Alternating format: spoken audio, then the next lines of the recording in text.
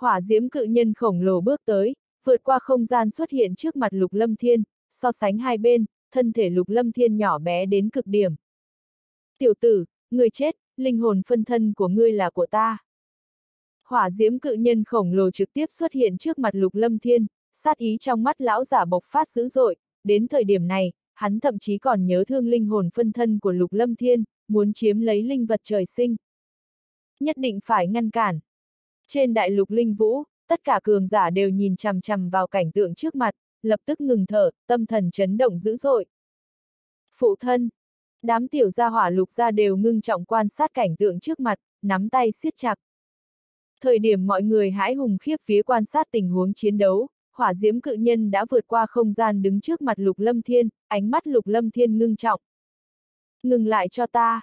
Chỉ bốn chữ đơn giản khi lục lâm thiên thốt ra, bốn chữ này giống như tiếng sấm rền vang vọng đại lục, trong lúc mơ hồ còn mang theo khí thức làm lòng người run sợ bất an.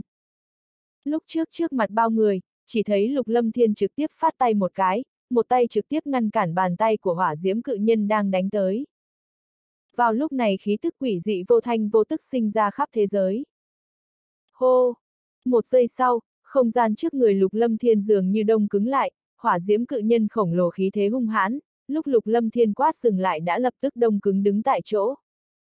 Trong lúc mơ hồ, không gian chung quanh hỏa diễm cự nhân cứng lại, khí tức nóng bỏng cũng bị áp chế trong nháy mắt, thân hình khổng lồ không cách nào nhúc nhích nửa phần.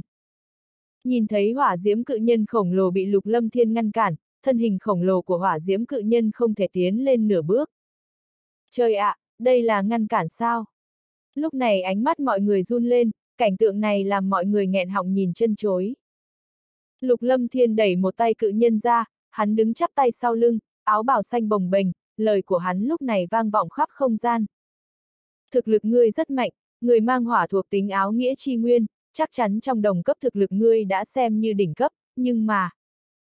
Lời nói của Lục Lâm Thiên Phong khinh vân đạm, trên miệng còn mang theo nụ cười chiêu tức, lạnh nhạt nói. Nhưng đây là thế giới của ta, ta mới là chúa tể thế giới, ta là thế giới này, ở trong thế giới của ta, cho dù ngươi mạnh hơn nữa cũng không bằng ta, trong mắt của ta, ngươi mạnh hơn nữa, ta có thể lật tay tiêu diệt ngươi. Vừa dứt lời, Lục Lâm Thiên phất tay một cái, đẩy tay phải ra, hắn lại nhìn qua mọi người, thân hình trực tiếp đạp không tiến lên phía trước, đi đến trước thân ảnh khổng lồ của hỏa diêm cự nhân. Lục Lâm Thiên đi tới phía trước hơn trăm mét, trong nháy mắt hỏa diễm cự nhân khổng lồ dường như cảm ứng được gì đó, trực tiếp cúi đầu xuống, toàn thân không ngừng run rẩy, sau đó bắt đầu nứt vỡ từng đoạn, thậm chí không sinh ra bao nhiêu chấn động hay biến hóa. Trời ạ! À, đây là thật sao? Trong ánh mắt ngạc nhiên của mọi người, Lục Lâm Thiên chỉ đi tới phía trước mà thôi, nhưng mỗi bước lại làm hỏa diễm cự nhân khổng lồ tiêu tán từng phần. Khi Lục Lâm Thiên đứng trước mặt hỏa diễm cự nhân, hỏa diễm cự nhân khổng lồ đã tan rã, giống như ngọn núi băng sụp đổ ầm ầm, nhưng lại không có bao nhiêu động tĩnh. Lục Lâm Thiên lúc này giống như thiên thần, những nơi đi qua mang theo thế không thể đỡ, khí thế phong khinh vân đạm, trong lúc mơ hồ còn mang theo khí thế bá tuyệt thiên hạ, là vương giả khống chế khí vận của vạn vật. Tất cả mọi người rung động nhìn chằm chằm vào, không nói được gì nữa, thân ảnh lục lâm thiên xuất hiện trước mặt lão giả, thân ảnh khổng lồ cao 5.000 mét của hỏa diễm cự nhân đã tan biến, tan biến không một tiếng động.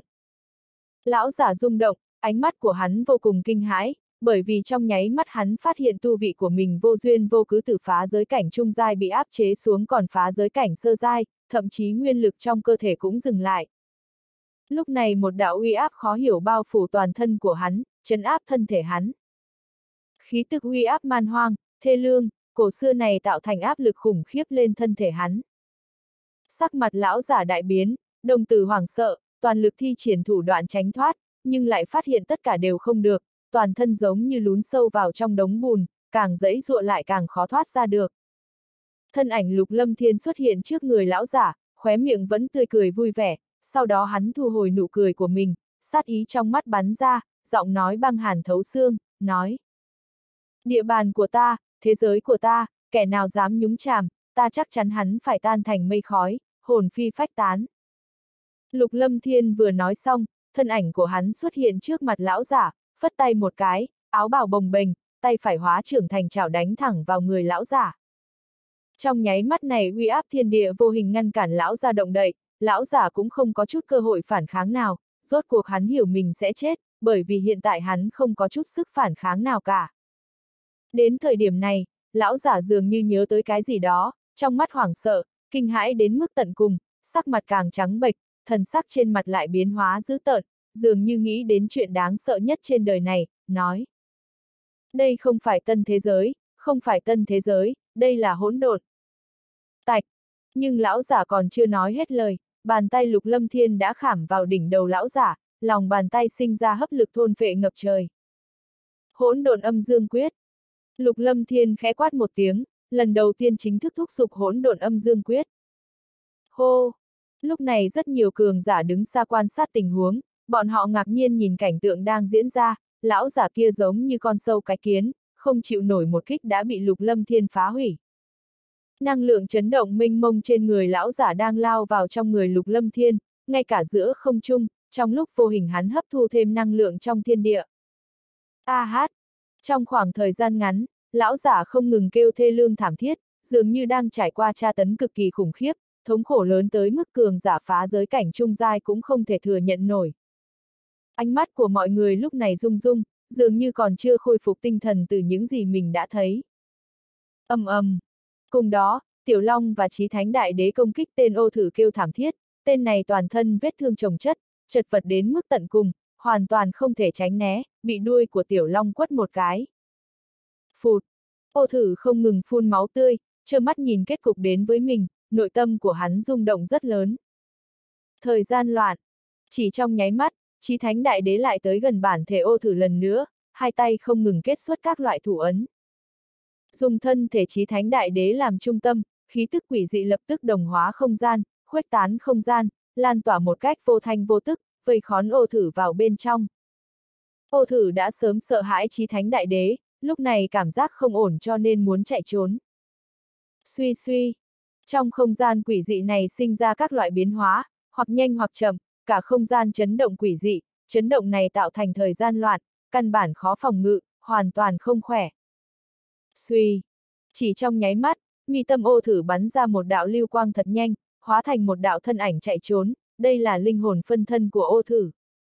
Cảm giác không ổn, ô thử muốn linh hồn phân thân của mình chạy đi đầu tiên, cho dù thành công hay không, hắn phải thử một lần.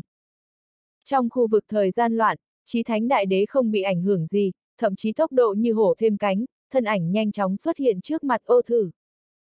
Đi chết đi! Chí thánh đại đế phất tay đánh ra một kích như bôn lôi, điều động năng lượng thiên địa và khí tức khủng bố giáng xuống, trực tiếp đánh ô thử trọng thương. Bành bành! Áo giáp hộ thân trên người ô thử đã bị tiểu long hóa thành bản thể đánh tan nát, một trường của chí thánh đại đế đánh thẳng vào người hắn. Phụt! Thân thể ô thử bay xa, miệng phun máu tươi, thân hình hóa thành huyết vụ tan vỡ trong không gian. Còn muốn chạy trốn sao, thuần túy là tìm chết. Tiểu Long quát lạnh một tiếng, thân thể kim long khổng lồ bộc phát kim quang sáng ngời, hắn lập tức ngăn cản linh hồn phân thân của ô thử bỏ chạy, lập tức há to miệng phun ra một đạo hỏa diễm màu vàng. A hát! Hỏa diễm kim sắc quét qua không gian, linh hồn phân thân của ô thử gào thét thảm thiết, trực tiếp bị hỏa diễm màu vàng thiêu đốt, không thể dẫy dụa thoát ra, qua một lát đã bị tiểu long đốt thành cho tàn. Ở giữa không gian, hai tên võ đế cửu trọng đứng ngây ngốc, nhìn thấy tất cả mọi việc xảy ra trước mặt mình, toàn thân run rẩy, linh hồn chấn động dữ dội. Siêu siêu. Hai người ngây ngốc, sau đó phục hồi tinh thần lại, lập tức nhảy lên lưng con chim màu xám to lớn, muốn rời khỏi nơi đây. Còn muốn chạy trốn sao, thành thật một chút cho ta. Tiếng quát của trí thánh đại đế vang vọng, hai tên võ đế cửu trọng đang bỏ chạy cảm giác không gian chung quanh biến hóa, thân thể đang lao đi bị ảnh hưởng, còn chưa phục hồi tinh thần đã cảm thấy thân thể bị cấm chế. Ha ha, đại lục linh vũ cũng không phải dễ xông vào như thế. Hai tay cầm hai tên võ đế cửu trọng, trí thánh đại đế lập tức cười ha ha, tóc dài màu bạc chớp động, khí thế bá đạo không thôi. Bạch linh tỷ, lão gia hỏa, dương quá lão đại. Thân thể khổng lồ của tiểu long biến mất, hắn khôi phục bản thể, áo bào màu vàng phất phơ, nhìn lão đại đang thôn phệ lão giả phá giới cảnh trung giai, mỉm cười, ánh mắt nhìn Bạch Linh, Nam Thúc, Dương Quá. Đám người Bạch Linh, Nam Thúc, Dương Quá quan sát Tiểu Long, cũng rất rung động, Tiểu Long vừa biểu hiện thực lực làm mọi người quá rung động. Long Yên A Di, người xuất quan sao? Thời điểm Tiểu Long nhìn thấy Long Yên, ánh mắt thâm thúy mang theo thần sắc vui mừng.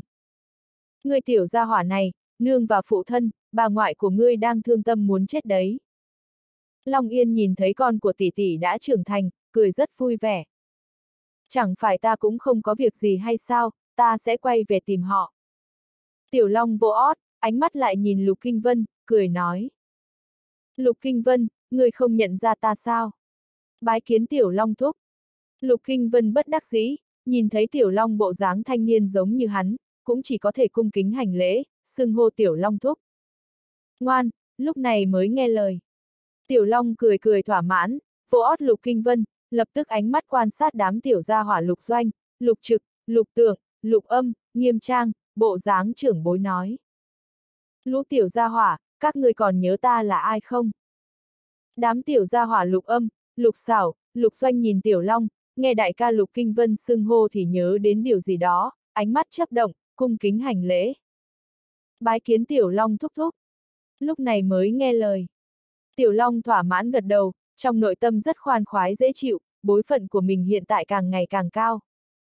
Nhưng thời điểm Tiểu Long đắc ý, bảy tiểu gia hỏa lại vây quanh trước mặt Tiểu Long, ánh mắt nhìn Tiểu Long như chờ mong cái gì đó.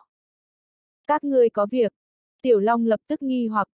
Tiểu Long thúc thúc, người còn chưa đưa lễ gặp mặt cho chúng ta đấy, các trưởng bối khác đều cho chúng ta lễ gặp mặt. Lục xảo dùng gương mặt tinh xảo như búp bê, đôi mắt to tròn nhìn Tiểu Long.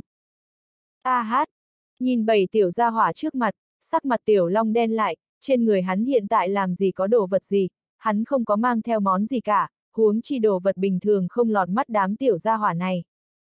Lũ tiểu gia hỏa, thúc thúc ta hôm nay không mang theo thứ gì trên người, thiếu nợ đi, thiếu nợ đi. Tiểu Long vừa dứt lời, lập tức né đi, lần này hắn mất mặt lớn rồi, hắn không nghĩ tới đám tiểu gia hỏa này lại đòi quà gặp mặt. Tiểu Long thúc thúc, chúng ta tùy tiện thôi mà, cho thứ gì cũng được. Đúng, chúng ta không kém chọn, tùy tiện thứ gì cũng được mà. Tiểu Long thúc thúc, long lân trên người của ngươi rất đẹp, nhất định là tài liệu luyện chế áo giáp thần khí rất tốt, nếu không, trực tiếp cho ta một chút long lân đi. Tiểu Long thúc thúc, người đừng chạy mà. Lập tức, mọi người nghẹn họng nhìn chân chối, bảy tiểu gia hỏa trực tiếp đuổi theo Tiểu Long, rất có xu thế không có quả gặp mặt sẽ không bỏ qua. Lũ tiểu gia hỏa, ta cho còn không được sao. Tiểu Long bị ép bất đắc dĩ, bảy tiểu gia hỏa này còn khó đối phó hơn Lục Kinh Vân năm đó, đành phải nhịn đau lấy xuống 10 khối long lân. Tiểu Long thúc thúc, người thật nhổ long lân sao, như vậy sẽ rất đau đấy, đến lúc đó phụ thân ta biết, chắc chắn sẽ trách phạt chúng ta, hay là không muốn. Lục Doanh ngẩng đầu, khí chất tinh xảo nho nhã giống như mẫu thân Bắc Cung vô song của mình, nhưng lại là đầu lĩnh của đám tiểu gia hỏa này.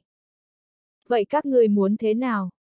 Tiểu Long không vui, mấy tiểu gia hỏa này thật khó dây vào, sớm biết như vậy không lên mặt làm trưởng bối của bọn chúng. Tiểu Long thúc thúc, chúng ta thấy người giết tên gia hỏa kia, tên kia không phải người đại lục linh vũ, nhưng có lẽ hắn có nhẫn chữ vật đấy, giao nhẫn chữ vật của hắn cho chúng ta là được rồi. Đôi mắt dễ thương của lục âm khinh động, mỉm cười nói với Tiểu Long. Đúng, nhẫn chữ vật. Tiểu Long lúc này mới nhớ tới, Thôn vệ một tên phá giới cảnh đúng là chiếm được nhẫn chữ vật, lập tức cầm nhẫn chữ vật trong tay, nhìn gương mặt bảy tiểu gia hỏa trước mặt như cười mà không cười, bảy tiểu gia hỏa nhất định đã sớm tính toán tốt, thật sự muốn nhẫn chữ vật trong tay của mình đây mà. Cho các ngươi. Tiểu Long bất đắc dĩ, cầm nhẫn chữ vật giao cho Lục Doanh. Đa tạ Tiểu Long thúc thúc. Lục Doanh thanh nhã hành lễ, lập tức mang theo sáu tiểu gia hỏa khác lùi lại.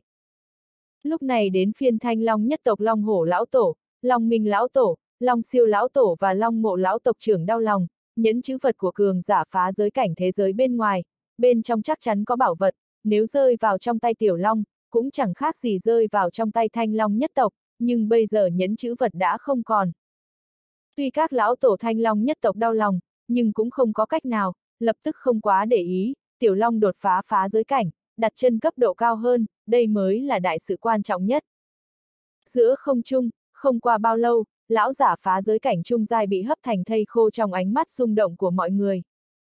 Hô! Lục lâm thiên mở mắt ra, tinh quang lóe lên rồi biến mất, khí tức man hoang bao phủ toàn thân cũng tản đi. Tất cả mọi người ngẩng đầu nhìn thân ảnh áo xanh trên không trung, giờ phút này trong nội tâm bị thiên uy bao phủ, thân ảnh áo xanh này chẳng khác gì chúa tể thế giới.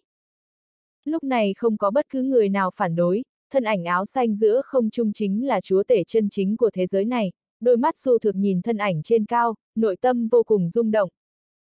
Phụ thân. Bảy tiểu gia hỏa nhìn thấy phụ thân mở mắt ra, lập tức đi tới, trong mắt bọn chúng, phụ thân chính là người mạnh nhất đại lục, từ nhỏ đến lớn, trong lòng bọn họ sinh ra cảm giác tự hào thật sâu, bởi vì phụ thân bọn họ là ngũ hành đại đế lục lâm thiên. Trước luyện hóa nguyên lực và hỏa thuộc tính áo nghĩa chi nguyên đi, sau đó tới chỗ ta một chuyến. Trong tai lục lâm thiên lại có tiếng lão ảnh vang lên. Lâm thiên, đây là đồ chơi gì, giống như là khôi lỗi, lại không biết sử dụng thế nào. Chí thánh đại đế cầm lấy hai tên võ đế cửu trọng đến bên cạnh lục lâm thiên, lại chỉ vào con chim màu xám khổng lồ giữa không trung, hắn nghiên cứu cả buổi nhưng không khởi động được. Ta thử xem. Ánh mắt lục lâm thiên chấn động, dò xét con chim màu xám khổng lồ này, lập tức ánh mắt nhìn một tên võ đế cửu trọng trong tay trí thánh đại đế, thò tay chụp một trường vào đỉnh đầu của hắn. A hát! Tiếng kêu thảm thiết vang vọng, trên gương mặt tên võ đế cửu trọng run rẩy, linh hồn đau đớn kịch liệt, chỉ trong nháy mắt hắn đau đớn chết đi sống lại, linh hồn trong đầu giống như bị rút ra ngoài. Chỉ một lát sau, Lục Lâm Thiên thu hồi bàn tay khỏi đầu tên võ đế cửu trọng, ánh mắt mang theo nét vui vẻ, thân ảnh bay lên cao, lập tức nhảy lên người con chim khổng lồ, thân ảnh quỷ dị tiến vào trong con chim màu xám, biến mất không thấy. ầm ầm. Sau một lát, con chim màu xám chấn động ầm ầm, hào quang sáng chói tỏa ra các nơi, hai cánh kim loại chấn động, không gian chung quanh nứt vỡ từng khúc, khí lưu quét qua các nơi, sóng biển bên dưới chấn động ầm ầm, từng vòng nước xoáy chảy liên tục, giống như sóng thần bộc phát bao phủ bầu trời. Động. Trong ánh mắt sợ hãi thàn phục, con chim màu xám khổng lồ đã hoạt động. Phụ thân, chúng ta muốn đi vào. Bảy tiểu gia hỏa lúc này không nhìn được, lập tức bay qua. Trong mật thất phi linh môn, lục lâm thiên khoanh chân ngồi tu luyện, kết xuất thủ ấn, toàn thân bao phủ trong khí thức nóng bỏng, thúc dục hỗn độn âm dương quyết thôn vệ so với thúc dục âm dương linh vũ quyết nhanh hơn rất nhiều, âm dương linh vũ quyết không thể đánh đồng với hỗn độn âm dương quyết.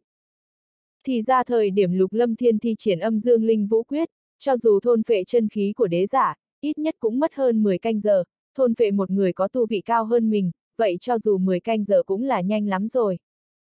Nhưng cách đó không lâu, lục lâm thiên thôn phệ lão giả tu vị phá giới cảnh trung giai chỉ dùng thời gian không bao lâu, lập tức thôn phệ lão giả thành thây khô, lục lâm thiên có thể cảm nhận tốc độ thôn phệ khủng khiếp hơn trước quá nhiều. Càng làm lục lâm thiên khiếp sợ là, thúc dục hỗn độn âm dương quyết có thể trực tiếp thôn phệ hồn anh, còn có thể trực tiếp thôn phệ hỏa thuộc tính áo nghĩa chi nguyên của đối thủ cho mình sử dụng. Thôn phệ hồn anh, hồn anh của phá giới cảnh trung giai bị hỗn độn âm dương quyết thôn phệ lập tức xóa đi trí nhớ và tạp chất, chỉ còn lại linh hồn lực tinh thuần. Mà linh hồn trong hồn anh đã bị đại hồn anh thôn phệ nhanh chóng. Đại hồn anh lúc này bành trướng muốn nứt ra, lúc này đang ngồi khoanh chân tu hành trong tâm thần hắn, bắt đầu luyện hóa linh hồn lực đáng sợ kia. Lúc này chỉ còn lại hỏa thuộc tính áo nghĩa chi nguyên, nhưng sau khi xuất hiện trong đầu lục lâm thiên, hỏa thuộc tính áo nghĩa chi nguyên nhìn như vô hình nhưng lại tồn tại như thực chất, hiển hiện trong đầu lục lâm thiên, mang theo khí tức ấm áp. Trong hào quang ấm áp này, hỏa thuộc tính nguyên lực trong người lục lâm thiên bị tác động mạnh, bắt đầu hoạt động trong người một cách vô thức. Đây là hỏa thuộc tính áo nghĩa chi nguyên sao? Tâm thần lục lâm thiên quan sát hào quang ấm áp kia, lúc trước chính mình muốn dung hợp thuộc tính áo nghĩa chi nguyên từ thi cốt mấy lão tổ hoàng tộc, lão ảnh lại nói mình dung hợp cũng không dùng được bao nhiêu, chính mình luyện hóa thế giới hỗn độn bổn nguyên, không cần phải dung hợp mấy thuộc tính áo nghĩa chi nguyên, chuyện này làm cho lục lâm thiên có phần khó hiểu, nhưng sau khi đạt được hỗn độn âm dương quyết thì hắn đã hiểu rõ. Lúc trước chính mình cần dung hợp áo nghĩa chi nguyên, có lẽ cũng không cần, thế giới hỗn độn chi nguyên có cấp độ cao hơn thuộc tính áo nghĩa chi nguyên, cho nên không cần thiết phải dung hợp thuộc tính áo nghĩa chi nguyên. Bây giờ mình thôn phệ áo nghĩa chi nguyên, thôn phệ luyện hóa áo nghĩa chi nguyên, trực tiếp tăng cao lĩnh ngộ áo nghĩa của bản thân, so sánh với tự mình dung hợp áo nghĩa chi nguyên sẽ có tính chất hoàn toàn khác nhau. Tâm thần lục lâm thiên quan sát một hồi, phát hiện hào quang ấm áp kia kỳ thực ẩn chứa nhiệt độ khủng bố, cho dù là áo nghĩa chi nguyên nào cũng là một phần của thế giới, đều cực kỳ huyền ảo và kỳ diệu. Luyện hóa áo nghĩa chi nguyên. Lục lâm thiên thở sâu, bình tâm tính khí vận chuyển hỗn độn âm dương quyết, bình ổn hỏa thuộc tính nguyên lực trong người, cũng bắt đầu luyện hóa hỏa thuộc tính áo nghĩa chi nguyên. Từ khi luyện hóa, hỏa thuộc tính áo nghĩa chi nguyên run lên, hào quang áo nghĩa nhanh chóng xoay tròn, khí tức nóng bỏng từ hào quang bộc phát ra chung quanh, giống như mặt trời ban trưa, trong đó ẩn chứa hỏa thuộc tính áo nghĩa giống như biển rộng bao la, hỏa thuộc tính áo nghĩa bao phủ, Lục Lâm Thiên cảm thấy tính tình của mình táo bạo hơn nhiều. Người mang tu vị phá giới cảnh trung giai lại có áo nghĩa chi nguyên, trình độ lĩnh ngộ áo nghĩa của lão giả rất cao, trong biển áo nghĩa này, Lục Lâm Thiên bắt đầu khiếp sợ. Bị hào quang áo nghĩa bao phủ, tâm thần Lục Lâm Thiên bất chi bất giác đắm chìm vào trong đó, hào quang áo nghĩa này chiếu sáng linh hồn hắn.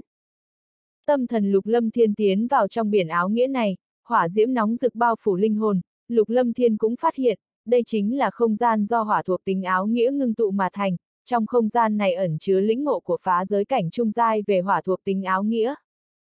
Đây là không gian đối phương lĩnh ngộ áo nghĩa, tâm thần của Lục Lâm Thiên lại có thể nhìn trộm vào bên trong, Lục Lâm Thiên trực tiếp quan sát hết mọi thứ, hắn nhìn trộm lĩnh ngộ của kẻ khác sau đó hấp thu cho mình sử dụng. Phát hiện tất cả mọi thứ, tâm thần Lục Lâm Thiên mừng rỡ không thôi, hắn cũng đắm chìm trong lĩnh ngộ.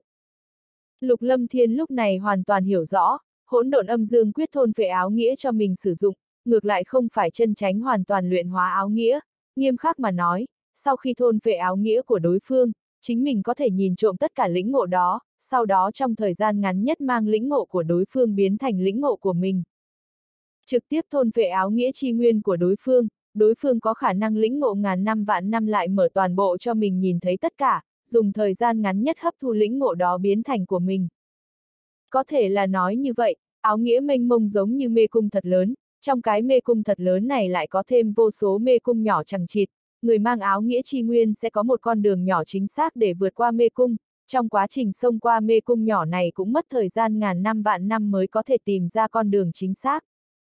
Lục Lâm Thiên lúc này thôn phệ áo nghĩa chi nguyên của đối phương, trực tiếp nhìn trộm biển áo nghĩa của đối phương, nói đơn giản hắn có thể trực tiếp đạt được lộ tuyến lĩnh ngộ chính xác của đối phương trong mê cung nhỏ kia.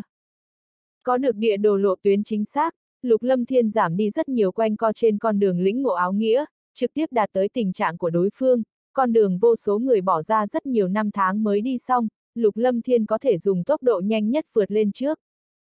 Thời gian người khác bỏ ra cần ngàn năm vạn năm, nhưng Lục Lâm Thiên chỉ dùng một năm nửa năm là hoàn thành, thời gian cung cũng rút ngắn cả ngàn cả vạn lần. Tóm lại hắn có được áo nghĩa thôn phệ của hỗn độn âm dương quyết, hắn đã chiếm được con đường tắt đi thông trở thành cường giả, thôn phệ áo nghĩa của người khác, nhìn trộm lộ tuyến áo nghĩa chính xác. Nếu như bị người khác biết rõ tác dụng biến thái của hỗn độn âm dương quyết, nhất định sẽ điên cuồng, loại công pháp này không nên tồn tại trên thế gian. Nhưng Lục Lâm Thiên trừ vui mừng ra, trong hỏa thuộc tính áo nghĩa mênh mông, Lục Lâm Thiên phát hiện ra nó có tác dụng cực lớn với mình, đó là hắn trực tiếp hiểu ra bình cảnh hỏa thuộc tính áo nghĩa của bản thân, Lục Lâm Thiên hiện tại chỉ cần lĩnh ngộ tới sẽ đột phá. Sau một lát, trong mật thất, chung quanh thân thể Lục Lâm Thiên là các dòng khí lưu nóng bỏng, hỏa thuộc tính nguyên lực bao quát các nơi, mang theo đường vân huyền bí, cả mật thất vô cùng nóng bức.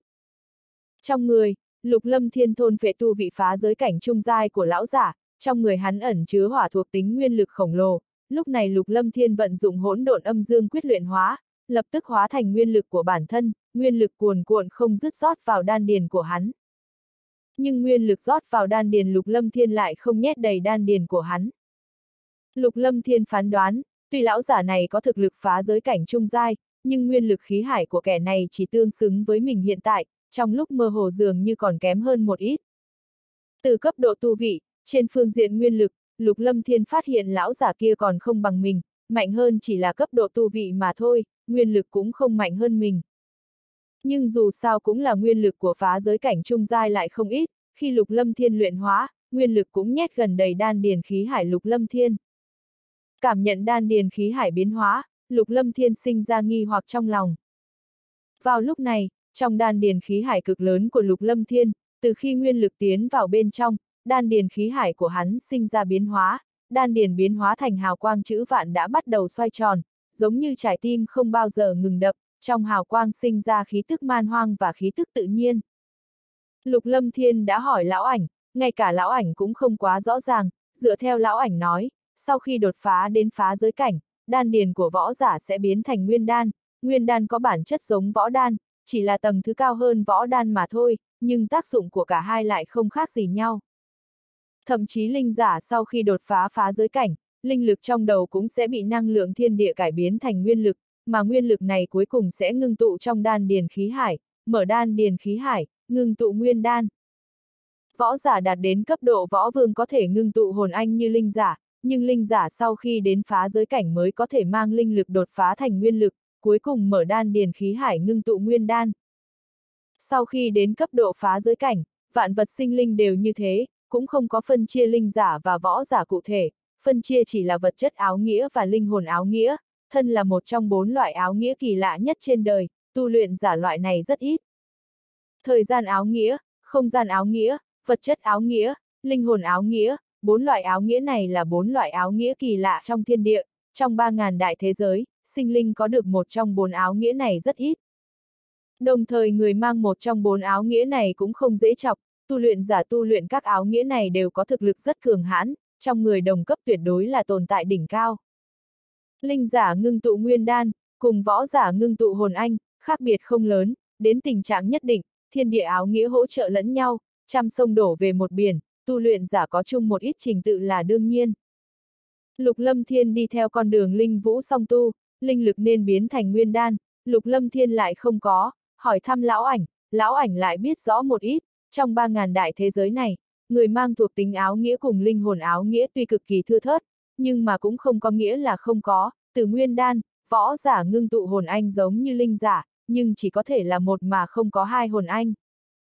Mà nguyên đan cũng giống như thế, không có hai viên nguyên đan, sau khi Lục Lâm Thiên biết được, hắn đã sớm quan sát qua, nguyên lực của mình cũng có cải biến, trừ các thuộc tính nguyên lực ra, cũng có hồn nguyên lực trong đan điền khí hải.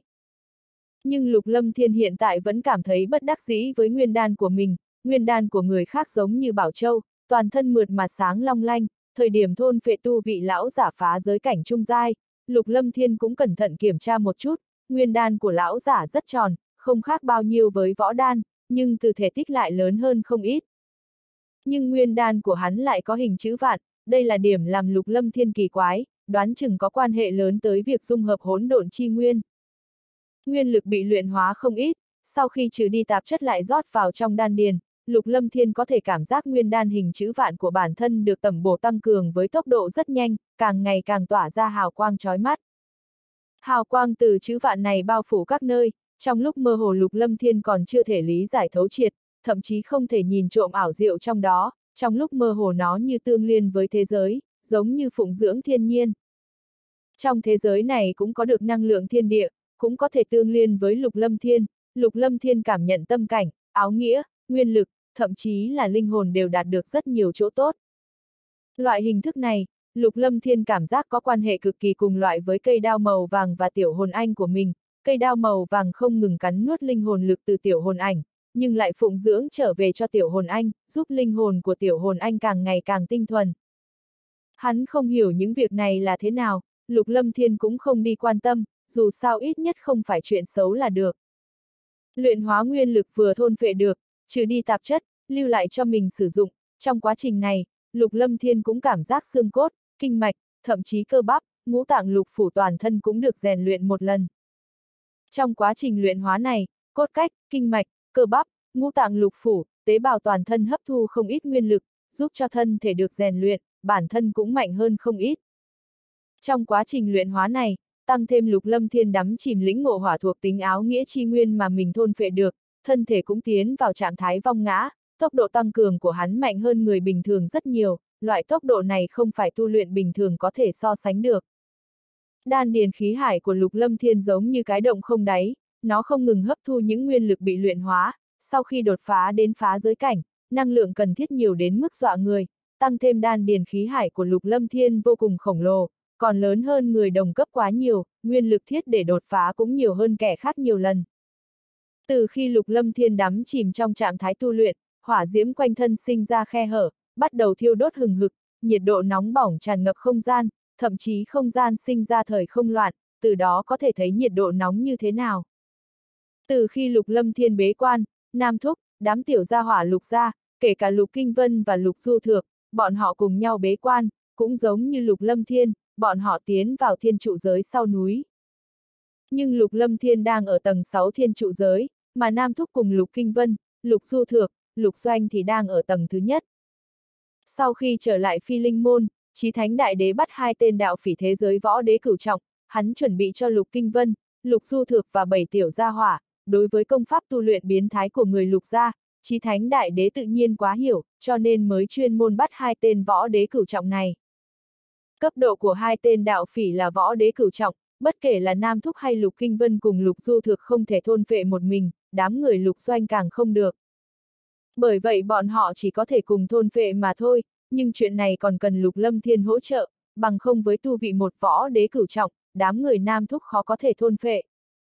Tổng cộng 10 người, cộng đồng thôn vệ một tên võ đế cửu trọng, cho dù 10 người thôn vệ tới mức không thể thôn vệ nữa, tên đạo phỉ vẫn không bị thôn vệ xong. Từ khi đám người lục lâm thiên, nam thúc bế quan, tin tức cường giả thiên ngoại hàng lâm cũng truyền ra khắp đại lục, tin tức này chẳng khác gì quả bom nổ tung trong đầu mọi người. Không biết truyền ra như thế nào, đồn đãi nói một khi cường giả thiên ngoại hàng lâm sẽ chiếm đại lục linh vũ làm của riêng, cướp đoạt tất cả tài nguyên tu luyện, bắt tất cả sinh linh làm nô lệ, sau khi đạt được tin tức này, rất nhiều người bàng hoàng. Trong thời gian đó, phi linh môn ngũ hành đại đế lục lâm thiên xuất hiện lần nữa, lại cùng thanh long hoàng tộc tiểu long và đệ nhất cường giả đại lục sư phụ ngũ hành đại đế, chi thánh đại đế, ba người liên thủ đánh chết đám cường giả thiên ngoại hàng lâm đại lục linh vũ. Tin tức này cũng truyền ra khắp đại lục, chuyện này cũng làm nhiều người đang khủng hoảng nhìn thấy hy vọng. Vào lúc này, trên đại lục, nhân tâm hướng về phi linh môn, nơi đây trở thành thánh địa duy nhất trong lòng mọi người, cho dù là nhân hoàng tộc và thú hoàng tộc cũng không thể đánh đồng với phi linh môn. Đương nhiên, thanh long hoàng tộc có tiểu long, địa vị cũng nước lên thuyền lên, tuyệt đối áp chế các nhân hoàng tộc và thú hoàng tộc khác. Tất cả cường giả thế lực lớn không có ai bất mãn với bài danh này, trong nội tâm tất cả cường giả trên đại lục đều rất rõ ràng, lúc này không có lục lâm thiên ra mặt, vận mệnh cả đại lục linh vũ sẽ khốn khổ cỡ nào. Sau khi nhìn thấy thực lực của cường giả phá giới cảnh, đế giả bị người ta lật tay tiêu diệt, các cường giả đại thế lực biết rõ mình đang đối mặt với cái gì. Thậm chí ngay ngày hôm sau khi lục lâm thiên bế quan, tự lục có cường giả các đại gia tộc và tất cả thế lực lớn đến phi linh môn, nói là muốn gặp lục lâm thiên, nghe nói lục lâm thiên bế quan mới rời đi. Thời điểm đế giả các môn phái thế lực rời đi, bọn họ lưu lại lời nói với phi linh môn rằng, nội dung không khác nhau bao nhiêu, đều nói về sau sẽ cùng tiến thoái với phi linh môn và lục gia, tất cả sẽ lấy phi linh môn và lục gia làm đầu, trong đó chuyên tôn gia tộc và thác bạt gia tộc, thậm chí là thiên địa các đều phái người tới. Lúc này các đại gia tộc và thế lực lớn đều hiểu rõ, cũng ý thức được, về sau trên đại lục linh vũ, tất cả thế lực đều phải dựa vào phi linh môn cùng lục gia tồn tại. Trên biển Đông, lục lâm thiên đánh chết cường giả phá giới cảnh trung giai, bá tuyệt thiên địa, những nơi đi qua thiên uy cuồn cuộn giống như thần tích, nội tâm của mọi người khâm phục. Kết cục của thiên địa minh chính là tấm gương của mọi người, mà Vân Dương Tông và Linh Thiên Môn phụ thuộc vào phi linh môn, hiện tại phong sinh khởi thủy, đây cũng là ví dụ, bởi vậy tất cả mọi người đều lựa chọn, thế giới này cũng không phải tồn tại duy nhất, trong thiên địa minh mông, đại lục linh vũ không đáng giá nhắc tới, các thế lực lớn bọn họ cũng không đáng nhắc tới, lúc này có thể bảo hộ bọn họ, có thể dựa vào cũng chỉ có phi linh môn và lục gia. Tất cả cường giả hoàng tộc đã không còn ngạo khí lúc trước, vốn cho rằng trong thiên địa cũng chỉ có đại lục linh vũ, các đại gia tộc là tồn tại mạnh nhất, bởi vậy tự cho rằng mình là siêu phàm, tự xưng hoàng tộc, kỳ thật cái gọi là hoàng khí chỉ là áo nghĩa gia thân mà thôi, trong thiên địa minh mông, loại gia tộc này quá nhiều, nhiều như sao trời. Thời gian từ từ qua đi, Lục Lâm Thiên đang đắm chìm trong lĩnh ngộ hỏa thuộc tính áo nghĩa chi nguyên, hắn tu hành giống như trải qua trăm năm ngàn năm. Hô! Đột nhiên biển hỏa thuộc tính áo nghĩa chung quanh người hắn chấn động dữ dội, lập tức không gian hỏa diễm thu liếm, biển lửa biến mất không thấy gì nữa. Bành! Trong không gian linh hồn lục lâm thiên, hỏa thuộc tính áo nghĩa chi nguyên vẫn tỏa ra hào quang sáng ngời, nó bộc phát hào quang sáng ngời như pháo hoa, sau khi sinh ra tiếng nổ trầm đỡ upsilon, C, lập tức biến mất không thấy gì nữa. Trong không gian linh hồn, khí tức nóng bỏng biến mất, tất cả dường như chưa từng xảy ra cái gì cả. Lục lâm thiên khoanh chân ngồi trong mật thất, khe hở hỏa diễm và bí vân quanh người hắn đã biến mất không thấy gì nữa, hắn vẫn bình tĩnh ngồi đó, bảo trì thủ ấn tu luyện, nhưng lúc này trên thân thể sinh ra khí tức cường hãn rất mạnh, chậm rãi tràn ngập toàn thân hắn. Khí tức này rất nóng bỏng, nóng đến mức làm nội tâm của người ta sinh ra cảm giác bị bỏng. Hô! Yên lặng một lát, thân ảnh áo xanh hơi nhúc nhích, trong đan điền khí hải sinh ra một đám chọc khí bay lên cổ họng, chọc khí này mang theo nhiệt độ nóng bỏng, nóng tới mức không gian bị thiêu đốt chập chờn, ngay cả tầng thứ sáu thiên trụ giới cũng phải lắc lư. Suy suy. Qua một lát, Lục Lâm Thiên mở mắt ra, một đạo khí thức chúa tể thiên hạ bạo phát ra ngoài, tinh quang trong mắt lóe lên, ánh mắt hắn nhìn nơi nào, nơi đó run rẩy, làm lòng người phải thuần phục, trong lúc mơ hồ còn mang theo thiên uy không thể kháng cự. Hỗn độn âm dương quyết thật biến thái. Khi ánh mắt thu liếm tinh quang, trong mắt lục lâm thiên bắn ra thần sắc mừng rỡ, hắn tươi cười vui vẻ, vui vẻ rất đậm, chỉ có lục lâm thiên tự mình biết mình đạt được bao nhiêu chỗ tốt. Từ nguyên lực, luyện hóa nguyên lực của lão giả phá giới cảnh trung giai, trừ đi tạp chất, tu vị của hắn tiến bộ không ít, loại tiến bộ này nếu tu luyện bình thường, cho dù hiện tại dựa vào hỗn độn âm dương quyết tu luyện, ít nhất mất mấy trăm năm cũng không chắc có tiến bộ lớn như thế. Người đạt đến cấp độ phá giới cảnh, trong ba ngàn đại thế giới mênh mông, có người nào không mất mấy trăm năm mấy ngàn năm mới đột phá một giai, không phải một cảnh giới, chỉ là một giai mà thôi.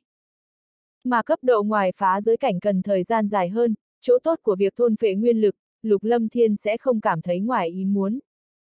Tối đa chỉ ngạc nhiên và mừng rỡ vì tác dụng của hỗn độn âm dương quyết, không chỉ có thể thôn phệ nguyên lực người khác nhanh hơn âm dương linh vũ quyết nhiều, ngay cả tốc độ luyện hóa nguyên lực cũng nhanh hơn không ít. Còn lần này, làm cho Lục Lâm Thiên mừng rỡ rung động chính là lĩnh ngộ hỏa thuộc tính áo nghĩa đạt được chỗ tốt rất lớn, lão giả kia lĩnh ngộ hỏa thuộc tính áo nghĩa cũng rất mạnh, sau khi bản thân hắn hoàn toàn nhìn trộm xong, lĩnh ngộ của hắn tăng lên mới là chỗ tốt lớn nhất. Nếu như chỉ lĩnh ngộ bình thường, còn không biết cần bao nhiêu năm tinh tu hỏa thuộc tính áo nghĩa mới có tiến bộ như thế. Luyện hóa nguyên lực của lão giả, sau khi luyện hóa tu vị phá giới cảnh trung giai, lúc này Lục Lâm Thiên cảm giác mình còn cách phá giới cảnh trung giai không xa, sợ rằng hắn không phí bao nhiêu sức lực trừ tạp chất trong nguyên lực nữa là được, kỳ thật nếu hắn chiếm được một phần mười chỗ tốt như bây giờ, hắn sẽ đột phá đến phá giới cảnh trung giai ngay lập tức. Huống chi Lục Lâm Thiên tự biết đan điền khí hải của mình khổng lồ, muốn đột phá sẽ chậm hơn nữa, nhưng hiện tại có hỗn độn âm dương quyết biến thái, Lục Lâm Thiên không có bao nhiêu lo lắng tăng tu vị lên, ngược lại còn rất chờ mong, đan điền khí hải khổng lồ mới là tiền vốn trèo chống mình khiêu chiến vượt cấp.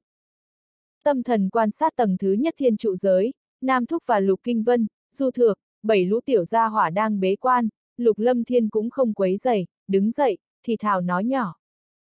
Làm sao lại có đạo phỉ thế giới hàng lâm chứ, nên đi tìm lão ảnh hỏi một chút. Trong gian đại điện phong cách cổ xưa, yên tĩnh, an tường, thời gian ở nơi này không giống như bình thường. Lão ảnh, tại sao có thể có đạo phỉ thế giới hàng lâm, không phải nói sư phụ lão nhân ra bố trí thủ đoạn rồi sao, người khác rất khó phát hiện ra đại lục linh vũ mà. Lục lâm thiên đi vào trong đại điện, lập tức hỏi lão ảnh, đại lục linh vũ chính là tài sản riêng của lục lâm thiên, còn có đủ loại tác dụng với hắn, lục lâm thiên không khẩn trương sao được. Rất đơn giản, người dùng hợp thế giới hỗn độn chi nguyên, chẳng khác gì kích hoạt thế giới hỗn độn, thế giới hỗn độn mỗi ngày đều hội tụ thiên địa nguyên khí liên tục không dứt, lão nhân ra bố trí thủ đoạn cũng sinh ra chấn động, trong sự trùng hợp, cho nên mới dẫn đạo phỉ thế giới xuất hiện. Thân ảnh tập tính của lão ảnh đi ra, cũng không nhìn lục lâm thiên. Ý của ngươi là, về sau còn có thể có đạo phỉ thế giới và cường giả phát hiện đại lục linh vũ hay sao?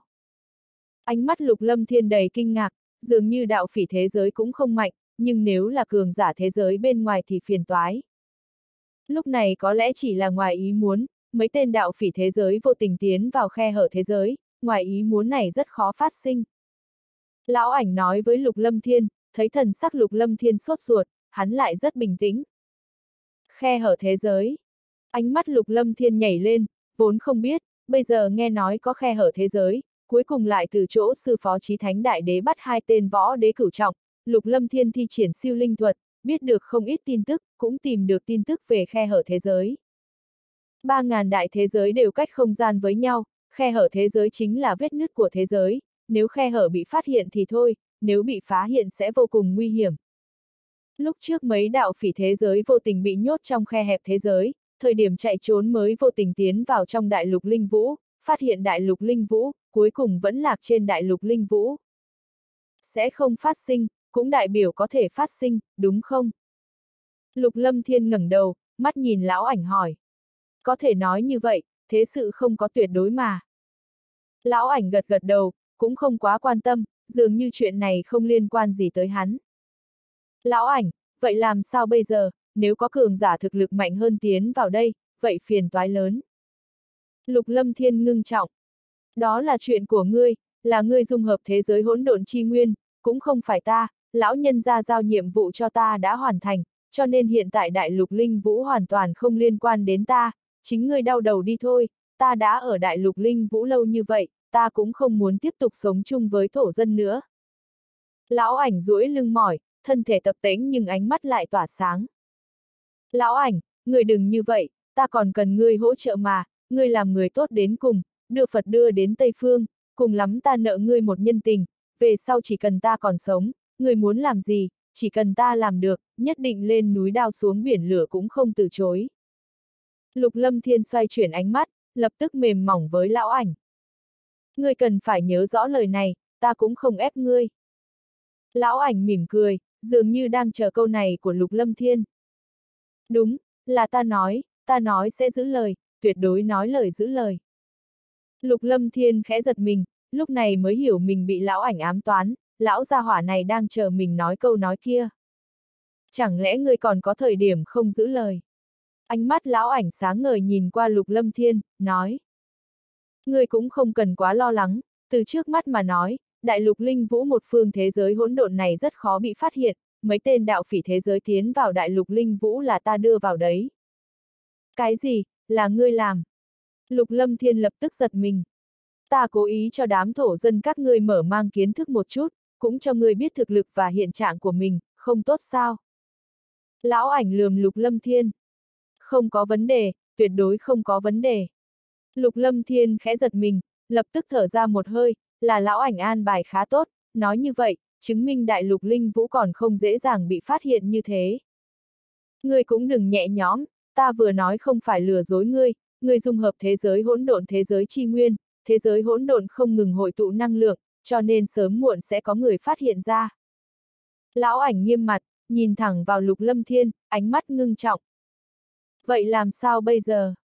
Lục lâm thiên nhíu mày, nếu thế giới hỗn độn bị phát hiện, lục lâm thiên biết rõ nó đại biểu cái gì, đại biểu người khác sẽ phát hiện tân thế giới, còn không bằng như thế, thế giới hỗn độn đủ làm cường giả trong 3.000 đại thế giới điên cuồng. Có hai biện pháp. Lão ảnh không chút do dự trả lời Lục Lâm Thiên. Có hai biện pháp sao? Nghe có biện pháp, ánh mắt Lục Lâm Thiên đầy mong đợi. Biện pháp đầu tiên, có được thực lực tuyệt đối, làm cho bất cứ cường giả nào trong 3.000 đại thế giới phải kiêng kỵ ngươi, không dám đánh chủ ý lên ngươi. Ánh mắt lão ảnh nhìn Lục Lâm Thiên, nhưng trong mắt lại mang theo ý cười mà không cười. Biện pháp này thôi đi, biện pháp thứ hai là gì?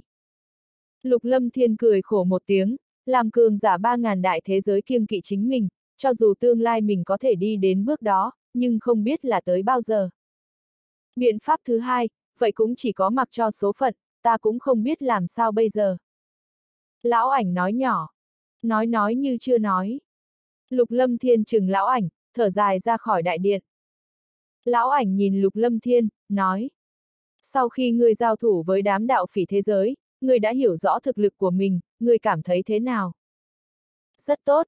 Ánh mắt lục lâm thiên chấn động, tuy thực lực bọn đạo phỉ rất mạnh, nhưng mình cũng có thể tiêu diệt, nếu có một ngày đại lục linh vũ xuất hiện nhiều cường giả khủng khiếp, chỉ sợ mình không thể làm gì.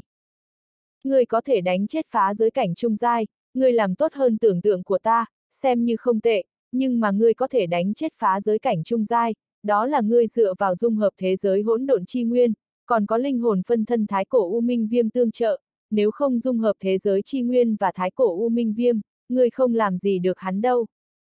Lão ảnh nói với Lục Lâm Thiên.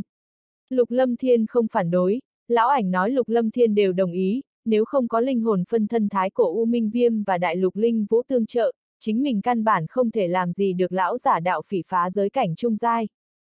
Nhưng tổng hợp mà nói, người đã làm tốt hơn suy nghĩ của ta nhiều, chuẩn bị sớm rời khỏi đại lục linh vũ đi, bước vào đại thế giới. Lão ảnh nhìn lục lâm thiên, ánh mắt ngưng trọng, nói. Người muốn chính thức bảo vệ thế giới hỗn độn của mình, vậy cũng chỉ có mau chóng trở thành cường giả, có thực lực tuyệt đối mới có thể bảo vệ đại lục linh vũ thế giới hỗn độn, nếu muốn trở thành cường giả, người cũng chỉ có thể đi 3.000 đại thế giới rèn luyện. Ân. Lục Lâm Thiên gật gật đầu, bản thân hắn muốn tiến tới 3.000 đại thế giới, thì ra lão ảnh đã sớm có an bài, an bài mấy đạo phỉ thế giới tiến đến, làm cho hắn cảm thấy nguy cơ, phải sớm đi ba ngàn đại thế giới lưu lạc. Thực lực của ngươi, tuy trong đồng cấp tu vị người không kém, nhưng ngươi phải nhớ kỹ, phá giới cảnh chỉ là bình thường mà thôi, trong ba ngàn đại thế giới, mặc dù nói tỷ lệ ngươi gặp phải cường giả tuyên cổ cảnh và hóa hồng cảnh rất nhỏ, nhưng cường giả cấp độ này trong 3.000 đại thế giới cũng không có bao nhiêu, nhưng mà gặp gỡ ngộ chân cảnh và thông thiên cảnh lại rất nhiều, thậm chí vận khí không tốt có khả năng đỡ upsilon.ng phải cường giả đại đạo cảnh. Với thực lực của ngươi bây giờ, nếu gặp phải cường giả cấp độ này, cũng chỉ có tan thành mây khói, cho nên chính ngươi cẩn thận, thực lực không đủ, ngàn vạn không nên trêu chọc người cấp độ như thế. Lão ảnh nói xong, ánh mắt nhìn thẳng vào lục lâm thiên, nói. Một khi bước vào ba ngàn đại thế giới, tự cầu nhiều phúc đi. Lão ảnh, đại lục linh vũ làm sao bây giờ, sau khi ta rời đi, đại lục linh vũ có thể bị người ta phát hiện hay không? Lục lâm thiên không quá lo lắng bản thân của mình, lo lắng cho đại lục linh vũ, tất cả thân nhân và bằng hữu của hắn đều ở trên đại lục linh vũ. Đại lục linh vũ tạm thời sẽ không bị người ta phát hiện, người cần làm chính là mau chóng tăng thực lực, vạn nhất bị phát hiện, người cũng có thực lực tuyệt đối ứng phó tất cả. Lão ảnh nói, ánh mắt lục lâm thiên hơi trầm xuống, xem ra thời gian tu luyện của mình không nhiều, chỉ có trong thời gian ngắn nhất trở thành cường giả mới có thể bảo vệ đại lục linh vũ. Nhớ kỹ, một khi rời khỏi đại lục linh vũ, ngươi ngàn vạn không thể bạo lộ bí mật dung hợp thế giới hỗn độn chi nguyên, không đến mức sống chết trước mắt, không thể thi triển thế giới chi lực. Lão ảnh nghiêm mặt nói. Ta hiểu rồi. Lục Lâm Thiên gật đầu, hiện tại tuyệt đối không thể tiết lộ bí mật này được. Đúng rồi lão ảnh, người có biết đây là gì hay không? Lục Lâm Thiên cầm ngọc bài và một linh quả màu vàng nhỏ như nắm tay ra, linh quả màu vàng tỏa ra năng lượng kinh người, linh hồn người ta phát run, nhưng với tu vị thực lực của Lục Lâm Thiên, loại ảnh hưởng này quá nhỏ.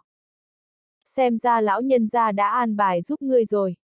Ánh mắt lão ảnh căn bản không nhìn linh quả màu vàng trong tay Lục Lâm Thiên, ánh mắt của hắn nhìn thẳng vào ngọc bài, ánh mắt mang theo nghi hoặc và ngoài ý muốn. Lão ảnh, đây là cái gì? Lục Lâm Thiên hỏi, nhìn thần sắc lão ảnh, đoán chừng hắn nhận ra thứ này. Thứ này cũng không phải quá quý hiếm, nhưng nó lại là an bài chỉ dẫn của lão nhân gia dành cho ngươi. Lão ảnh nhìn Lục Lâm Thiên, nói. Đây là thù tạ lệnh của thiên chiến liên minh. Thiên chiến liên minh, thù tạ lệnh.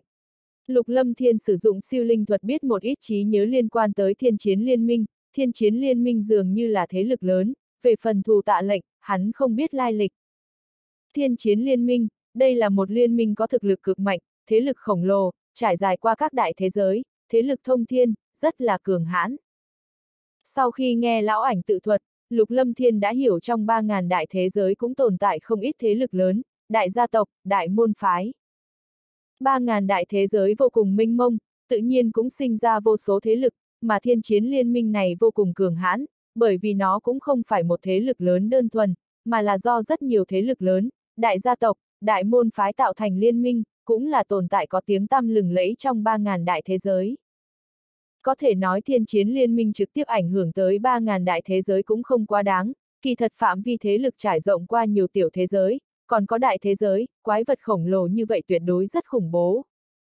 Mà thù tạ lệnh là do thiên chiến liên minh phát ra, đó là cảm tạ những người đã trợ giúp thiên chiến linh minh, chỉ những người này mới có thù tạ lệnh, chỉ cần là người trong thiên chiến liên minh, bất kể là trong góc nào của 3.000 đại thế giới, nhìn thấy thủ tạ lệnh sẽ hết sức trợ giúp người nắm giữ thủ tạ lệnh. Mà người nắm giữ thủ tạ lệnh có thể yêu cầu thiên chiến liên minh làm việc, bọn họ nhất định sẽ toàn lực làm được, tuyệt đối sẽ không qua loa, chiến thiên liên minh có thể phát triển tới ngày hôm nay, chứng minh bản thân có phách lực tuyệt đối. Đương nhiên thù tạ lệnh cũng có phẩm cấp, đồng thời cũng không phải bất cứ kẻ nào cũng có thể nắm giữ thù tạ lệnh, tùy tùy tiện tiện một người xuất thủ tương trợ chiến thiên liên minh, như vậy thù tạ lệnh không chân quý rồi. Đương nhiên, nếu có người có thể cứu minh chủ chiến thiên liên minh, hoặc là cứu nhân vật trọng yếu trong chiến thiên liên minh, tuyệt đối không cần nghĩ nhiều, người sẽ có thù tạ lệnh. Có thù tạ lệnh sẽ có địa vị không tầm thường trong chiến thiên liên minh, bất kể là đến địa phương nào, đều là khách quý, dùng thế lực của chiến thiên liên minh, nếu người có thù tạ lệnh, quả thật là bùa hộ mệnh trong ba ngàn đại thế giới. Từ khi lão ảnh tự thuật rõ ràng, Lục Lâm Thiên biết được, chiến thiên liên minh là do thế lực lớn nhỏ tạo thành liên minh, nhưng đẳng cấp trong đó rất nghiêm minh, thế lực khắp nơi, đảm nhiệm chức vị khác nhau, đại khái phân chia ra nhiều phần. Cao nhất là minh chủ chiến thiên liên minh, dưới minh chủ chính là trưởng thượng, những trưởng thượng này là bá chủ của thế lực trong liên minh, theo thứ tự còn có trưởng lão, hộ pháp, cùng với đường chủ cùng chấp sự. Chấp sự nghe dường như không cao, nhưng thân là chấp sự trong chiến thiên liên minh rất mạnh, chỉ có một chút hộ pháp trong tông môn lớn trong chiến thiên liên minh mới đảm nhiệm, hoặc là chủ nhân một thế lực trong liên minh, nhưng thực lực còn không cách nào chen vào hàng ngũ trưởng thượng và ủng trưởng, cho nên mới ngồi ghế chấp sự. Trong chiến thiên liên minh đẳng cấp xâm nghiêm, trừ phi có thực lực hoặc thế lực tuyệt đối, bằng không không cách nào chen chân vào, còn có một tình huống khác, chính là lập công lao hiển hách cho chiến thiên liên minh, căn cứ công lao lớn nhỏ, sau khi trải qua trưởng lão đoàn chiến thiên liên minh đồng ý, sẽ xem tình huống khen thưởng ghế. Tất cả ghế trong chiến thiên liên minh, chấp sự còn chưa đủ tư cách ban thù tạ lệnh, ít nhất cần đường chủ mới được, mà đường chủ cũng không thể tùy tiện cấp thù tạ lệnh, cần hộ pháp đoàn đồng ý mới được, hơn nữa mỗi người cả đời chỉ được cấp một lần. Mà hộ pháp cần cấp thù tạ lệnh phải được trưởng lão đoàn đồng ý, cũng, nếu trưởng lão muốn cấp thù tạ lệnh, vậy cần trưởng thượng đoàn đồng ý, mà trưởng lão đoàn cấp thù tạ lệnh cần minh chủ cùng trưởng thượng đoàn đồng thời đồng ý. Đây là ngăn chặn có người giả công mưu tư cấp thù tạ lệnh, tất cả trưởng thượng, cả đời cũng chỉ có thể đủ cấp một lần thù tạ lệnh. Phẩm cấp thù tạ lệnh đại khái phân thành ngũ phẩm, theo thứ tự là nhất phẩm đến ngũ phẩm, ngũ phẩm cao nhất, nhất phẩm thấp nhất. Xem ra, thù tạ lệnh giá trị xa xỉ a hát, địa vị lớn như vậy. Lục Lâm Thiên nghe lão ảnh nói xong lập tức vui vẻ, dựa theo lời lão ảnh nói, sư phụ lão nhân ra lưu lại cho mình một khối thù tạ lệnh là có giá trị xa xỉ. Người cao hứng cái gì, thù tạ lệnh chỉ là thù tạ lệnh cấp thấp nhất trong chiến thiên liên minh mà thôi. Lão ảnh nhìn qua lục lâm thiên, bộ dáng rèn sắt không thành thép. Nhất phẩm sao, đã không tệ, có công dụng là được. Lục lâm thiên khẽ giật mình, làm người không thể quá tham lam, dù sao có còn tốt hơn không có, nói không chừng đến lúc mình gặp phiền toái sẽ cần nhờ tới chiến thiên liên minh đấy, đến lúc đó thủ tạ lệnh này sẽ phát huy tác dụng. Lão nhân ra cho người thủ tạ lệnh, nếu ta không có suy đoán sai, hẳn là cho ngươi nghĩ biện pháp gia nhập chiến thiên liên minh. Ánh mắt hơi nặng nề, lão ảnh nói với Lục Lâm Thiên. Muốn ta gia nhập chiến thiên liên minh, ta gia nhập thế nào? Lục Lâm Thiên lập tức sững sờ. Chiến thiên liên minh có rất nhiều thế lực và sơn môn, có thủ tạ lệnh, người tùy tiện có thể gia nhập một nơi. Ánh mắt lão ảnh nặng nề, lập tức than nhẹ, nói. Tóm lại người gia nhập chiến thiên liên minh là tốt rồi, lão nhân gia hẳn là có an bài, chỉ là an bài này tương đối đặc biệt mà thôi, tương đối đặc biệt a hát. Được rồi.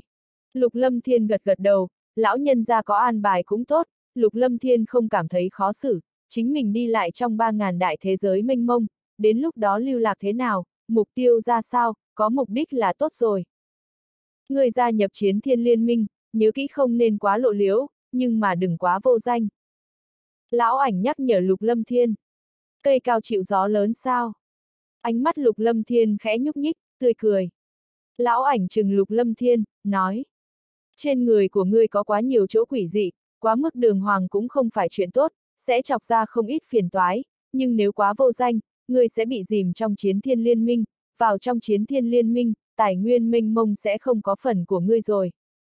Hắc hắc, không phải giả bị xét đánh, giả heo ăn thịt hổ sao, chuyện đơn giản, người nói phức tạp như vậy làm gì vậy, làm ta suýt nữa không hiểu nổi.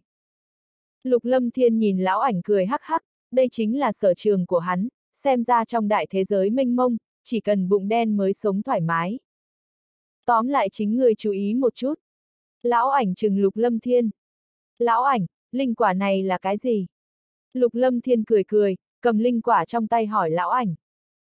Phá giới quả, đối với đám thổ dân trên đại lục linh vũ, đây là trọng bảo, phục dụng phá giới quả sẽ có khả năng rất lớn đột phá phá giới cảnh, ta lúc đầu cho tiểu long phục dụng một quả.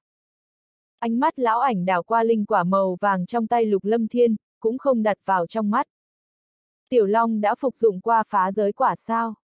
Lục lâm thiên lập tức mừng rỡ, bản thân mình không cần phá giới quả, nhưng người bên cạnh lại cần dùng đấy. Đúng, lão ảnh ngươi biết tinh thạch thế giới là gì không? Lục Lâm Thiên lại nhớ tới việc gì đó, lúc đạt được hỗn độn âm dương quyết nguyên vẹn, hỗn độn âm dương quyết trừ thôn phệ nguyên lực của tu luyện giả và tu hành bình thường ra, còn có thể trực tiếp thôn phệ tinh thạch thế giới hóa thành nguyên lực cho mình. Thậm chí thôn phệ năng lượng trong tinh thạch thế giới còn tốt hơn thôn phệ nguyên lực tu luyện giả, nhưng Lục Lâm Thiên hiện tại cũng không biết là tinh thạch thế giới, thôn phệ tinh thạch thế giới cho mình sử dụng thế nào, chuyện này làm Lục Lâm Thiên hiếu kỳ với tinh thạch thế giới. Thổ dân, ngươi chính là thổ dân. Lão ảnh thậm chí xem thường nhìn Lục Lâm Thiên, ánh mắt biến thành bất đắc dĩ, chừng Lục Lâm Thiên một lát, nói. Ngươi chuẩn bị khi nào rời khỏi đại lục linh vũ, ngươi sống lâu với thổ dân nơi đây, ảnh hưởng tâm tình của ta chỉ là chuyện nhỏ, ảnh hưởng trí thông minh của ta mới là đại sự. Lão ảnh, ngươi đang đuổi ta đấy. Mặt lục lâm thiên đen lại, kỳ thật khi thi triển siêu linh thuật, lục lâm thiên đã biết được không ít trí nhớ, nhưng mà thi triển siêu linh thuật cũng không có khả năng dễ dàng như ăn cơm uống nước. Trong lúc thi triển siêu linh thuật, lục lâm thiên chỉ biết một ít tin tức thế giới bên ngoài mà thôi. Ngươi nên sớm rời khỏi đại lục linh vũ đi, đi ra bên ngoài, chuyện gì nên biết sẽ biết. Lão ảnh lườm lục lâm thiên, lập tức giải thích lai lịch tinh thạch thế giới cho lục lâm thiên biết, dựa theo lão ảnh nói, tinh thạch thế giới chính là một loại tinh thạch sinh ra trong linh mạch, ẩn chứa năng lượng minh mông bàng bạc. Tinh thạch thế giới có tác dụng lớn trong 3.000 đại thế giới, nó giống như kim tệ trên đại lục linh vũ, có cách làm khác nhau nhưng kết quả lại giống nhau đến kỳ diệu, cho dù trong 3.000 đại thế giới cũng là tiền tệ thông dụng. Nhưng kim tệ đối với tu luyện giả mà nói, không có quá nhiều cách dùng thực chất, cho nên có chút bảo vật và đan dược sau khi đến mức độ nhất định, cũng đã không dùng giá trị cân nhắc, bởi vì giá trị kim tệ không lọt mắt tu luyện giả, cho nên không dùng cân nhắc.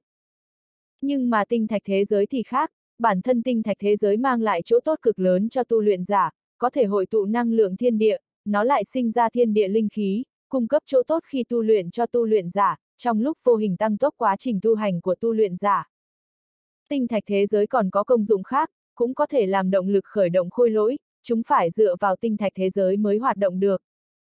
Làm cho Lục Lâm Thiên ngoài ý muốn chính là, cái gọi là tinh thạch thế giới chính là địa tâm linh ngọc trên đại lục linh vũ, đây là điểm làm Lục Lâm Thiên rất giật mình, cả đại lục linh vũ, địa tâm linh ngọc đều không có mấy khối, mà trong 3.000 đại thế giới, địa tâm linh ngọc chính là tinh thạch thế giới, cũng chỉ là vật lưu thông mà thôi.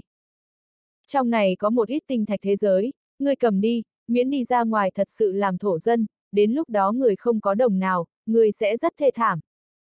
Lão ảnh nói xong, hắn giao nhẫn chữ vật bình thường cho Lục Lâm Thiên. Đa tạ lão ảnh. Lục Lâm Thiên cũng sẽ không khách khí, lập tức thu lại, đương nhiên không thể xem xét trước mặt lão ảnh rồi. Sau một lát Lục Lâm Thiên và lão ảnh hơi thương nghị một chút, quyết định 7 ngày sau sẽ rời khỏi đại lục Linh Vũ, lúc này hắn mới rời khỏi đại điện, cũng thu hồi thi cốt bạch hổ cùng chu tước lão tổ hai tộc vào trong nhẫn chữ vật.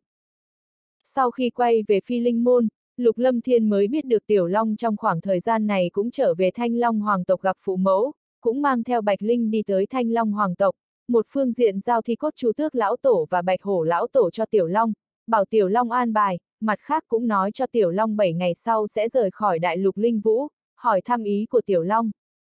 Sau khi Tiểu Long biết được tin tức, tự nhiên sinh ra hứng thú, không hề nghi ngờ hắn muốn theo lão đại lưu lạc 3.000 đại thế giới, hư huyền hạo, Long Bích Hàm, Long mộ lão tộc trưởng, Long gia đại trưởng lão nghe xong dặn dò không ít, biết rõ hai người lưu lạc ba ngàn đại thế giới cũng là vì đại lục linh vũ, cho nên bảo hai người cẩn thận một chút. Phi linh môn, rất nhiều cường giả biết 7 ngày sau lục lâm thiên cùng tiểu long sẽ rời khỏi đại lục linh vũ đi ra ngoài lưu lạc, lục tâm đồng, vân hồng lăng, la lan thị, lục trung, thánh thủ linh đế, hàn băng đại đế không tránh được dặn dò một phen, lúc này bọn họ tự nhiên không nói cái gì nữa, tự biết thực lực của chính mình cho dù có đi thuê cũng là vướng bận với Lục Lâm Thiên. Trong mấy ngày này, Lục Lâm Thiên sống cùng Vân Hồng Lăng, Lữ Tiểu Linh, Lam Linh, còn có Bạch Linh cùng Lăng Thanh Tuyển 5 người, vào đêm, tự nhiên trừ Lăng Thanh Tuyển ra, chúng nữ đều lưu luyến không rời, thỏa thích ân ái, trần chọc hầu hạ, vào đêm trong ngũ hành điện xuân sắc không ngớt. Lục Lâm Thiên lại đi vào Thiên Vân Đảo, muốn đi gặp mộ dung Lan Lan, nhưng mà mộ dung Lan Lan vẫn đang bế quan, cường giả trong Thiên Vân Đảo vốn muốn thông chi mộ dung Lan Lan xuất quan, nhưng bị Lục Lâm Thiên ngăn cản.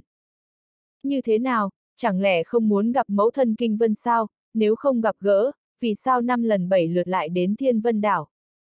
Trên hải đảo, Vân Hồng Lăng hỏi Lục Lâm Thiên. Có chút chuyện, cưỡng cầu không nhất định sẽ tốt. Lục Lâm Thiên vẫn không trả lời, Lăng Thanh Tuyền nhìn Đông Hải bảo la, đôi mắt dễ thương sinh ra rung động và cảm xúc khác lạ. Thuận theo tự nhiên đi. Lục Lâm Thiên cười nhạt một tiếng. Vào đêm, màn đêm bao phủ, trăng tàn, cô tinh đang ở trên cao. Trong ngũ hành điện, trong phòng Lục Lâm Thiên, một bóng dáng áo trắng xinh đẹp, quần trắng như tuyết, tư thái uyển chuyển vô song như tiên tử, ánh mắt yêu mị động lòng người, uyển phong lưu chuyển, hấp dẫn tự nhiên. Đến ba ngàn đại thế giới, ngươi không được giống như trên đại lục linh vũ lưu tình ở khắp nơi, Hồng Lăng và Tiểu Linh các nàng đã thương nghị qua, nếu ngươi còn giống như trước kia, chúng ta sẽ không tha cho ngươi đâu. Đôi mắt Bạch Linh dễ thương như nước, ngũ quan tinh xảo lại mang theo nét yêu mị chúng sinh. Lục Lâm Thiên nhìn dung nhan nữ nhân của mình xinh đẹp tới tận cùng, mỉm cười, nói. Ta cũng không dám, có các ngươi, đã đầy đủ. Ngươi không trêu chọc người khác, người khác trêu chọc ngươi, ngươi cũng phải cự tuyệt mới tốt. Bạch Linh trừng mắt nói với Lục Lâm Thiên. Chuyện này hơi khó. Lục Lâm Thiên nói nhỏ, lập tức nhìn thấy ánh mắt nghiêm khắc của Bạch Linh, lập tức nói. Ta tận lực, ta nhất định tận lực. Còn không kém bao nhiêu. Bạch Linh lúc này mới thỏa mãn, đôi mắt dễ thương nhìn Lục Lâm Thiên, sau đó hít sâu một hơi, lập tức cắn bờ môi đỏ mỏng, nói. Ngươi đi ra ngoài, đêm nay ta sẽ hầu hạ ngươi. Tiếng nói nhỏ tới mức nghe không được, nói xong lời này tay Ngọc Bạch Linh kéo áo choàng xuống, quần áo không ngừng rơi lả tả. Lúc này đường cong lung linh động lòng người xuất hiện, thân thể mềm mại uyển chuyển xuất hiện trong mắt lục lâm thiên, bộ ngực đầy đặn no đủ, bụng dưới bằng phẳng bóng loáng, giữa hai chân có cỏ xanh ẩn hiện, đôi chân thon dài mê người, mông ngọc mượt mà săn chắc. Đêm nay, ta hầu hạ ngươi, ngươi có thể bất động. Bạch Linh nói nhỏ, gương mặt của nàng lúc này đỏ tới mức có thể nặn ra nước, đôi mắt trong veo nhìn tình lang, yêu mị phong tình vạn trùng. Bạch Linh đi tới trước mặt Lục Lâm Thiên, cánh tay ngọc nâng lên, cởi á xích ma viết thường bào xanh Lục Lâm Thiên, lúc này thân thể cường tráng của nam nhân xuất hiện trước mặt Bạch Linh. Giờ phút này Lục Lâm Thiên không nhịn được nữa, căn bản không có thời gian nói chuyện, hắn lập tức lao tới. Sau một lát, thân thể hai người quấn lấy nhau, Lục Lâm Thiên trực đảo Hoàng Long. Sáng sớm hôm sau, bóng tối tan biến, từng sơn mạch, từng ngọn núi bị sương mù bao phủ như tiên cảnh. Lúc này trên đại lục Linh Vũ, mỗi một ngày năng lượng thiên địa không ngừng gia tăng, từng ngọn núi đều tỏa ra sinh cơ bừng bừng. Thân ảnh lục lâm thiên xuất hiện trên một ngọn núi, vừa mới duỗi lưng mỏi, một đạo thân ảnh xuất hiện trong không gian, lập tức có người xuất hiện bên cạnh lục lâm thiên, không phải người khác, đúng là mẫu đan. Lục lâm thiên khẽ ngẩng đầu nhìn thân ảnh lung linh, đường cong động lòng người như ẩn như hiện, mái tóc đỏ rực xóa tung rủ xuống tận mông, hai mắt mang theo yêu mị mà cao quý. Nhìn mẫu đan, nội tâm lục lâm thiên khẽ nhúc nhích, mỹ nữ tuyệt thế lúc nào cũng làm nội tâm người ta cảm thấy vui vẻ, đột nhiên lục lâm thiên cảm thấy câu này rất có đạo lý. Nhìn cái gì vậy, cẩn thận nữ nhân của ngươi ghen đấy. Đôi mắt huyết sắc của mẫu đan lườm lục lâm thiên, giọng nói mị hoặc tận xương, mang theo ma lực hấp dẫn người khác phạm tội. Người mỗi ngày ở trong phi linh môn, các nàng muốn ghen đã sớm ăn đủ rồi, đúng, tại sao ngươi tới đây?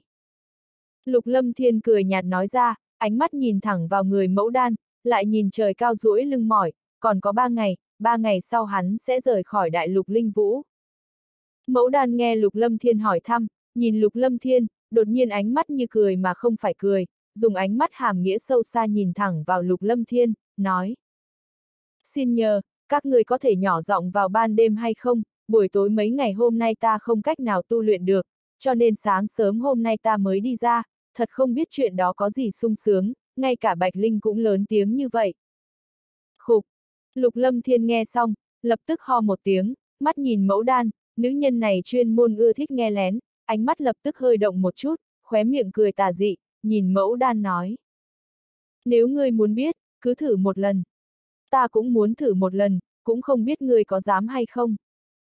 Trên dung nhan tuyệt mỹ của mẫu đan, đôi mắt huyết sắc lưu động, trên mặt còn mang theo vui vẻ, váy dài đỏ tươi bao quanh đường cong uyển chuyển.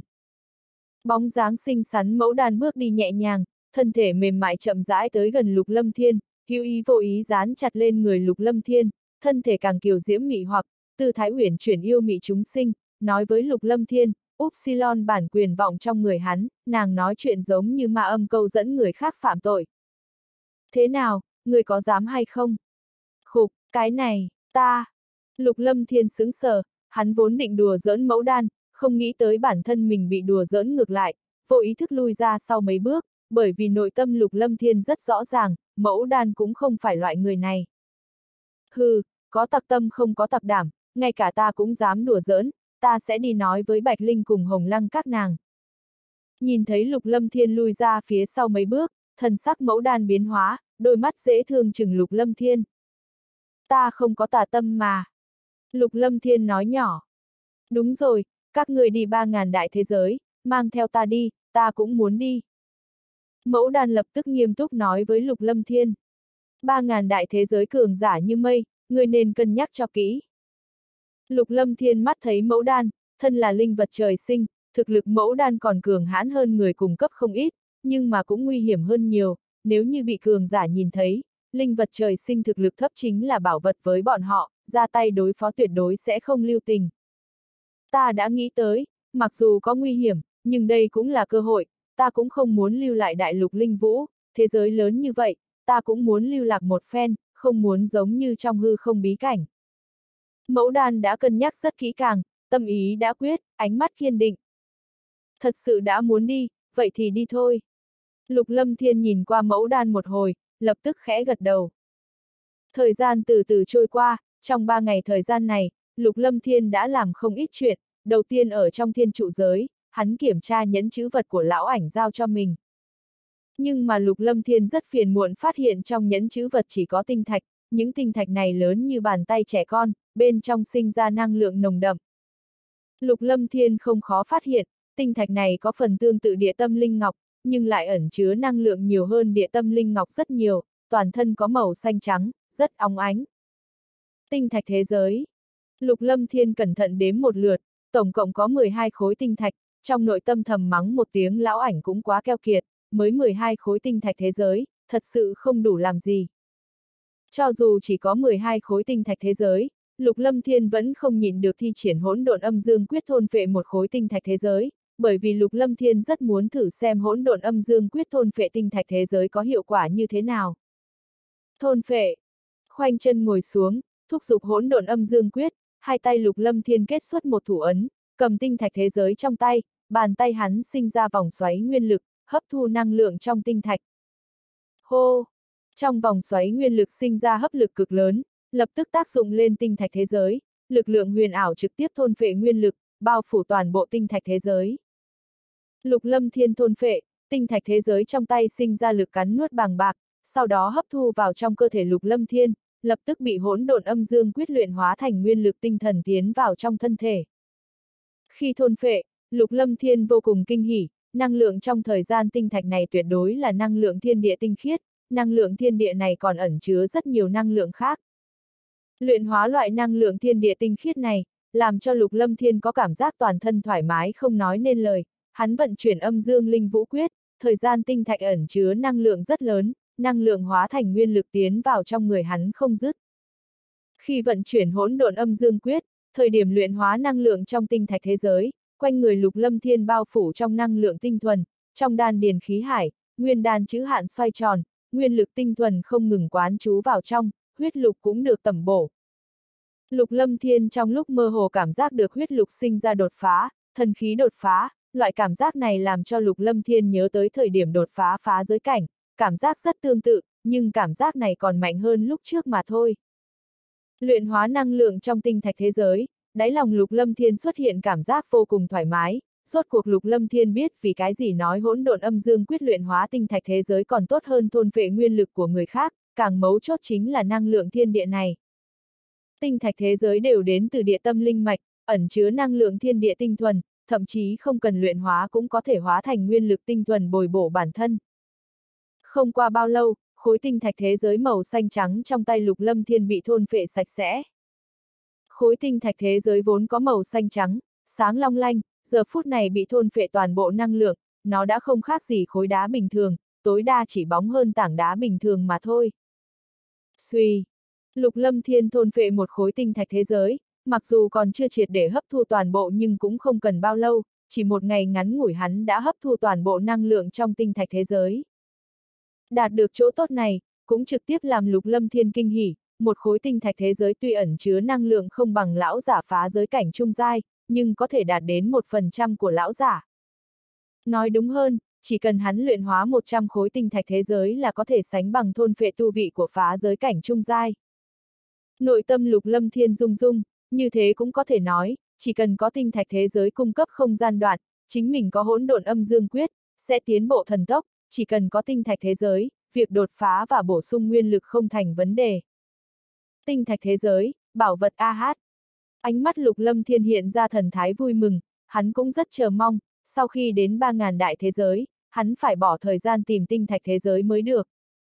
Tuy thôn phệ năng lượng trong tinh thạch thế giới đạt được rất nhiều chỗ tốt, nhưng chỉ có tổng cộng 12 khối tinh thạch thế giới, Lục Lâm Thiên cũng không dám thôn phệ tiếp, nếu đi ra bên ngoài không có đồng nào trong người, vậy không dễ chịu, bên ngoài cũng không phải đại lục linh vũ.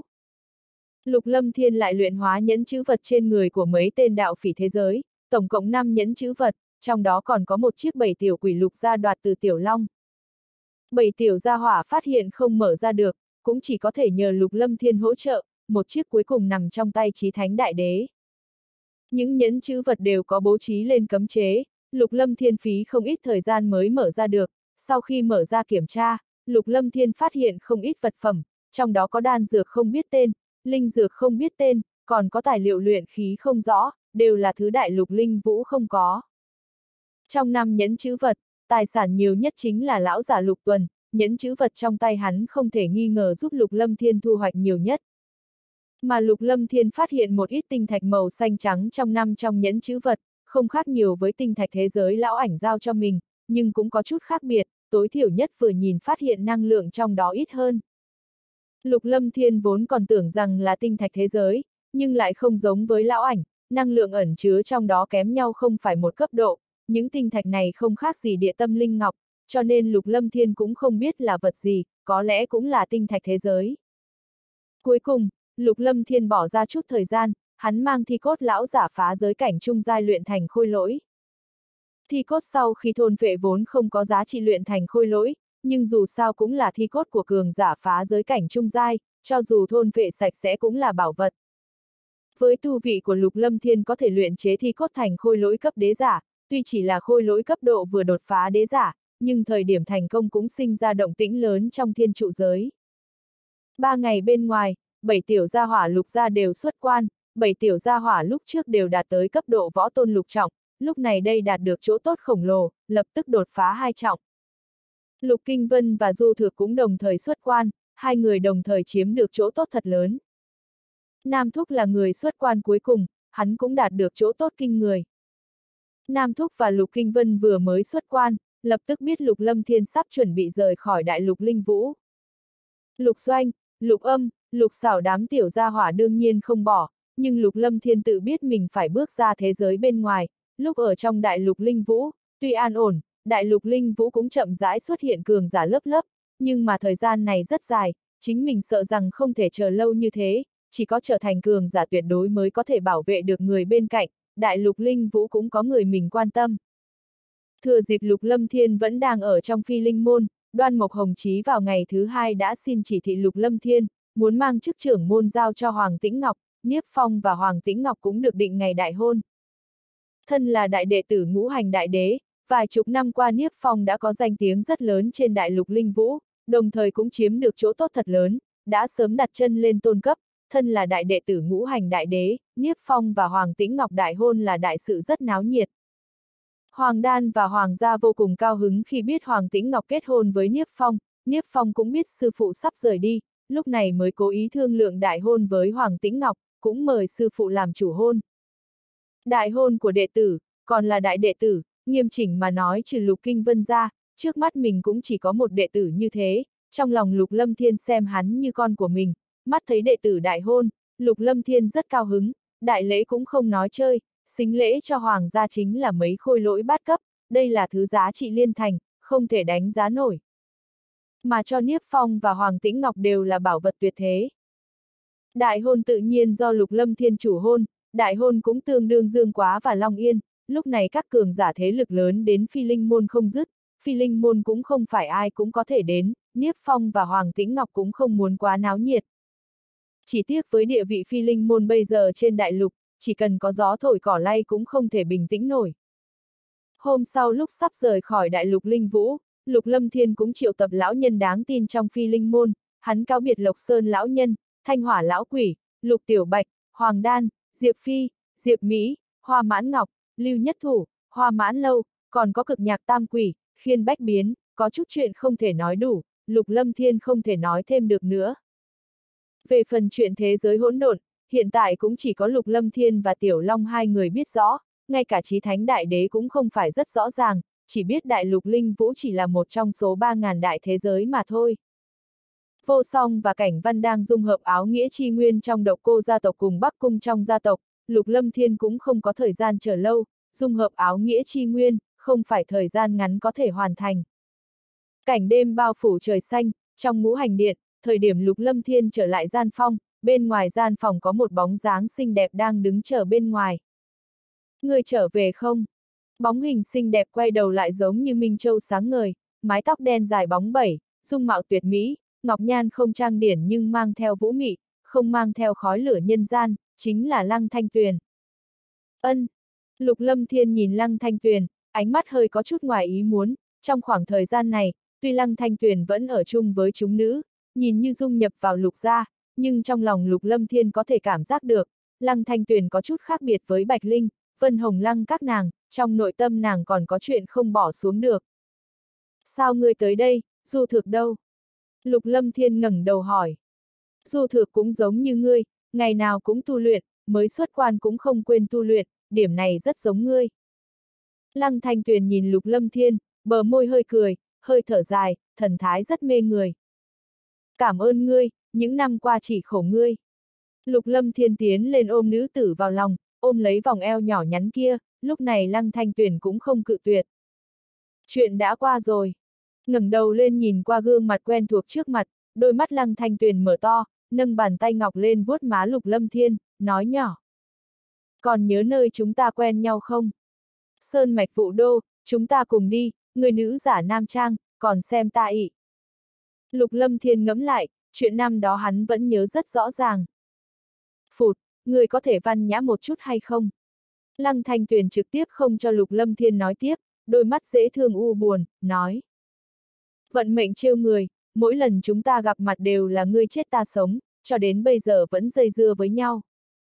Duyên là thứ không thể ngăn cản được. Lục Lâm Thiên cười nhạt, nhớ tới những việc trước kia, cho tới bây giờ, tạo hóa trêu người. Duyên, tuyệt không thể tả. Lăng Thanh Tuyền giơ tay lên, đôi mắt dễ thương chớp động nhìn thẳng Lục Lâm Thiên, sau một lát, nói. Ta mệt mỏi. Đều là ta sai, về sau ngươi sẽ có ta.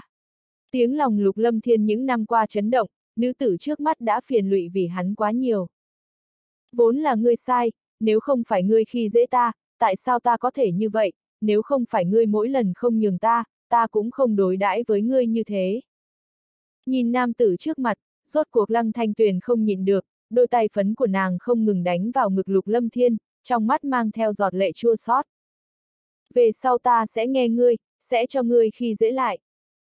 Lục lâm thiên ôm nữ tử trước mặt vào trong ngực. Ô ô!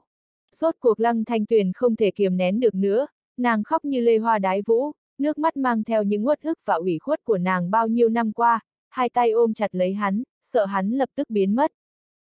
Ngươi sắp rời khỏi đại lục linh vũ, tất cả phải cẩn thận, ta và Du Thược và mọi người đang chờ ngươi quay về.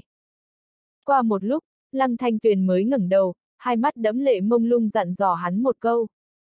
Ta biết rõ, vì các ngươi, ta sẽ không có việc gì, sẽ quay về rất nhanh. Lục Lâm Thiên nhìn nữ tử trước mặt, trong nội tâm mang theo ái náy, hắn cúi đầu hôn lên bờ môi đỏ mọng mê người. Lăng Thanh Tuyền sững sờ, nàng không biết làm sao, mở to mắt nhìn Lục Lâm Thiên, nàng cảm giác nội tâm của mình đang nhảy loạn, toàn thân cứng ngắc, không biết nên làm sao bây giờ. Nhưng có thể cảm giác rõ ràng, giữa cánh môi truyền đến cảm giác ướt át, lưỡi của nàng đang được hắn dẫn đạo đi về cõi mê say.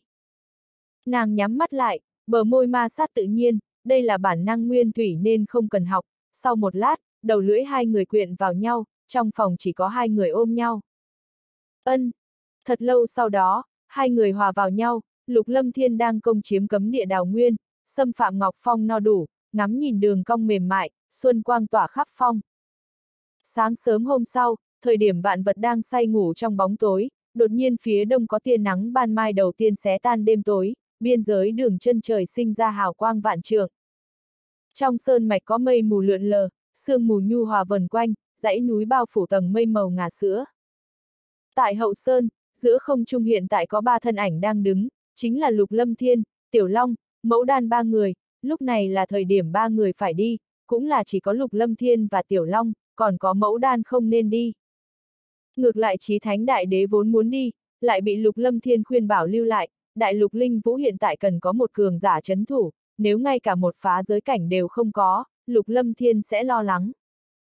Huống chi thế giới bên ngoài đại lục linh vũ vô cùng hung hiểm, tuy Lục Lâm Thiên nghe lão ảnh nhắc tới không ít, nhưng nội tâm cũng có ấn tượng mơ hồ, chờ mình đi rồi, lần sau trở về lại mang theo sư phụ trí thánh đại đế rời đi cũng không muộn. Lúc này dưới không trung, trừ cường giả phi linh môn và lục gia lục trung, La Lan Thị, Dương Quá, Lục Tâm Đồng, Lục Đông, Lục Tây, còn có Lục Kinh Vân, Du Thược, Bạch Linh, Lục Doanh các tiểu gia hỏa gia, còn có cường giả Long Thanh Long Hoàng tộc chạy tới tiễn Tiểu Long, cùng với Long Bích Hàm, Huyền Hạo và Huyền Xá, Huyền Vũ, Huyền Doanh. Ngay cả Bạch Hổ nhất tộc Hổ Y cùng Chu Tước nhất tộc Chu Thần Hy cũng đứng trong đám người. Phụ thân, người cẩn thận một chút. Nhìn thân ảnh áo bào xanh đứng giữa không trung, trong đám người, Du Thược ngẩng đầu, ánh mắt mang theo ngấn lệ mông lung. Du Thược, chiếu cố tốt đệ đệ muội muội. Lục Lâm Thiên cười cười, cười rất thỏa mãn, lập tức nhìn Tiểu Long, Mẫu Đan, thân ảnh ba người trực tiếp phá không biến mất trên không trung. Sớm trở về. Trong ánh mắt chờ mong của mỗi người, bọn họ rời đi. Bên ngoài đại lục linh vũ bố trí cấm chế, ta mở ra giúp các ngươi, sau khi rời khỏi đây sẽ tiến vào một khe hở an toàn, chuyện sau đó không ai có thể giúp các ngươi. Ở giữa không trung, thời điểm lục lâm thiên ba người xuất hiện, tiếng nói của lão ảnh truyền ra, ba người đứng trên mây xanh, khí lưu bắt đầu khởi động, mây mù cuồn cuộn, trên không trung xuất hiện vòng xoáy cực lớn, một lực hấp xã bao phủ ba người. Ánh mắt ba người không chút do dự, thân ảnh lập tức bay lên trời, nhảy vào trong vòng xoáy trên không trung. Vù vù. Khi thân ảnh ba người tiến vào bên trong, vòng xoáy cực lớn trên không gian biến mất không thấy gì nữa, tất cả khôi phục bình tĩnh. Chiến thiên liên minh, tại sao phải an bài đi chiến thiên liên minh chứ? Lúc này thân ảnh lão ảnh tập tễnh lăng không đứng đó, chung quanh có mây mù quấn quanh. Tiểu tử, tự cầu nhiều phúc. Lão ảnh thì thào nói nhỏ, hắn vung tay lên không trung, một gợn sóng không gian nhộn nhạo mở ra, thân ảnh hắn biến mất không thấy gì nữa. Đây là khe hở thế giới sao? Thân ảnh lục lâm thiên, tiểu long, mẫu đàn ba người bị ném ra khỏi vòng xoáy, lúc này bọn họ xuất hiện trên một không gian to lớn, khắp nơi đều là hư không màu trắng. Trong ánh mắt của ba người, hư không này rất mông lung, ngẫu nhiên còn có sương mù màu trắng bay qua, chung quanh không không minh minh. Lão đại, chúng ta đã đến bên ngoài đại lục linh vũ sao? Tiểu Long dò xét chung quanh, nơi này trống rỗng, hoàn toàn không nhìn thấy đại lục linh vũ. Đương nhiên, ánh mắt lục lâm thiên nhìn chung quanh, nhìn chân trời minh mông bao la, võ đạo đỉnh phong, linh đạo cực hạn đã có thể phá vỡ hư không, thì ra là như thế. Bây giờ chúng ta đi nơi nào? Tiểu Long hỏi, không gian mênh mông thế này, hoàn toàn không có nơi nào đặt chân. Chúng ta cứ đi thôi, nơi nào không giống nhau. Lục Lâm Thiên mỉm cười, trên nhẫn chữ vật của hắn có hào quang lóe sáng, lập tức trước mặt xuất hiện con chim màu xám, đây là khôi lỗi tọa giá hắn cướp đoạt từ đám đạo phỉ thế giới. Theo Lục Lâm Thiên biết, thế giới bên ngoài đại lục linh vũ có diện tích khổng lồ, căn bản không phải đại lục linh vũ có khả năng so sánh. những trong thế giới này, có ít người muốn đi tới nơi nào đó phải dựa vào khôi lỗi thay đi bộ, nếu bằng bản thân mình xuyên thủng hư không sẽ tiêu hao năng lượng khổng lồ, vạn nhất gặp gỡ đối thủ, hậu quả rất nghiêm trọng. Nhưng có tọa giá khôi lỗi này sẽ không thành vấn đề, nó chỉ tiêu hao tinh thạch thế giới, tinh thạch thế giới là động lực của tất cả khôi lỗi, dựa vào tinh thạch thế giới là có thể khu động khôi lỗi bay tới nơi cần đi. Sử dụng siêu linh thuật tìm được trí nhớ của đám đạo phỉ, Lục Lâm Thiên biết đại khái về chuyện tọa giá khôi lỗi, nghe nói bất cứ tọa giá khôi lỗi nào cũng có giá trị xa xỉ, cho dù là tọa giá khôi lỗi rẻ nhất cũng không phải người bình thường có thể so sánh, có được một khôi lỗi tọa giá, đây là thứ dùng để chứng minh địa vị phi phàm, bản thân thu hoạch tương đối khá. Trong không gian mênh mông hiện tại, Lục Lâm Thiên lúc này cũng không biết nơi đây có xa khe hở thế giới hay không, nhưng tất cả phải dựa vào tọa giá khôi lỗi này. Hiện tại Lục Lâm Thiên đã biết vì cái gì lão nhân gia lưu lại cho hắn nhẫn chữ vật rộng hơn vạn mét vuông, thì ra một khung tỏa giá khôi lỗi đã lớn tới ngàn mét, mà luyện chế tỏa giá khôi lỗi không giống thần khí, cho nên căn bản không có công năng biến lớn nhỏ như thần khí, cho nên dung nạp rất phiền toái, thậm chí nhẫn chữ vật bình thường không cách nào chứa nổi tỏa giá khôi lỗi. Chúng ta vào đi thôi. Lục Lâm Thiên dẫn Tiểu Long và Mẫu Đan vào trong tọa giá khôi lỗi, đẳng cấp của tọa giá khôi lỗi này không quá thấp, bên trong còn có không ít không gian, đủ chứa mấy trăm người, phía trước còn có không gian trong suốt, có thể nhìn thấy cảnh tượng bên ngoài. Khống chế tọa giá khôi lỗi này cũng như điều khiển khôi lỗi bình thường, hắn bố trí linh hồn lực của mình lên là có thể sử dụng, thay mình đi bộ. Vù vù. Một lát sau, Lục Lâm Thiên toàn lực thúc giục tọa giá khôi lỗi này, khôi lỗi vỗ cánh bay đi, hóa thành một đạo lưu quang màu xám vượt qua không gian. Thật nhanh. Mẫu đan rất kinh ngạc, tốc độ của tọa giá khôi lỗi này còn mạnh hơn nàng tưởng tượng rất nhiều. Lục Lâm Thiên cũng phát hiện tốc độ toàn lực của tọa giá khôi lỗi này không kém gì cường giả phá giới cảnh sơ giai. Trong khe hở không gian mênh mông, ngay từ đầu ba người còn hiếu kỳ, nhưng theo thời gian trôi qua cũng không hiếu kỳ nữa, trong khe hở thế giới khắp nơi đều là mây mù, căn bản cũng không có gì đẹp. Ở trong tọa giá khôi lỗi cũng không biết lúc nào mới có thể rời khỏi khe hở thế giới này, lục lâm thiên ba người nhắm mắt dưỡng thần, chờ đợi ra khỏi khe hở. Trong hư không bao la có quái vật khổng lồ phi hành giữa không trung, quái vật khổng lồ này không nhỏ, nó lớn không dưới 2.000 mét, cao mấy chục mét, toàn thân đỏ bừng, giống như hung thú đỏ chót. Cẩn thận quan sát quái vật khổng lồ này dĩ nhiên là một con thuyền lớn màu đỏ, thuyền lớn lơ lửng giữa không trung, nó cho người ta cảm giác nguy nga còn mang theo khí tức lăng lệ. Trên chiến thuyền này có kiến trúc hình cung điện khổng lồ, nó cũng có màu đỏ tươi, trên đó có bí vân quanh quẩn giống như hỏa diễm đỏ rực. Hô! Thuyền lớn chạy tốc độ cao vượt qua hư không, nó giống như thiên thạch màu đỏ vượt qua không gian. Tam đương ra, bên cạnh phát hiện tọa giá khôi lỗi, có phải là bọn chúng đuổi theo hay không, xin tam đương ra định đoạt. Trên thuyền lớn, trong cung điện, một đại hán khôi ngô mặc áo giáp cụt tay cung kính hỏi người trong phòng.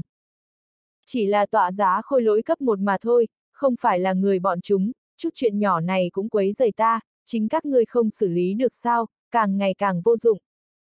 Trong phòng có giọng nữ truyền ra. Giọng nói rất bá đạo, không biết như thế nào lại làm tên đại hán run rẩy, lập tức cung kính lui xuống. Hổ Sơn đại nhân, tam đương ra có dặn dò gì? Đại hán khôi ngô đi ra khỏi cung điện tiến tới bong thuyền, lập tức có mấy thân ảnh đi tới. Tọa giá khôi lỗi cấp một đáng chết, dám lắc lư trước mặt ta, hại ta bị tam đương ra mắng, nổ nát nó cho ta. Đại hán tên là Hổ Sơn quát lớn một tiếng, nhìn tọa giá khôi lỗi chim ưng lướt qua bên cạnh, trong mắt tràn ngập tức giận, bởi vì tọa giá khôi lỗi này mà hắn bị tam đương ra khiển trách một trận, hắn cần nơi phát tiết tức giận này. Vâng, chúng ta đỡ upsilon.ng nát nó. Mấy đại hán chung quanh nghe vậy, lập tức nói với người bên dưới. Đều nghe cho ta, đỡ upsilon.ng nát tọa giá khôi lỗi kia. Chiếc thuyền khổng lồ run lên, lập tức nghiêng một hướng và chạm với tọa giá khôi lỗi. Mấy ngu xuẩn, tam đương gia đang ở trong đại điện, đỡ upsilon.ng nó chỉ là việc nhỏ, vạn nhất kinh động tam đương gia làm sao bây giờ. Đại hán khôi ngô thân hình trắng kiện, nhưng tâm tư lại kín đạo, vội vàng quát đám người kia. Hổ Sơn đại nhân, chúng ta làm sao bây giờ? Mấy đại hán trung niên hơi nghi ngờ hỏi lại. Ngu xuẩn, ta nói nổ nát nó, đó chỉ là tọa giá khôi lỗi cấp một mà thôi, còn muốn ta dạy cho các ngươi làm gì sao, sớm biết như vậy mang mấy ngu xuẩn các ngươi đi ra ngoài làm cái gì. Hổ Sơn nhìn chằm chằm vào đám đại hán kia. Hổ Sơn đại nhân bất giận, chúng ta sẽ nổ nát tọa giá khôi lỗi kia. Mấy đại hán trung niên bị chửi không trả lời được, không dám tranh luận, dường như rất kiêng kỵ Hổ Sơn. Siêu siêu. Nguyên lực của sáu đại hán trung niên bộc phát, lập tức bay lên trời, khí thức phóng ra ngoài, sáu người này đều là phá giới cảnh.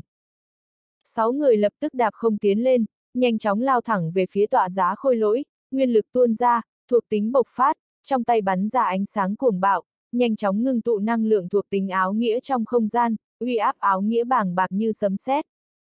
Coi chừng, dường như chúng ta gặp phiền toái. Bên trong tọa giá khôi lỗi, Lục Lâm Thiên đang nhắm mắt dưỡng thần đột nhiên mở hai mắt ra, thần sắc trở nên ngưng trọng. Xuy, bành bành bành. Trong nháy mắt, sáu đạo công kích nhanh chóng đánh thẳng vào tọa giá khôi lỗi, lực công kích khủng bố bộc phát dữ dội, không gian chung quanh sinh ra gợn sóng rất lớn, dư âm ảnh hưởng còn lại trực tiếp xé nát không gian, lộ ra ánh sáng đen kịt. Ken két, mắt thường có thể nhìn thấy tọa giá khôi lỗi bị đánh nát dễ dàng như trở bàn tay, tình huống nổ tung thiên băng địa liệt, năng lượng khủng khiếp khuếch tán các nơi, không gian bị xé nát nhanh chóng khôi phục lại. Sư muội, người nhìn xem, hẳn là có người tới cứu chúng ta, chúng ta sẽ nhanh chóng an toàn thôi. Cả chiếc thuyền lớn chấn động, trong gian phòng lờ mờ có một thanh niên mặc hoa phục bị cấm chế, bộ dáng chừng 28-29, hai mắt sáng ngời có thần, nói với người bên cạnh. Giao sư huynh, sợ không phải người của chúng ta, người của chúng ta không tới nhanh như vậy, hy vọng chúng ta không có việc gì, ta nghe nói chỉ là một đám đạo phỉ thế giới tầm thường mà thôi. Bên cạnh thanh niên mặc hoa phục có một bóng hình xinh đẹp đang đứng, dường như cũng đang bị cấm chế, mặc váy dài, đường cong mềm mại như ẩn như hiện, cực kỳ động lòng người. Một đám đạo phỉ thế giới mà thôi, chẳng lẽ thật sự dám đối đầu với chúng ta hay sao, chờ sư thúc bọn họ đến, chúng sẽ gặp nạn. Thanh niên mặc hoa phục oán hận nói một câu, lập tức nịnh nọt ton hót nữ tử mặc váy dài. Sư muội, người không cần lo lắng, chúng ta nhất định không có việc gì, sau khi chúng ta thoát hiểm, lúc đó ta sẽ mang ngươi trở về, sẽ có nhiều tài nguyên và cường giả chỉ đạo, nhất định sẽ giúp ngươi đột phá nhanh chóng, tiền đồ bất khả hạn lượng. ầm ầm, không gian nghiền nát, tọa giá khôi lỗ vỡ ra từng khúc, thời điểm hư không khôi phục bình tĩnh, ba đạo thân ảnh xuất hiện giữa không trung, một người trong đó mặc áo giáp màu vàng, sắc mặt khó nhìn. Người mặc áo giáp màu vàng tự nhiên chính là Lục Lâm Thiên, Lục Lâm Thiên đang che chở cho mẫu đan. Tuy mẫu đan là linh vật trời sinh, nhưng với thực lực của mẫu đan phải được Lục Lâm Thiên che chở, nếu không kết cục có thể nghĩ, thân là linh vật trời sinh nhưng chỉ đạt cấp độ đế giả mà thôi, căn bản không thể làm gì. Tiểu Long ở bên cạnh Lục Lâm Thiên, trên thân mặc áo bào màu vàng, ánh mắt giận dữ, nhưng sau khi nhìn vào hư không, ánh mắt tức giận biến thành ngưng trọng. Không chỉ Tiểu Long như thế, sắc mặt Lục Lâm Thiên cũng ngưng trọng tới cực điểm, nhìn thấy sáu người lơ lửng trên hư không, từ khí thức của sáu người này, Lục Lâm Thiên phán đoán được sáu người đều là phá giới cảnh, trong đó chỉ có một phá giới cảnh sơ giai, hai phá giới cảnh trung giai, tu vị khí tức không kém lão giả hàng lâm đại lục linh vũ bao nhiêu, cho nên có lẽ đều là phá giới cảnh trung giai. Mà ba đại hán trung niên còn lại cao hơn hai người tu vị phá giới cảnh trung giai, cho nên lục lâm thiên lập tức biến sắc, hắn suy đoán bảo thủ ba người này đều có tu vị phá giới cảnh cao giai, một phá giới cảnh trung giai cấp đã khó đối phó, lúc này còn có ba phá giới cảnh cao giai. Đương nhiên, Lục Lâm Thiên không cho rằng mình chỉ có chút phiền toái, bởi vì cách đó không xa có một chiếc thuyền lớn, nó đang vượt qua hư không, so với con chim màu xám của mình còn vượt hư không dễ dàng hơn nhiều. Trên thuyền lớn khổng lồ, Lục Lâm Thiên mơ hồ cảm nhận được vài đạo khí thức mờ mịt còn mạnh hơn sáu người này không ít. Phiền toái lớn. Lục Lâm Thiên không biết đám người này là ai, nhưng lại rất rõ ràng, lần này gặp phiền toái lớn rồi, thực lực của đám người này rất mạnh. Ồ, hai phá giới cảnh sơ giai, một cấp độ hậu thiên, lại không chết. Trong sáu người, một tên đại hán tu vị phá giới cảnh kép dai nghi hoặc nhìn lục lâm thiên cùng tiểu long, mẫu đàn ba người. Mau chóng giải quyết đi. Một đại hán tu vị phá giới cảnh cao dai khác lãnh đạm nói một câu, vừa dứt lời, hỏa thuộc tính áo nghĩa nhanh chóng bộc phát, lập tức thân ảnh lập tức hóa thành một đạo hào quang đỏ thấm, hắn như tia chớp lao thẳng tới phía trước. Xuy! Khi đại hán trung niên lướt đi, toàn thân của hắn bao phủ trong năng lượng bàng bạc đáng sợ, dường như muốn hỏa thiêu không gian, toàn bộ không gian rung động dữ dội, lúc này nhanh chóng lao tới trước mặt ba người lục lâm thiên, phất tay đánh ra một quyền ấn. Năng lượng khủng khiếp hội tụ vào một quyền, mang theo uy áp cực kỳ to lớn, trong lúc vô hình có thể áp chế ba người, nguyên lực trong cơ thể bị ảnh hưởng rất lớn. Hừ! Tiểu Long hừ nhẹ một tiếng, áo bào màu vàng run lên, nguyên lực to lớn hội tụ quanh người, hội tụ năng lượng thiên địa và ngưng tụ ra một quyền ấn, bao vây một tầng hỏa diễm màu vàng sau đó đánh ra ngoài. Hai đạo quyền ấn giống như tàn ảnh mang theo năng lượng áo nghĩa va chạm với nhau, tiếng nổ, rầm rầm, xét nát hư không, chỉ trong nháy mắt hai đạo quyền ấn đánh ra vết nứt không gian thật lớn. Oanh! Hai quyền đỡ upsilon.ng nhau, không gian chung quanh run động thật mạnh, dư âm ảnh hưởng còn lại xé ra một vết nứt không gian đen kịt, nhanh vết nứt nhanh chóng khép lại. Đạp đạp!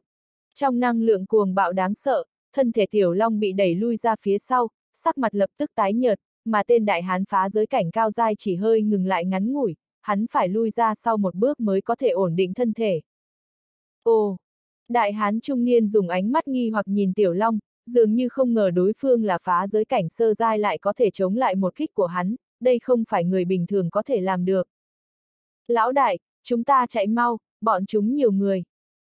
Thân thể tiểu long bị đẩy lùi ra sau, hắn lập tức truyền âm cho lục lâm thiên, thân ảnh của hắn nhanh chóng trốn đi, va chạm một chiêu vừa rồi, nội tâm tiểu long hiểu rõ, đối mặt với sáu phá giới cảnh này, còn có ba phá giới cảnh cao dai, bọn họ không có cơ hội.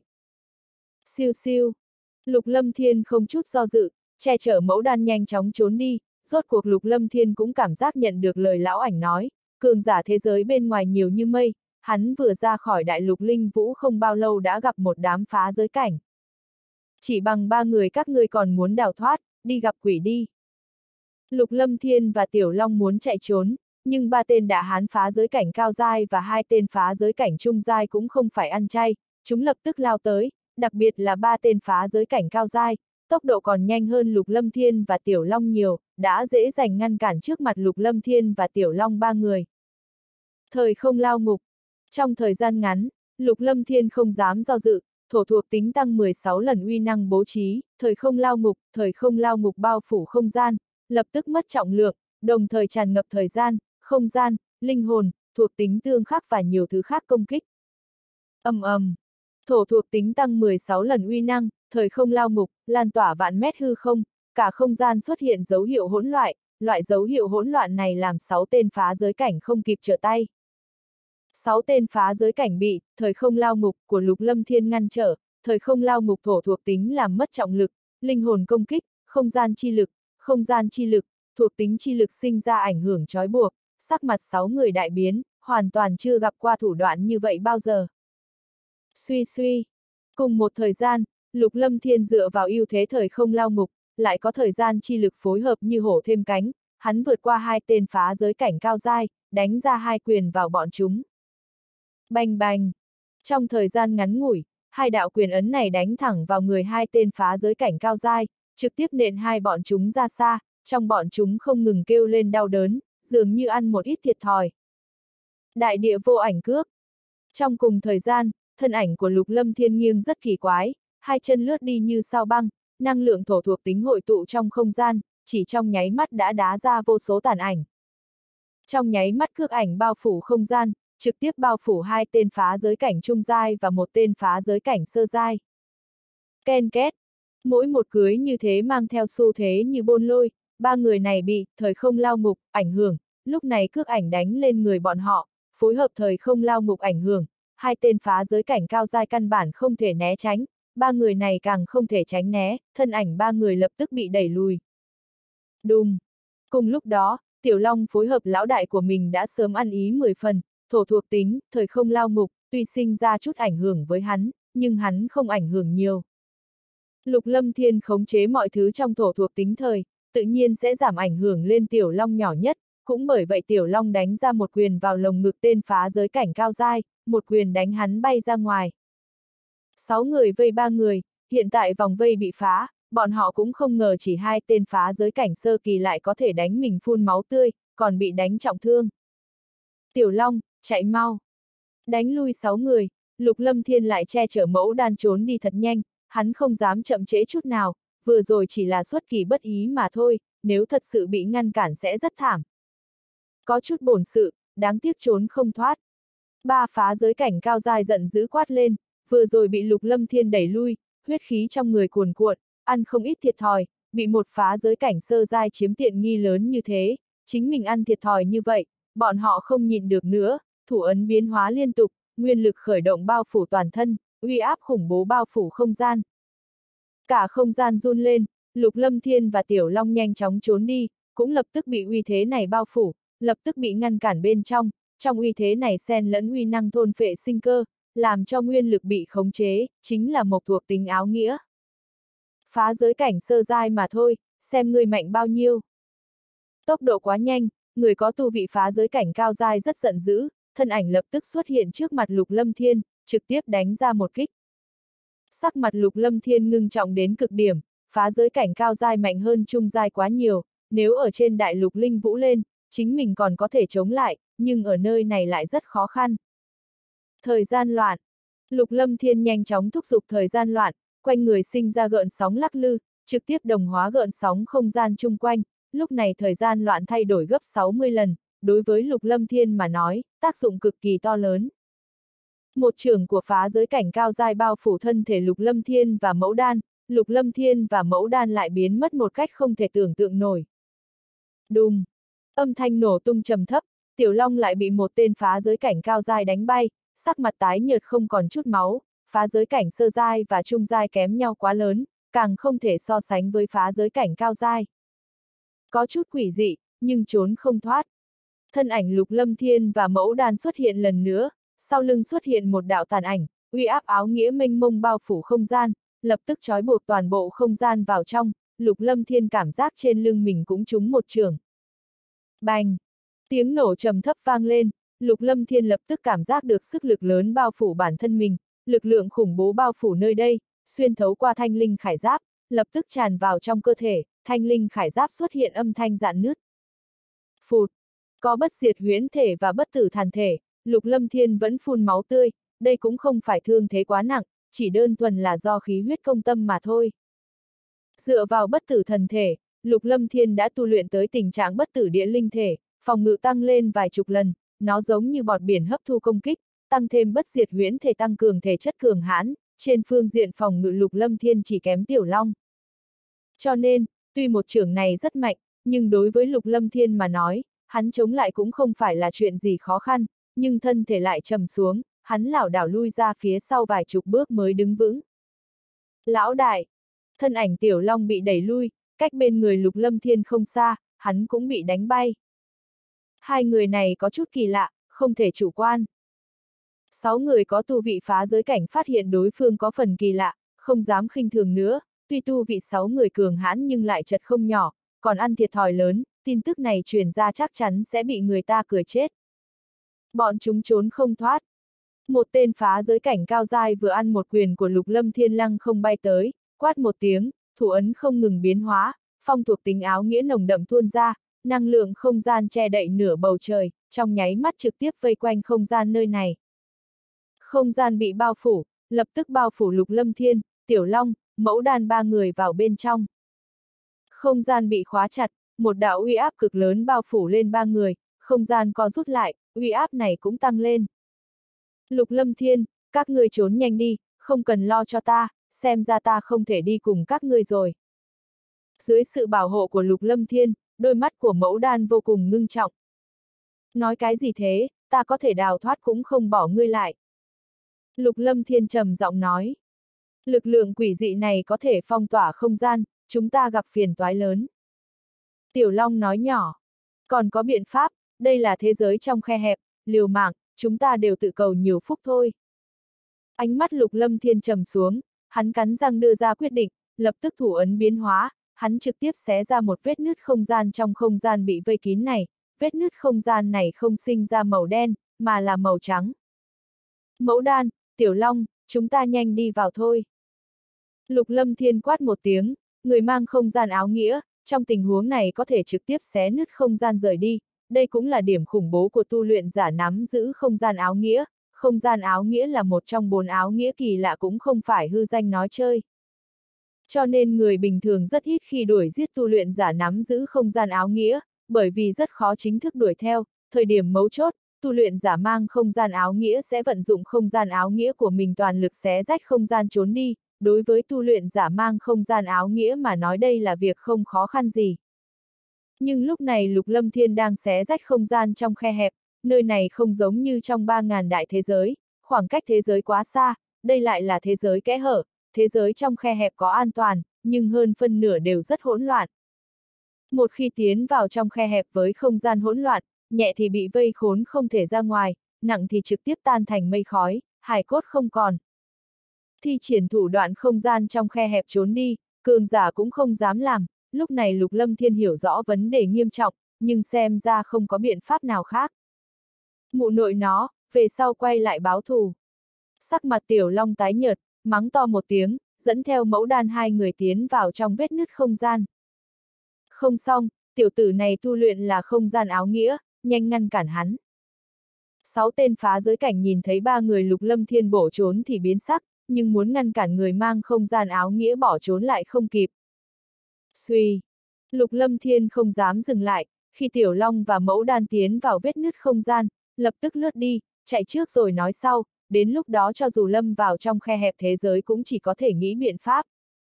Một đám phế vật, các ngươi có thể làm cái gì, mất mặt quá. Nhưng vào lúc này, một tiếng hét lớn truyền đến, khi lục lâm thiên sắp tiến vào trong vết nứt không gian, đột nhiên lực hấp xả cực lớn kéo hắn trở lại, không gian chung quanh đông cứng, uy áp minh mông hàng lâm. Lão đại! Trong vết nứt không gian, Tiểu Long đang quan sát động tính, sắc mặt lập tức đại biến. Chính các ngươi cẩn thận, đi mau. Lục lâm thiên cắn răng, phất tay nhìn qua, vết nứt không gian trước người biến mất, lúc này mọi việc đang trì hoãn, mấy đạo cấm chế giáng xuống, toàn thân bị cấm chế, thanh linh khải giáp nhạt đi không ít. Xuy! Chỉ trong nháy mắt ngắn ngủi, một đạo uy áp thổ thuộc tính rất mạnh hàng lâm, lục lâm thiên nhìn thấy một đại hán khôi ngô xuất hiện bên cạnh, hắn giơ tay đặt lên vai của mình, so sánh với thân hình đối phương, chính mình cho dù có thân thể cao lớn cũng biến thành đơn bạc nhỏ yếu. Sáu người đối phó hai phá giới cảnh sơ giai, một hậu thiên, lại còn trốn hai, còn có người bị tổn thương, càng ngày càng vô dụng. Đại hán khôi ngô quát sáu tên chung quanh, lập tức dẫn theo lục lâm thiên bay trở lại chiếc thuyền đỏ rực như lửa, ném hắn vào bong thuyền. Bành! Lục lâm thiên ngã ngồi trên bong, hắn nằm đó không thể đứng lên, toàn thân đều bị cấm chế, ánh mắt đánh giá tình huống chung quanh, lúc này mới phát hiện trên bong thuyền đang có hơn trăm người. Hơn trăm người này có vẻ mặt không hảo ý nhìn hắn, ánh mắt cũng có chút tò mò, người này có thể chống lại mấy cường giả phá giới cảnh đã làm cho bọn họ vô cùng ngạc nhiên. Hô! Lục Lâm Thiên hít sâu một hơi, tuy trên người bị cấm chế, nhưng Lục Lâm Thiên vẫn có thể cảm giác được tu vị đối phương, hơn trăm người trên bong thuyền này đều là có tu vị hậu thiên, nói đúng là, bọn họ đạt tới đế cấp trên đại lục linh vũ, trên trăm đế giả, thậm chí đại bộ phận còn là võ đế bát trọng cửu trọng. Lục lâm thiên chấn động không nhỏ, đại lục linh vũ tổng cộng mới có bao nhiêu đế giả chứ, chỉ trên chiếc thuyền này đã nhìn thấy hơn trăm người. Rung động qua đi, lục lâm thiên lập tức cười khổ, không nghĩ tới vừa ra khỏi đại lục linh vũ thì mình đã bị bắt, cảm giác biệt khuất này rất lâu rồi chưa xuất hiện, đại hán khôi ngô vừa ra tay có thực lực rất hung hãn, lại còn chuyên tu thổ thuộc tính áo nghĩa, hắn biết rõ mình không có bao nhiêu sức chống cự, thậm chí còn chưa chuẩn bị đã bị cấm chế bắt đi. Lục Lâm Thiên suy đoán, tu vị của tên đại hán này ít nhất cũng là ngộ chân cảnh. Duy nhất làm cho Lục Lâm Thiên buông lỏng một hơi là, Tiểu Long và Mẫu Đan đã đào thoát, nhưng sau đó phải xem vận khí, thế giới trong khe hẹp, vạn nhất rơi vào không gian hỗn loạn, hậu quả không tốt hơn chỗ nào. Hổ Sơn Đại Nhân, bắt tiểu tử này làm gì, dứt khoát đánh chết hắn là được rồi. Sáu tên tu vị phá giới cảnh lúc này cũng quay trở lại thuyền lớn, tên đại hán tu vị phá giới cảnh sơ giai ăn lục lâm thiên một cước đá tổn thương không nhỏ, mắt thấy lục lâm thiên bị bắt, nếu không phải đại hán khôi ngô đang đứng ở đó, chỉ sợ hắn sẽ tiến lên đá đối phương mấy cước báo thù. Tiểu tử này nếu không tu luyện không gian áo nghĩa, ta đã sớm giết rồi, một đám vô dụng, không biết đại đương gia và nhị đương gia đang tìm kiếm tu luyện giả biết không gian áo nghĩa hay sao? Đại hán khôi ngô nhìn sáu tên phá giới cảnh, ánh mắt động động, vung tay lên, vặn vẹo không gian, một lực hút bao phủ toàn thân lục lâm thiên, kéo thân thể lục lâm thiên vào trong tay, thân thể khôi ngô của hắn biến mất trên bong thuyền. Nhìn cái gì, còn không đi làm việc đi. Một tên phá giới cảnh cao dài vung tay lên, phiền muộn quá tháo đám người tu vị hậu thiên chung quanh. Hơn trăm người không dám nói gì, cũng không dám trêu chọc mấy tên tu vị phá giới cảnh, cung kính lui ra xa. Tam đương ra, chúng ta bắt một tên không gian áo nghĩa, đến đây xin chỉ thị tam đương ra nên xử trí như thế nào. Một lát sau, tên đại hán khôi ngô hổ sơn mang theo lục lâm thiên đến bên ngoài một gian phòng, cung kính hỏi thăm. Một đám phế vật, nhiều người như thế, tu vị còn cao hơn không ít, đã vây công còn đào tẩu hai tên. Trong phòng, một giọng nói nũng nịu truyền ra. Là phế vật, đều là một đám phế vật. Đại hán khôi ngô cung kính gật đầu, trong mắt mang theo cung kính tuyệt đối, không có chút không phục. Ngươi cũng là phế vật, bình thường bảo ngươi hảo hảo tu luyện, ngươi hết lần này tới lần khác chỉ ăn uống chơi gái đánh bạc, bằng không nếu ngươi ra tay, bọn chúng có thể bỏ chạy sao? Giọng nói nũng nịu trong phòng truyền tới. Tam đương ra, ta ăn uống đánh bạc, nhưng ta không có chơi gái a. Đại hán khôi ngô lập tức hô to oan uổng. Còn dám mạnh miệng, người có biết kẻ tu vị hậu thiên bỏ chạy là gì không? Đây chính là linh vật trời sinh, linh vật trời sinh cấp độ hậu thiên, nếu các ngươi bắt trở về, sau khi về, đại ca cùng nhị ca nhất định sẽ khen thưởng các ngươi, chỉ tiếc các ngươi không công bỏ qua cơ hội này. Trong phòng, giọng nói nũng nịu bình thản không ít, giọng nói thanh thúy dễ nghe. Tam đương ra, người nói là thật sao, một linh vật trời sinh. Nghe vậy, đại hán khôi ngô lập tức nghẹn họng nhìn chân chối, lập tức kinh ngạc như muốn rớt mắt ra ngoài, linh vật trời sinh cấp độ hậu thiên, đây chính là trọng bảo A hát, bao nhiêu cường giả khắp nơi đi tìm, đúng là báo vật khó lường. Lục Lâm Thiên lúc này cũng kinh ngạc, nghe được nữ tử trong phòng nói chuyện, dường như niên kỷ còn sẽ không quá lớn, đương nhiên, trong ba ngàn đại thế giới, tuổi không lớn chỉ là tương đối, người chừng 30 tuổi có khi đã sống vài ngàn năm.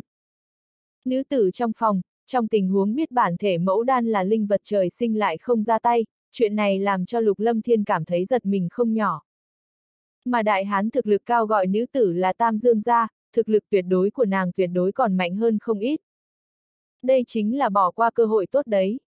Đại hán khôi ngộ oán hận không thôi, oán hận trực tiếp vỗ vỗ bắp đùi mình, trong bảo này mất đi, sớm biết như vậy hắn ra tay từ sớm, khi đó hai người bỏ chạy kia sẽ không thể chạy được nữa.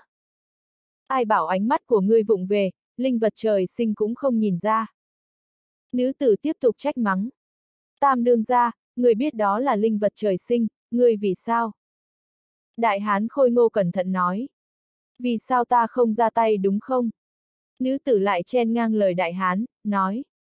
Ta tại sao phải ra tay, ta còn có việc trọng yếu hơn cần hoàn thành, các ngươi vừa rồi ảnh hưởng ta, nếu không phải xem ngươi đã bắt được ra hỏa kỳ dị này, ta hiện tại sẽ cho ngươi đẹp mặt, ngươi ra ngoài chờ đi. Xoẹt xoẹt tương đương. Nữ tử vừa dứt lời, cửa phòng lập tức mở ra, một lực hút kéo Lục Lâm Thiên vào bên trong thân thể, Lục Lâm Thiên bị lực hút này bao phủ, hắn không có lực phản kháng bị kéo vào bên trong, cửa phòng lập tức đóng lại. Bành! Trong phòng, lực hút biến mất, thân thể Lục Lâm Thiên ngã xuống mặt đất, tuy thân thể cường hãn, nhưng mà bờ mông rất đau đớn. Lục Lâm Thiên tự nhiên không có lòng dạ thanh thản quan tâm bờ mông của mình, ánh mắt chuyển động, phát hiện gian phòng này không nhỏ, bố trí xa hoa, nhưng Lục Lâm Thiên lại có thể cảm giác được, cảm giác này quá quen thuộc. Kịch độc, kịch độc nồng đậm. Thần sắc Lục Lâm Thiên lập tức trầm xuống, trong gian phòng này tràn ngập kịch độc, khó trách quen như vậy, đó là bởi vì Lục Tâm Đồng và Đông Lão đều luyện độc. Người cấp độ phá giới cảnh sơ giai lại mang nhiều áo nghĩa, dường như có linh hồn áo nghĩa, thổ thủy hỏa mộc áo nghĩa, còn có thời gian áo nghĩa cùng không gian áo nghĩa, dường như còn có áo nghĩa khác mà ta không hiểu, người có lai lịch gì. Thời điểm Lục Lâm Thiên đang dò xét nơi đây, một giọng nữ vang lên bên tai Lục Lâm Thiên thời điểm giọng nói vang lên, một bóng hình xinh đẹp đã ngồi xổm bên người Lục Lâm Thiên, mang đến không phải là hương thơm của nữ tử, mà là khói độc ập vào mặt. Ánh mắt Lục Lâm Thiên hơi biến hóa, chỉ thấy bên người có một cô gái đang ngồi, đầu tiên xuất hiện trong mắt hắn là gương mặt trắng nõn, lông mi thon dài như vẽ, hai mắt lóe sáng như sao, ánh đèn sáng ngời, sống mũi tinh xảo và miệng nhỏ nhắn, bờ môi không dày, khóe môi hơi cong mang theo ý giảo hoạt. Không hề nghi ngờ, đây là dung mạo thanh lệ thoát tục, thoát tục giống như không mang theo khói lửa nhân gian, nhưng mà có độc khí thổi vào mặt lại làm nội tâm lục lâm thiên rất rõ ràng, đây tuyệt đối không phải cửu thiên tiên tử, mà giống như độc ma lục tâm đồng, hơn nữa có thể khẳng định nhìn nữ tử này cả người lẫn vật vô hại, thanh lệ thoát tục nhưng còn khủng bố hơn lục tâm đồng nhiều lắm. Ta hỏi ngươi nói, ngươi tốt nhất nên thành thật khai báo, bằng không ngươi sẽ ăn rất nhiều đau khổ. Nữ tử thoát tục ngồi xổm bên người lục lâm thiên, ánh mắt hiếu kỳ đánh giá hắn. Ta chỉ vô tình tiến vào khe hẹp thế giới mà thôi. Lục lâm thiên tự nhiên sẽ không nói cho người khác biết chính mình đến từ thế giới hỗn độn đại lục linh vũ, ánh mắt tiếp tục đánh giá cô gái này, cô gái này mặc trang phục hở rốn, tuy ngồi xổm bên cạnh Lục Lâm Thiên nhưng không ảnh hưởng đến ánh mắt Lục Lâm Thiên, thậm chí ánh mắt nhìn thấy rất rõ ràng. Trang phục hở rốn này lại ôm chặt thân thể thanh xuân, dáng người của nàng rất mê người, bộ ngực vểnh lên như muốn xé tung tà áo thoát ra ngoài, vòng eo hết sức nhỏ, da thịt trắng sáng. Suy. Nhưng mà Lục Lâm Thiên vừa dứt lời, trên vai của hắn bị con dao đâm vào, con dao găm này tuyệt đối không phải vật phàm, trong tình huống Lục Lâm Thiên bị cấm chế vẫn bị cắm vào trong da thịt, máu tươi lập tức bắn ra chung quanh, Lục Lâm Thiên cảm thấy đau đớn mãnh liệt, nhưng chút đau đớn này với Lục Lâm Thiên lại không là gì cả. Nói thật, muốn gạt ta cũng không dễ dàng như vậy, với thiên phú của ngươi chắc chắn có lai lịch lớn, cho dù ngươi không đến từ bát đại gia tộc, cũng là thành viên trọng yếu trong thế lực của hai đại liên minh, hoặc là đệ tử bảo bối của tán tu thành danh nào đó. Nữ tử một tay giữ dao găm trên bờ vai Lục Lâm Thiên, đôi mắt đen nhánh dễ thương của nàng lúc này không có chút tình cảm ba động, nói nhỏ. Nếu ngươi không thành thật nói ra một chút, ta sẽ cho ngươi ăn nhiều đau khổ, không hợp tác với ta, cho dù ngươi là tộc nhân bát đại gia tộc, ta cũng không cho ngươi mặt mũi. Tiểu thư, ta thật sự không có lai lịch gì, ta chỉ là... Lục Lâm Thiên còn chưa dứt lời, trên vai lại truyền ra cảm giác đau đớn, cô gái này lại văn về dao găm, trực tiếp kéo lê thêm một đường dài vài cm, nói. Ngươi có thể không nói, ta không nóng nảy, dù sao ta không có gì cả, ta chỉ hiếu kỳ mà thôi, ngươi nói dối ta sẽ cho ngươi ăn đau khổ. Đại gia ngươi, ta nói chính là sự thật, ngươi thích tin hay không thì tùy, nếu như ta nhíu mày một chút sẽ không gọi là lục lâm thiên. Audio điện tử võ tấn bền. Tính tình lục lâm thiên nổi lên, đúng là xuất sư bất lợi, một rời khỏi đại lục linh vũ hắn đã gặp phải nữ nhân này, tuy mất đi cánh tay cũng không sao, có bất diệt huyễn thể, chính mình hoàn toàn không cần lo lắng, hiện tại chuyện trọng yếu là phải nghĩ cách thoát khỏi đây. Thì ra ngươi tên là Lục Lâm Thiên, khẳng định không phải tộc nhân bát đại gia tộc, ngươi cũng không giống, trong hai đại liên minh cũng không có người lục gia. Nữ tử lầm bầm suy tư một hồi, ánh mắt như cười mà không cười nhìn thẳng vào Lục Lâm Thiên, nói. Không nghĩ tới ngươi còn có chút tính tình, cũng không phải bao cỏ, bên cạnh ngươi có một cường giả thú tộc rất mạnh, còn có một linh vật trời sinh, cho nên nếu ngươi nói mình không có lai lịch, thật sự vũ nhục trí thông minh của ta. Nếu ta có chút lai lịch, cũng không bị ngươi bắt như hiện tại. Lục Lâm Thiên trầm giọng nói, bản thân hắn thật sự không có lai lịch gì, nếu có chỗ dựa, hắn đi lại trong ba ngàn đại thế giới mênh mông cũng có vài phần bảo đảm. Thật không có lai lịch sao? Nữ tử tuyệt đối không tin, lại tìm tòi trên người Lục Lâm Thiên vài lần, bàn tay trắng như ngọc lục tung người Lục Lâm Thiên, mà Lục Lâm Thiên bây giờ run như cầy sấy, nữ nhân này toàn thân là độc, tùy tiện thi triển chút thủ đoạn trên người của mình, đoán chừng sẽ không dễ chịu chút nào cả. Nhẫn chữ vật của ngươi sao? Nữ tử kính trang trực tiếp tháo nhẫn chữ vật trên người Lục Lâm Thiên xuống, tâm thần lập tức dòm xét, chỉ một lát ngắn ngủi trên mặt mang theo thần sắc xem thường, nói nhỏ. Xem ra người thật sự không có lai lịch gì, đều là một đống phế vật. Vừa dứt lời, nữ tử kính trang ném nhẫn chữ vật lên người Lục Lâm Thiên, chẳng muốn nhìn nhiều. Lục Lâm Thiên lúc này có phần hối hận, vì bảo hiểm, lúc trước lão ảnh giao cho mình chiếc nhân chữ vật của lão nhân ra, Lục Lâm Thiên ẩn nhân chữ vật này trong người, bên ngoài mang theo nhẫn chữ vật bình thường, bên trong trừ vài món quần áo thay đổi ra, cũng chỉ đặt một ít đan dược bình thường.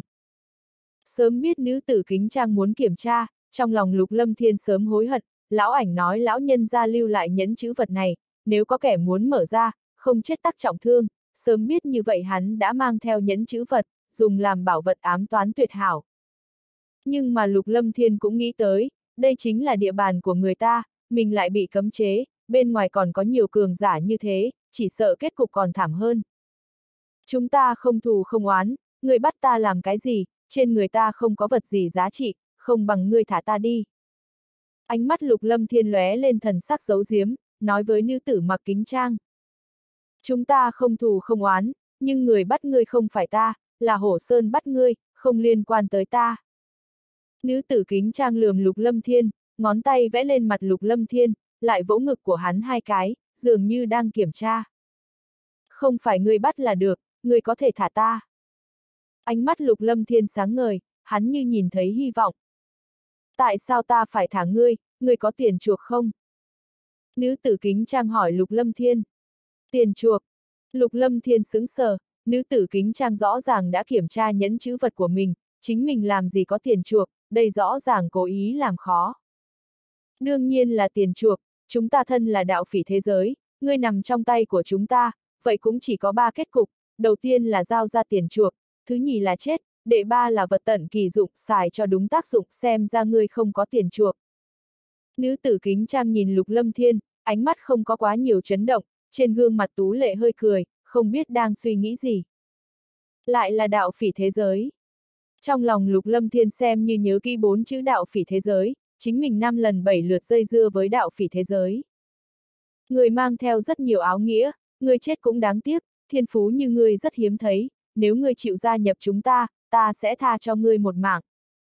Nữ tử kính trang nhìn Lục Lâm Thiên, dường như rất chờ mong Lục Lâm Thiên trả lời. Gia nhập đạo phỉ thế giới, ta không có suy nghĩ này. Ánh mắt Lục Lâm Thiên trầm xuống, đại lục linh vũ bị đạo phỉ thế giới ăn cướp, chính mình lại gặp gỡ đạo phỉ thế giới, Tiểu Long và Mẫu Đan hai người tung tích không rõ, nội tâm Lục Lâm Thiên sẽ không bao giờ gia nhập đạo phỉ thế giới. Đại ca, nhị ca, chuyện này không liên quan tới ta, nhưng ta tự mình hỏi hắn, là hắn không chịu gia nhập, ta sẽ không khách khí. Nghe được Lục Lâm Thiên trả lời như vậy, nữ tử kính trang không giận còn mừng, trong đôi mắt đen nhánh thanh tịnh hiện lên một tia vui mừng của thiếu nữ. Lục Lâm Thiên lúc này mới nhìn thấy toàn bộ dung mạo của nữ tử kính trang, lúc này Lục Lâm Thiên mới biết cái gì gọi là vưu vật trời sinh, hơn nữa là vưu vật trong vưu vật. Ánh mắt Lục Lâm Thiên sáng ngời, nữ tử kính trang hoàn toàn thuộc về loại mỹ nữ làm nam nhân nhìn thấy lần đầu tiên hai mắt đỏ lên, hận không thể ôm lấy nàng âu yếm ngay lập tức. Nói như vậy, nam nhân nhìn thấy nữ nhân, theo thói quen đại bộ phận đều nhìn gương mặt đầu tiên, nhưng lúc nữ tử kính trang đứng thẳng trước người, làm cho lục lâm thiên hoàn toàn không tự giác xem nhẹ dung mạo của nàng, bởi vì tư thái của nữ tử kính trang quá mê người, đặc biệt còn ăn mặc trang phục hở rốn. Lục lâm thiên nhìn thấy không ít mỹ nữ tuyệt thế, Lam Linh, Vân Hồng Lăng, Lữ Tiểu Linh đều có tư thái nóng bỏng hoàn mỹ, nhưng thẳng thắn mà nói, so sánh với tư thái nữ tử trước mặt vẫn còn kém một chút. Nữ tử kính trang mặc trang phục hở rốn, mà hạ thân lại mặt váy ngắn, váy ngắn này dài nhất chỉ có 30cm, vừa vặn bao trùm bờ mông mà thôi, lộ ra đùi ngọc thon dài, da thịt tuyết trắng lóng lánh, không có một tia khuyết điểm nhỏ nhặt, làm người ta cảm thấy miệng khô lưỡi đắng. Trang phục hở rốn, bộ ngực đầy đặn cũng hiện ra rõ ràng, bụng nhỏ eo thon, váy ngắn vừa đủ bao trùm bờ mông tròn trịa, đôi chân hoàn mỹ thon dài, toàn thân sinh ra hấp dẫn trí mạng với nam nhân. Dung mạo thanh thoát không mang theo khói lửa nhân gian, nhưng hết lần này tới lần khác lại có tư thái ma quỷ, thân thể quả thật là kết hợp giữa thiên thân và ác ma. Lục lâm thiên cảm thấy miệng khô lưỡi đắng, ánh mắt tỏa sáng, đúng là vưu vật trong vưu vật. Nhìn cái gì vậy, tiếp tục nhìn ta sẽ cắt chỗ dư thừa trên người ngươi đấy. Dường như cảm giác được ánh mắt lục lâm thiên, nữ tử kính trang rút dao găm trên vai lục lâm thiên ra, lại vung vẩy dao găm, nhẹ nhàng đảo quanh hai chân lục lâm thiên một vòng. Lục lâm thiên có thể cảm giác rõ ràng, dao găm đã đảo quanh mệnh căn của hắn vài vòng, cảm giác nóng hổi vừa rồi lập tức bị dội chậu nước lạnh, đầu óc tỉnh táo hơn. Trung thực là tốt rồi, có nhiều thứ nhất đao lưỡng đoạn là không tốt, người nói đúng không? Nữ tử kính trang cười nhạt với Lục Lâm Thiên, lời nói lọt vài tai Lục Lâm Thiên, Lục Lâm Thiên lại sinh ra hàn ý. Trong ánh mắt nhìn chằm chằm của Lục Lâm Thiên, nữ tử kính trang thu dao găm lại, đôi tay trắng bóng vuốt nhẹ một cái, trong lòng bàn tay xuất hiện những con côn trùng màu đen, đám côn trùng màu đen này chỉ lớn hơn sợi tóc một chút, cẩn thận quan sát, toàn thân đầy lông xù, đầu nhỏ rất dữ tợn, lộ ra răng nanh sắc bén như con rết, lại giống như sâu gióm. Nhìn thấy những côn trùng màu đen trên tay nữ tử kính trang, ánh mắt lục lâm thiên lập tức run lên, hàn ý bao phủ nội tâm của mình. Đây là vô ảnh phệ tủy độc thư, vừa vặn đến tình trạng cần tiến hóa, rất cần máu huyết và cốt tủy tốt để bồi bổ, người bình thường khẳng định không được, không quá một ngày sẽ chết, nếu ngươi có thể sống tới lúc nó tiến hóa xong, ta nhất định thả ngươi. Nữ tử kính trang trong khi nói chuyện, căn bản không quan tâm tới lục lâm thiên, trực tiếp đặt con côn trùng vào bả vai đẫm máu của lục lâm thiên. Tất tất, đám côn trùng nhỏ màu đen này chui vào bờ vai đầy máu của lục lâm thiên, lập tức biến mất không thấy gì nữa. Nữ nhân độc ác, người muốn làm cái gì? Lục lâm thiên căn bản không thể nhúc nhích, trơ mắt nhìn những vật khủng bố kia chui vào trong vai của mình, Lục Lâm Thiên cảm giác được đám côn trùng đang chui vào trong người của mình, đang gặm nhắm máu huyết và xương cốt bản thân, cảm giác giống như ngàn vạn con kiến ăn cốt tủy. Ồ, xem ra vô ảnh phệ tủy độc thư của ta rất thích máu huyết và cốt tủy của ngươi, đều rất hưng phấn, nói không chừng sẽ sớm tiến hóa thành công, sau khi chúng tiến hóa lần này, sẽ vô thanh vô tức, vô thanh vô tức đó, cho dù người có tu vị cao hơn ta cũng bị đánh chết. Dường như cảm giác được cảm tình của đám vô ảnh phệ tủy độc thư, nữ tử kính trang cao hứng không thôi, trong mắt đầy vui vẻ, thái độ với lục lâm thiên tốt hơn không ít, nói. Người bây giờ cần làm chính là nuôi vô ảnh phệ tủy độc thư cho tốt, chúng đều là bảo bối của ta, nếu chúng có thể thuận lợi tiến hóa thì ta sẽ thả ngươi. Hai mắt lục lâm thiên đầy tức giận, nữ nhân này muốn mình dùng máu huyết và cốt tủy nuôi nấng vô ảnh phệ tủy độc thư, bản thân mình sớm muộn gì cũng bị ăn sạch sẽ, đến lúc đó kết cục cũng có thể nghĩ. Nghĩ vậy, Lục Lâm Thiên không bao giờ dám nghĩ tiếp, dù sao nữ nhân này còn muốn lợi dụng chính mình, sợ rằng mình muốn chết cũng không được, nổi giận mắng. Ngươi là nữ nhân ác độc, ngươi quá ác tam, không nghĩ tới người đẹp như vậy nhưng lòng dạ như rắn rết. Lục Lâm Thiên mắng xong, nhưng trong lòng lại phiền muộn, chính mình mắng cũng quá ngây thơ. Này, ngươi nói là thật sao, ta rất đẹp. Nghe Lục Lâm Thiên mắng to, nữ tử kính trang hoàn toàn không quan tâm tới, căn bản cũng không có đặt trong lòng, ngược lại hiếu kỳ nhìn Lục Lâm Thiên, đôi mắt dễ thương sáng như sao, dung mạo thanh lệ thoát tục không ăn khói lửa nhân gian, nhìn thế nào cũng không giống người vừa bỏ vô ảnh phệ tủy độc thư vào miệng vết thương đẫm máu trên người Lục Lâm Thiên. Lục Lâm Thiên sững sờ, lập tức tiếp tục mắng to, nói. Người xinh đẹp cái rắm, tâm như bò cạp, ngực to không não, người khi còn bé bị heo chơi, người lớn lên lang bạt kỳ hồ. Đúng, ngực to mà không não, có phải tốt hơn ngực nhỏ mà ngốc nghếch hay không? Nhìn qua ngực của mình, nữ tử kính trang yếu ớt hỏi Lục Lâm Thiên, đôi mắt dễ thương, gương mặt thanh lệ thoát tục nhìn như vô hại. Lục Lâm Thiên hoàn toàn bị đánh bại rồi, nhìn thấy ánh mắt vô tội kia, trong nội tâm càng tức giận, thình lình nói một câu, nói. Ngươi nên đi chỗ khác, ta không muốn con ruồi như ngươi nhìn chằm chằm vào ta. Ai nhìn chằm chằm vào ngươi, ngươi cho rằng ngươi là phân sao. Nữ tử kính trang lườm Lục Lâm Thiên. Mà lúc này Lục Lâm Thiên hoàn toàn bị đánh bại không nói được gì, nữ nhân này tuyệt đối không tầm thường. Tiểu tử, muốn chơi với ta, ngươi còn kém lắm, hảo hảo nuôi nấng vô ảnh phệ tủy độc thư của ta, trên vô ảnh phệ tủy độc thư của ta có bố trí thủ đoạn, nhất cử nhất động của ngươi ta đều biết, nếu ngươi dám lộn xộn, ta sẽ làm người hối hận vì sống trên đời này, bà cô ta tuyệt đối không phải dễ trêu. Nữ tử kính trang nói xong, cố ý bố trí một đạo cấm chế trên người Lục Lâm Thiên, lập tức đá một cước vào bụng dưới Lục Lâm Thiên. Bành!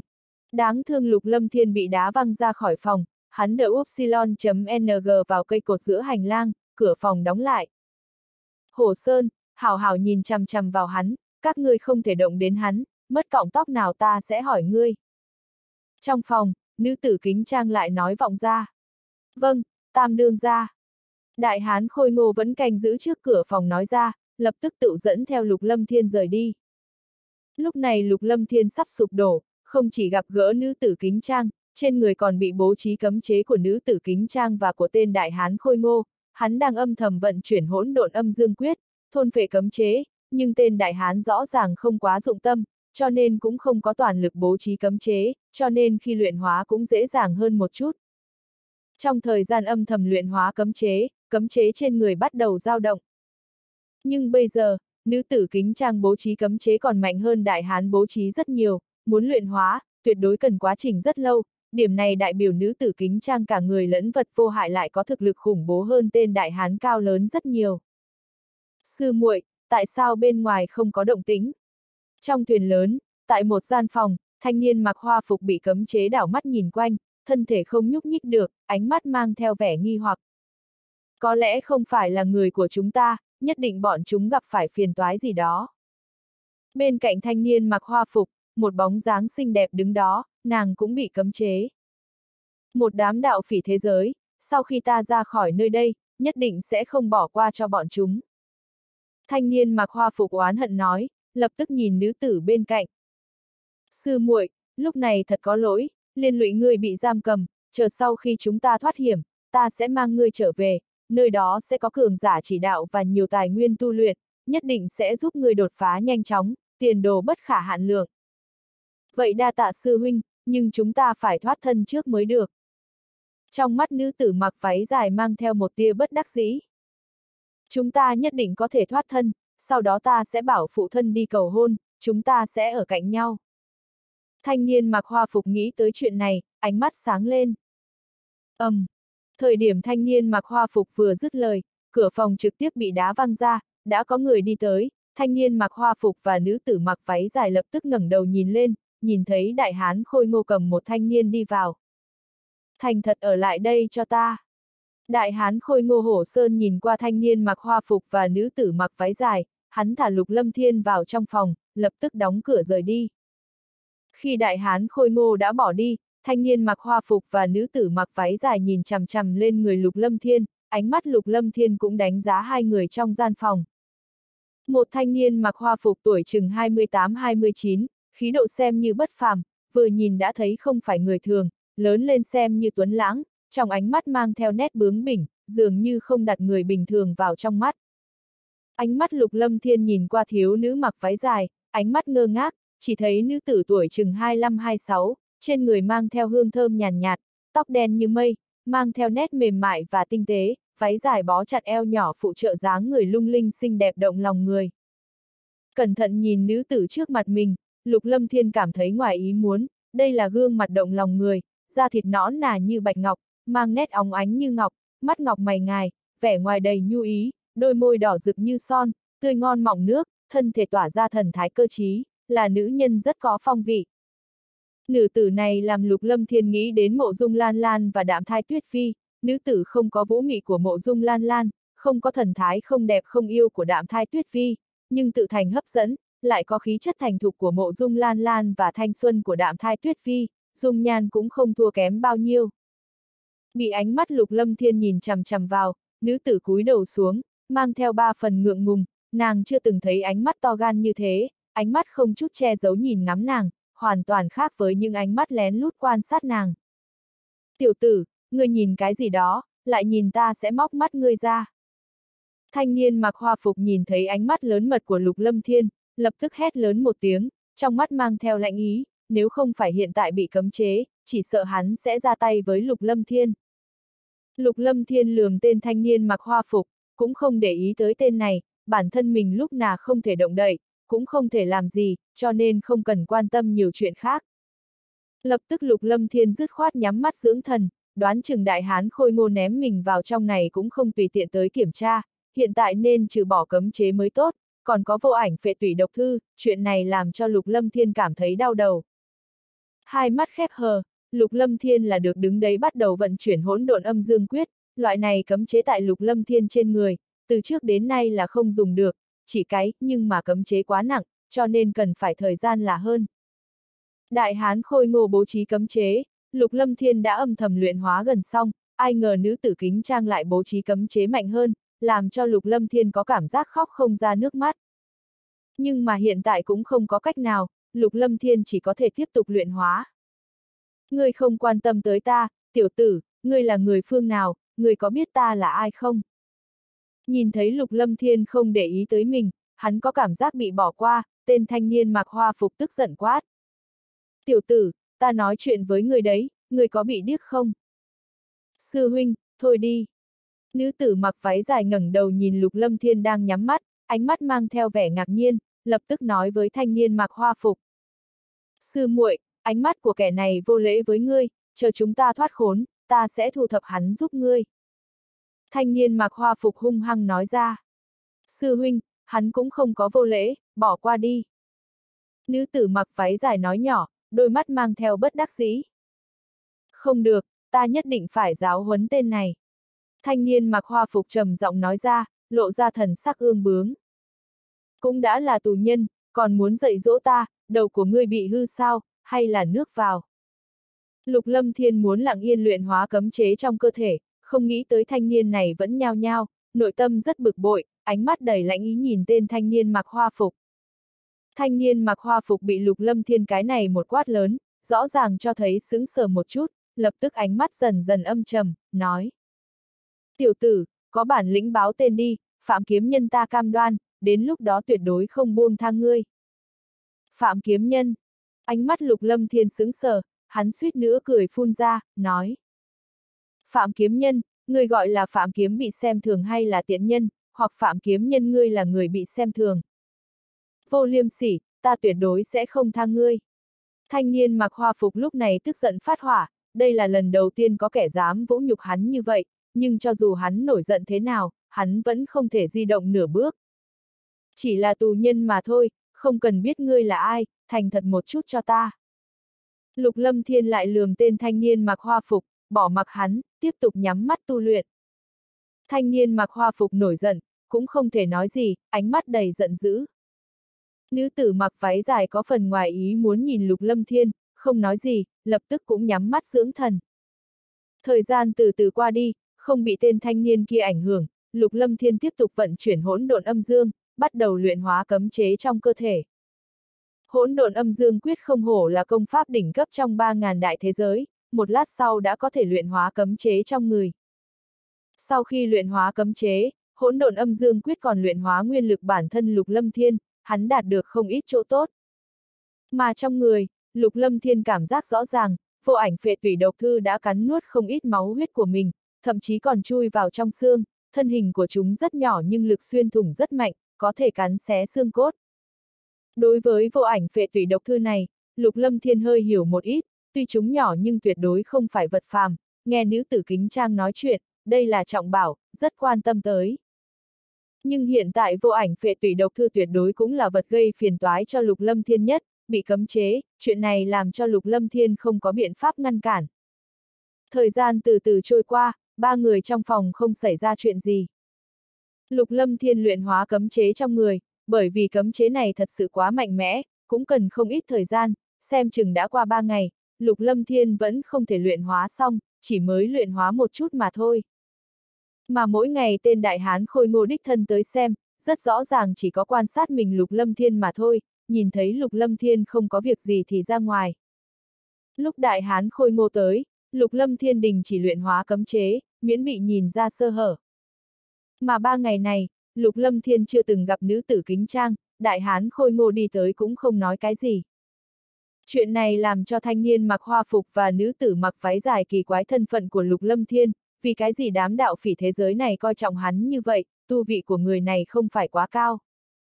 Qua chừng 7 ngày, Lục Lâm Thiên phát giác mình đã luyện hóa phần lớn cấm chế trong cơ thể, cấm chế này cực lớn, thậm chí làm cho Lục Lâm Thiên đạt được không ít chỗ tốt, Lục Lâm Thiên mơ hồ có cảm giác, chỗ tốt này dường như không dưới khối tinh thạch thế giới lúc trước. ầm ầm. Nhưng vào lúc này, thuyền lớn đột nhiên chấn động mạnh, nó đình chỉ tiến lên, đã dừng lại. Vào lúc này tên thanh niên mặc hoa phục và nữ tử mặc váy dài mở mắt ra, thanh niên mặc hoa phục vô cùng mừng rỡ, nói. Sư muội, ta có thể cảm giác người của chúng ta tới rồi, người của chúng ta đã theo kịp. Sư huynh, đám đạo phỉ thế giới này cũng không đơn giản, chúng ta nên cẩn thận mới tốt. Tuy nữ tử mặc váy dài cũng vui mừng, nhưng trong mắt mang theo lo lắng, dường như trong lòng cũng không quá cao hứng. Yên tâm đi, ta dám cam đoan người của chúng ta sẽ cứu được chúng ta ra, bởi vì còn có một người tới, cho dù đám đạo phỉ thế giới mạnh hơn nữa cũng vô dụng. Ánh mắt thanh niên mặc hoa phục khẳng định, dường như cảm ứng được gì đó. Thanh niên mặc hoa phục vừa dứt lời, ánh mắt bướng bỉnh nhìn chằm chằm vào lục lâm thiên, trầm giọng nói. Tiểu tử, ngày tốt lành của ngươi đã kết thúc, một lúc sau, ngươi sẽ chết rất thảm, ngươi chờ đó cho ta. Ánh mắt lục lâm thiên nhíu mày, dường như bên ngoài xảy ra chuyện gì đó, chẳng lẽ thật sự có người cứu hai người này. Mang bọn chúng ra ngoài. Mang đám người này ra ngoài, tổng cộng có ba người, Hổ Sơn Đại Nhân cũng không có nói rõ ràng. Mang toàn bộ. Cùng lúc, cửa phòng mở ra, có mấy tên tu vị hậu thiên vội vã mang bọn họ ra ngoài, ba người đều bị cấm chế, tự nhiên không có sức phản kháng, bị dẫn lên bong thuyền. Đến bong thuyền, Lục Lâm Thiên nhìn thấy cảnh tượng vô cùng rung động, chỉ thấy hư không trước mặt có phi hành khôi lỗi phi hổ thật lớn, nó lớn hơn ngàn mét, bí vân quấn quanh người, khôi lỗi kia không chỉ lớn, uy thế của nó cũng không nhỏ, thậm chí không dưới chiếc thuyền lớn này. Trước tọa giá phi hành khôi lỗi phi hổ, giữa không trung có mấy trăm người đang đứng, uy thế khủng khiếp tỏa ra chung quanh, khí tức mạnh mẽ khuếch tán ra tận chân trời, làm cho thiên địa chung quanh rung động không nhỏ. Nhiều cường giả như thế. Lục lâm thiên nhìn lên trời, lập tức nghẹn họng nhìn chân chối, mấy trăm người đều có cấp độ đế giả, mấy trăm đế giả cùng đứng trên không trung, đây là cảnh tượng trên đại lục linh vũ không thể nhìn thấy. Mà trong đó có mấy người tỏa ra khí tức quá mạnh, lục lâm thiên phát hiện ít nhất là có mười mấy người đều là phá giới cảnh, thậm chí còn có rất cao, mấy khí tức này hoàn toàn không kém gì đại hán hổ sơn bao nhiêu, những người này mới thật sự là cường giả. Ánh mắt lục lâm thiên lúc này nhìn thẳng vào lão giả hơn 50 tuổi đứng trước đám người, ánh mắt lão giả này âm trầm, mặc trường bào, khí tức kinh khủng nhất, khí tức của người này còn mạnh hơn hổ sơn rất nhiều. Cảm nhận khí tức trên người kẻ này, nội tâm lục lâm thiên sinh ra cảm giác bất an, khí tức của người này quá mức cường hãn. Đỗ sư thúc, ta ở chỗ này, ta ở chỗ này. Vừa nhìn thấy lão giả kia, ánh mắt phạm kiếm nhân vui mừng, lớn tiếng kêu cứu. Ba. Nhưng tên phạm kiếm nhân vừa mới hô to, hắn đã bị tát một cái thật mạnh, người ra tay chính là Hổ Sơn, khóe miệng phạm kiếm nhân chảy máu tươi, ánh mắt sững sờ nhìn Hổ Sơn, dường như không ngờ Hổ Sơn lại đánh hắn. Thành thật một chút. Hổ Sơn quát lớn một tiếng, hắn trực tiếp giơ tay bóp cổ tên thanh niên mặc hoa phục dơ lên cao. Hổ Sơn, các người đám mau tặc này, mau buông người trong tay ra, bằng không ta sẽ cho các người đẹp mặt. Trong đám người đối phương, lão giả đầu lĩnh quát tên đại hán khôi ngô. Đỗ lộc lão nhân, người ít uy hiếp ta, ta cũng không sợ người đâu, nếu người có bổn sự, đi sông sáo với phong vân sơn chúng ta đi. Hổ Sơn hoàn toàn không có ý e ngại đối phương, cầm tên thanh niên mặc hoa phục trong tay, nói.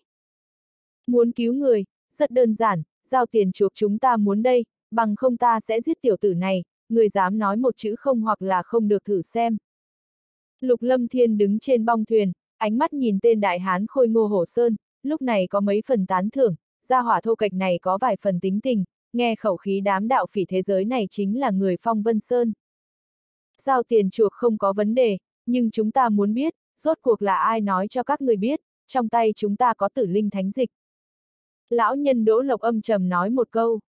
Chuyện này liên quan gì tới ngươi, giao đồ ra là được. Hổ Sơn không khách khí quát một câu. Một tay giao người, một tay giao tử linh thánh dịch. Đỗ Lộc trầm giọng nói, tên thanh niên mặc hoa phục lúc này không dám nói lời nào, ánh mắt rất đau lòng, tử linh thánh dịch là bảo vật rất quý giá, lần này không còn nữa rồi, đây là bảo vật chân quý tới cực điểm. Ta cũng không sợ người bịp bợm, muốn giết tiểu tử này cũng không có gì khó. Hổ Sơn nói ra. Đỗ Lộc tiếp tục đau lòng, vung tay lên, trong tay hắn xuất hiện bình ngọc, nhìn thanh niên mặc hoa phục và nữ tử mặc váy dài, nói. Là đổi lấy hai người bọn họ. Vừa dứt lời, trường bào Đỗ Lộc vung lên, bấm tay một cái, bình ngọc trong tay lơ lửng, từ từ bay về phía Hổ Sơn.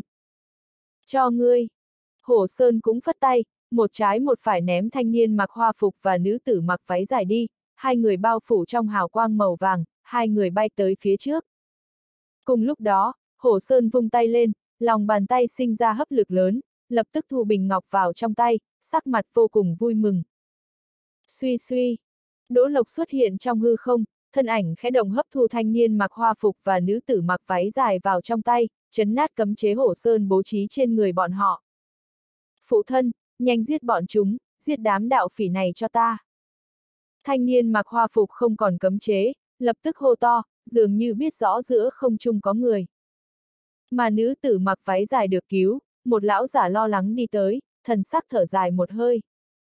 Hừ, Phong Vân Sơn lớn mật, dám đánh chủ ý lên người của Phạm Sàm ta, hôm nay tuyệt đối sẽ không buông tha các ngươi, về sau cả chiến thiên liên minh sẽ không bỏ qua cho các ngươi đâu. Cùng một thời gian, giữa không trung có tiếng quát vang lên, gợn sóng không gian lắc lư, có một thân ảnh mặc trường bào đi ra, từ khi người này xuất hiện, hư không băng giá, khí lạnh phóng lên trời, thế giới trong khe hẹp này sinh ra chấn động dữ dội. Chiến thiên liên minh, dĩ nhiên là người chiến thiên liên minh. Ánh mắt lục lâm thiên lập tức biến hóa, những người này dĩ nhiên là người chiến thiên liên minh, chính mình không phải đang tìm người của chiến thiên liên minh sao, lão nhân gia sư phụ lưu lại thù tạ lệnh chính là muốn mình tiến vào chiến thiên liên minh. Suy! Lão giả xuất hiện giữa không trung, sắc mặt âm trầm, khóe miệng còn cười tàn nhẫn, khí tức băng hàn chung quanh bộc phát dữ dội, lập tức lao thẳng về phía Hồ Sơn. Phạm Sam, thiên thủy môn của ngươi chỉ là thế lực nhị lưu trong chiến thiên liên minh mà thôi, cho rằng có thể ảnh hưởng đến cả chiến thiên liên minh sao, sớm biết các ngươi có an bài như thế, xem ra thiên thủy môn các ngươi không đáng tin cậy. Tiếng nói vang lên, trong cung điện trên thuyền có một thân ảnh thướt tha bay tới, dáng người mang theo tư thái uyển chuyển mê người.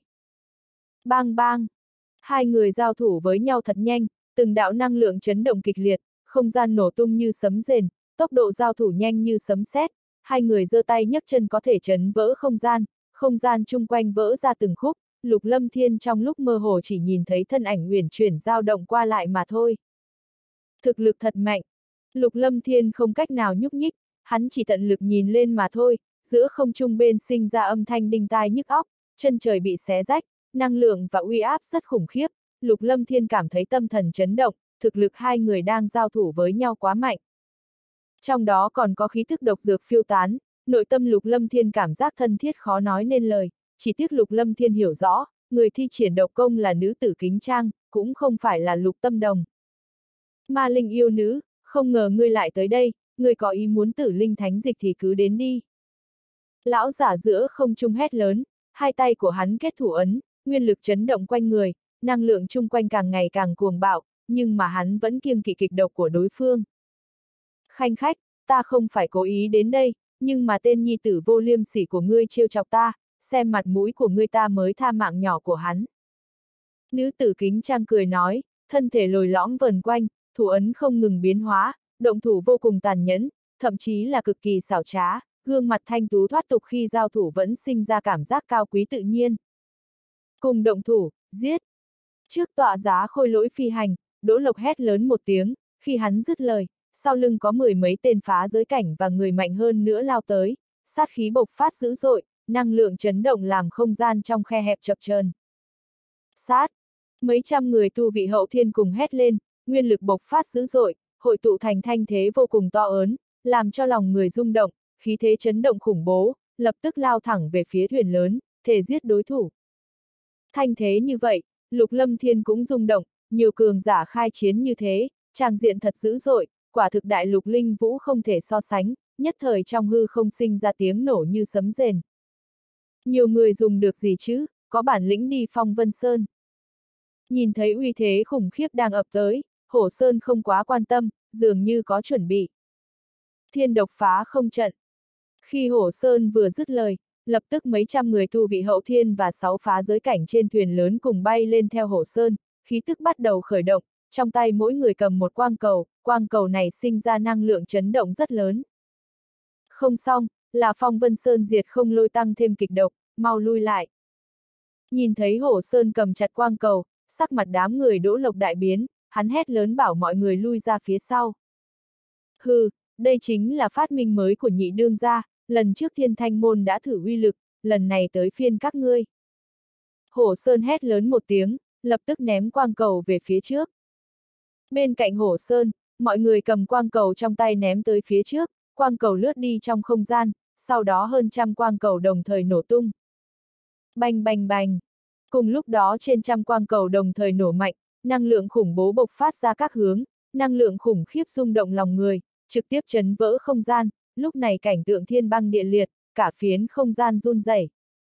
Quang cầu đồng thời nổ tung sinh ra rất nhiều vết nứt không gian đen kịt, năng lượng không gian không ngừng tàn phá các nơi nó đi qua, ngay sau đó kịch độc cũng lan tỏa khắp không gian.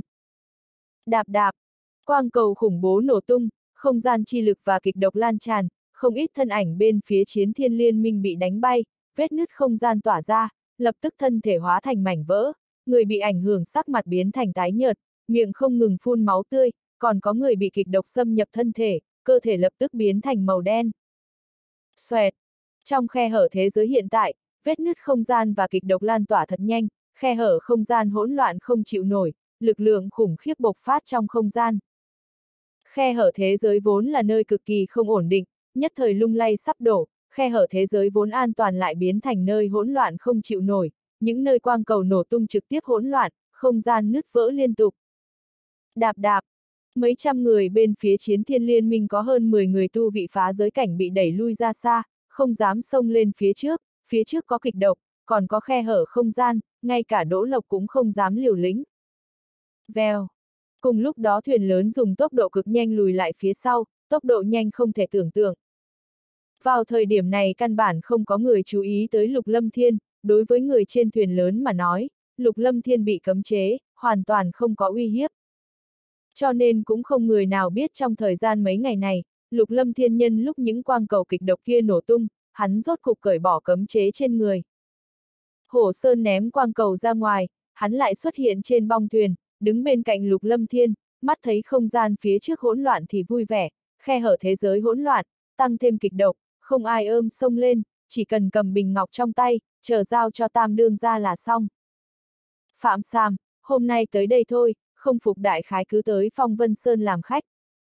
Trên không trung, nữ tử kính trang cười nói rất tự nhiên, cổ tay trắng nâng lên, khói độc bao phủ các nơi, kịch độc lập tức thẩm thấu vào không gian, không gian sinh ra gợn sóng dữ dội. Nữ tử kính trang lập tức biến mất giữa không gian, nhân lúc không gian hỗn loạn quay trở về, tăng thêm kịch độc nên nàng bình yên trở ra, lựa chọn thu tiền chuộc trong khe hở thế giới, nàng đã sớm tính toán đường lui. Mắt thấy nữ tử kính trang lui ra phía sau, lão giả phạm sàm cũng không có biện pháp, tức giận quát. Ma linh yêu nữ, thiên thủy môn chúng ta sẽ không bỏ qua cho ngươi, cả chiến thiên liên minh sẽ không để yên cho ngươi. Lúc này không trốn thì chờ tới khi nào, liều. Nhưng vào lúc này, khí thức quỷ dị trước mặt lục lâm thiên đồng hóa gợn sóng không gian, ngay lúc này hắn giơ tay quét qua tay hổ sơn, hổ sơn còn chưa phục hồi tinh thần, thân ảnh lục lâm thiên biến mất không thấy gì nữa. Tử linh thánh dịch, tử linh thánh dịch mất rồi. Tử linh thánh dịch trong tay biến mất, chuyện này làm cho hổ sơn sững sờ, lập tức phát hiện lục lâm thiên bên cạnh đã biến mất, hắn tức giận gào thét. Mau đuổi theo, người nọ chạy rồi. Trong khi quát lên, hổ sơn là người đầu tiên đuổi theo, sắc mặt vô cùng giận dữ. Xuy! Lúc này Lục Lâm Thiên đã sớm chuẩn bị sẵn sàng, thân ảnh vừa rời khỏi thuyền lớn đã tăng thời gian lên gấp 60 lần, tốc độ của Lục Lâm Thiên vốn cực nhanh, hắn dùng tốc độ này lao ra khỏi thuyền lớn, lập tức phất tay xé rách vết nứt không gian, thi triển không gian áo nghĩa, thân ảnh hắn tiến vào bên trong. Muốn chạy trốn trước mặt ta, cho dù ngươi có không gian áo nghĩa, dù sao thực lực quá thấp, nếu ngươi có thể trốn, sau này ta sẽ mang ngươi về làm áp trại tướng công. Một tiếng nói vang lên bên tai, nữ tử kính trang trực tiếp xuất hiện sau lưng Lục Lâm Thiên, Lục Lâm Thiên lập tức cảm giác lực hút cực lớn bao phủ lấy mình, muốn kéo mình ra khỏi vết nứt không gian, hắn khó có thể phản kháng lực hút này. Thực lực nữ nhân này quá mạnh. Trong lòng Lục Lâm Thiên âm thầm kêu không tốt, thực lực nữ nhân này quá mạnh, chính mình toàn lực phản kháng cũng không thể thoát khỏi tay của nàng, trong nháy mắt đã bị kéo ra. Thời không lao ngục. Lục Lâm Thiên lập tức toàn lực bố trí thổ thuộc tính, thời không lao ngục, không gian run run, hào quang màu vàng chói mắt, hắn toàn lực thoát khỏi lực hút của nữ tử kính trang. Thổ thuộc tính thời không lao ngục, linh hồn, không gian, thời gian, thuộc tính ảnh hưởng chung quanh, sắc mặt nữ tử kính trang kinh ngạc, không gian quỷ dị này có thể ảnh hưởng tới nàng. Thời điểm lục lâm thiên không thể làm gì, không gian trước mặt nổ tung tạo thành không gian hỗn loạn, cả khe hở không gian cũng bị ảnh hưởng, không gian hỗn loạn cuốn lấy tất cả mọi thứ. Xoẹt! Hỗn loạn qua đi, không gian nứt vỡ từng khúc, trực tiếp hóa thành hư vô, lực lượng hỗn loạn tàn phá các nơi. Lục Lâm Thiên, người mau ra đây, đó là thế giới hỗn loạn, với thực lực của ngươi dù có không gian áo nghĩa cũng chết. Nữ tử kính trang nhìn thấy không gian hỗn loạn quét qua, dung mạo xinh đẹp biến hóa. Dù sao cũng là chết, liều. Ánh mắt lục lâm thiên trầm xuống, lọt vào trong tay nữ tử kính trang này, kết cục của mình cũng không tốt hơn chỗ nào, sau khi phát hiện mình có thể cởi bỏ cấm chế, về sau hắn tuyệt đối không có cơ hội chạy trốn, còn không bằng hiện tại liều mạng, cắn răng quyết định, toàn lực bộc phát nguyên lực toàn thân, thổ thuộc tính, thời không lao ngục, tăng lên cực hạn, hắn toàn lực thoát khỏi lực hút. Xoẹt! Không gian hỗn loạn quét qua, lập tức ảnh hưởng tới phạm vi lục lâm thiên đang đứng, không gian hỗn loạn lập tức bao phủ lục lâm thiên vào bên trong. Không xong. Sắc mặt nữ tử kính trang đại biến, thân thể mềm mại không dám dừng lại, nàng trốn ra thật nhanh, thân ảnh lập tức rơi vào bong thuyền. Nhanh thúc giục hỏa ảnh cuồng phong chu, dùng hết tốc lực tiến lên phía trước, nhanh. Hổ Sơn trở lại thuyền lớn, vội vàng hét lên, hắn nhìn thấy vết nứt không gian quét qua, trong mắt đầy kinh hãi, đây là thế giới hỗn loạn, không ai dám dừng lại thêm một phút nào nữa. Nhìn thấy không gian hỗn loạn quét qua các nơi, nữ tử tức giận đạp mạnh bong thuyền vài cái. Tam đường ra, tử linh thánh dịch bị tiểu tử kia cướp đi, làm sao bây giờ? Hổ Sơn bất đắc dĩ ủy khuất đến cực điểm, hắn đi tới trước mặt nữ tử kính trang, mặt không dám ngẩng lên. Phế vật, thực lực của ngươi thế nào, phá giới cảnh sơ giai mà thôi, ngươi thậm chí ngay cả tử linh thánh dịch cũng không bảo vệ được. Nữ tử kính trang tức giận nghiến răng nghiến lợi, tức giận nói.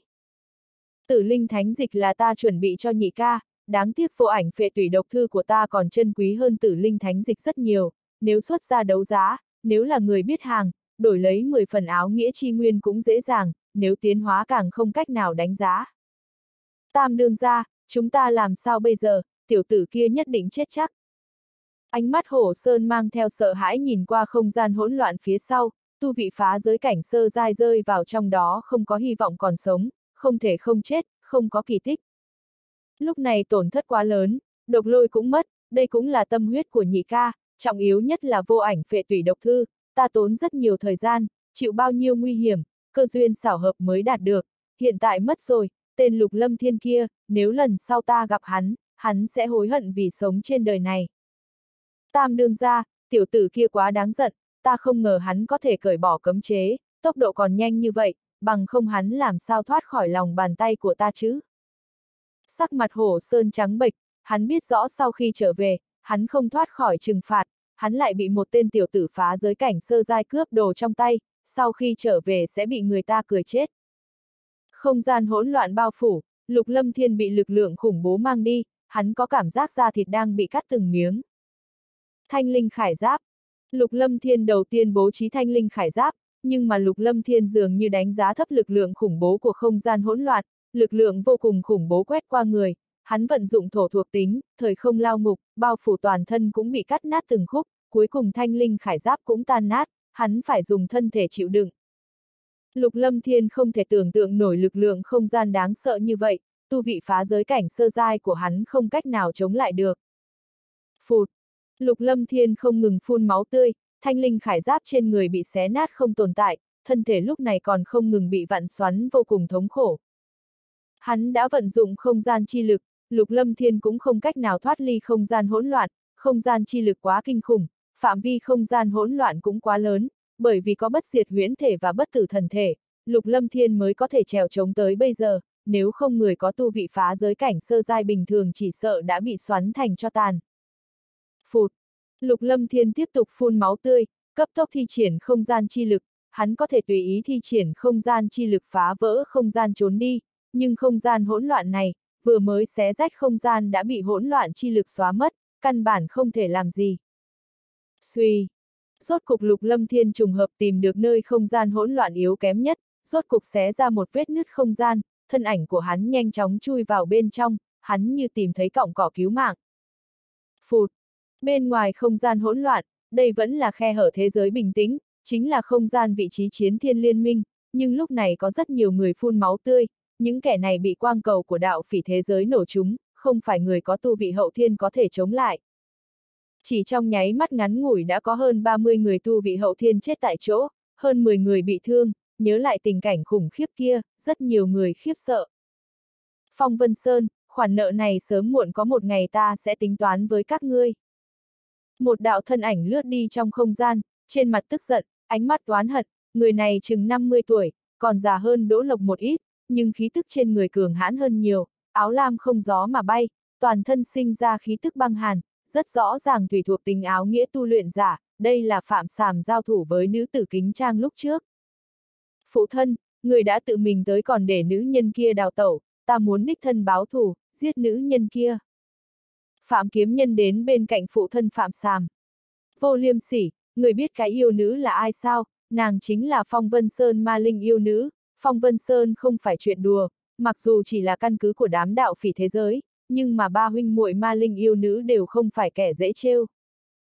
Phạm Sàm chừng con mình, bộ dáng rèn sắt không thành thép. Sư huynh, tử linh thánh dịch đã bị chúng lấy đi, chẳng lẽ cứ tính toán như vậy sao?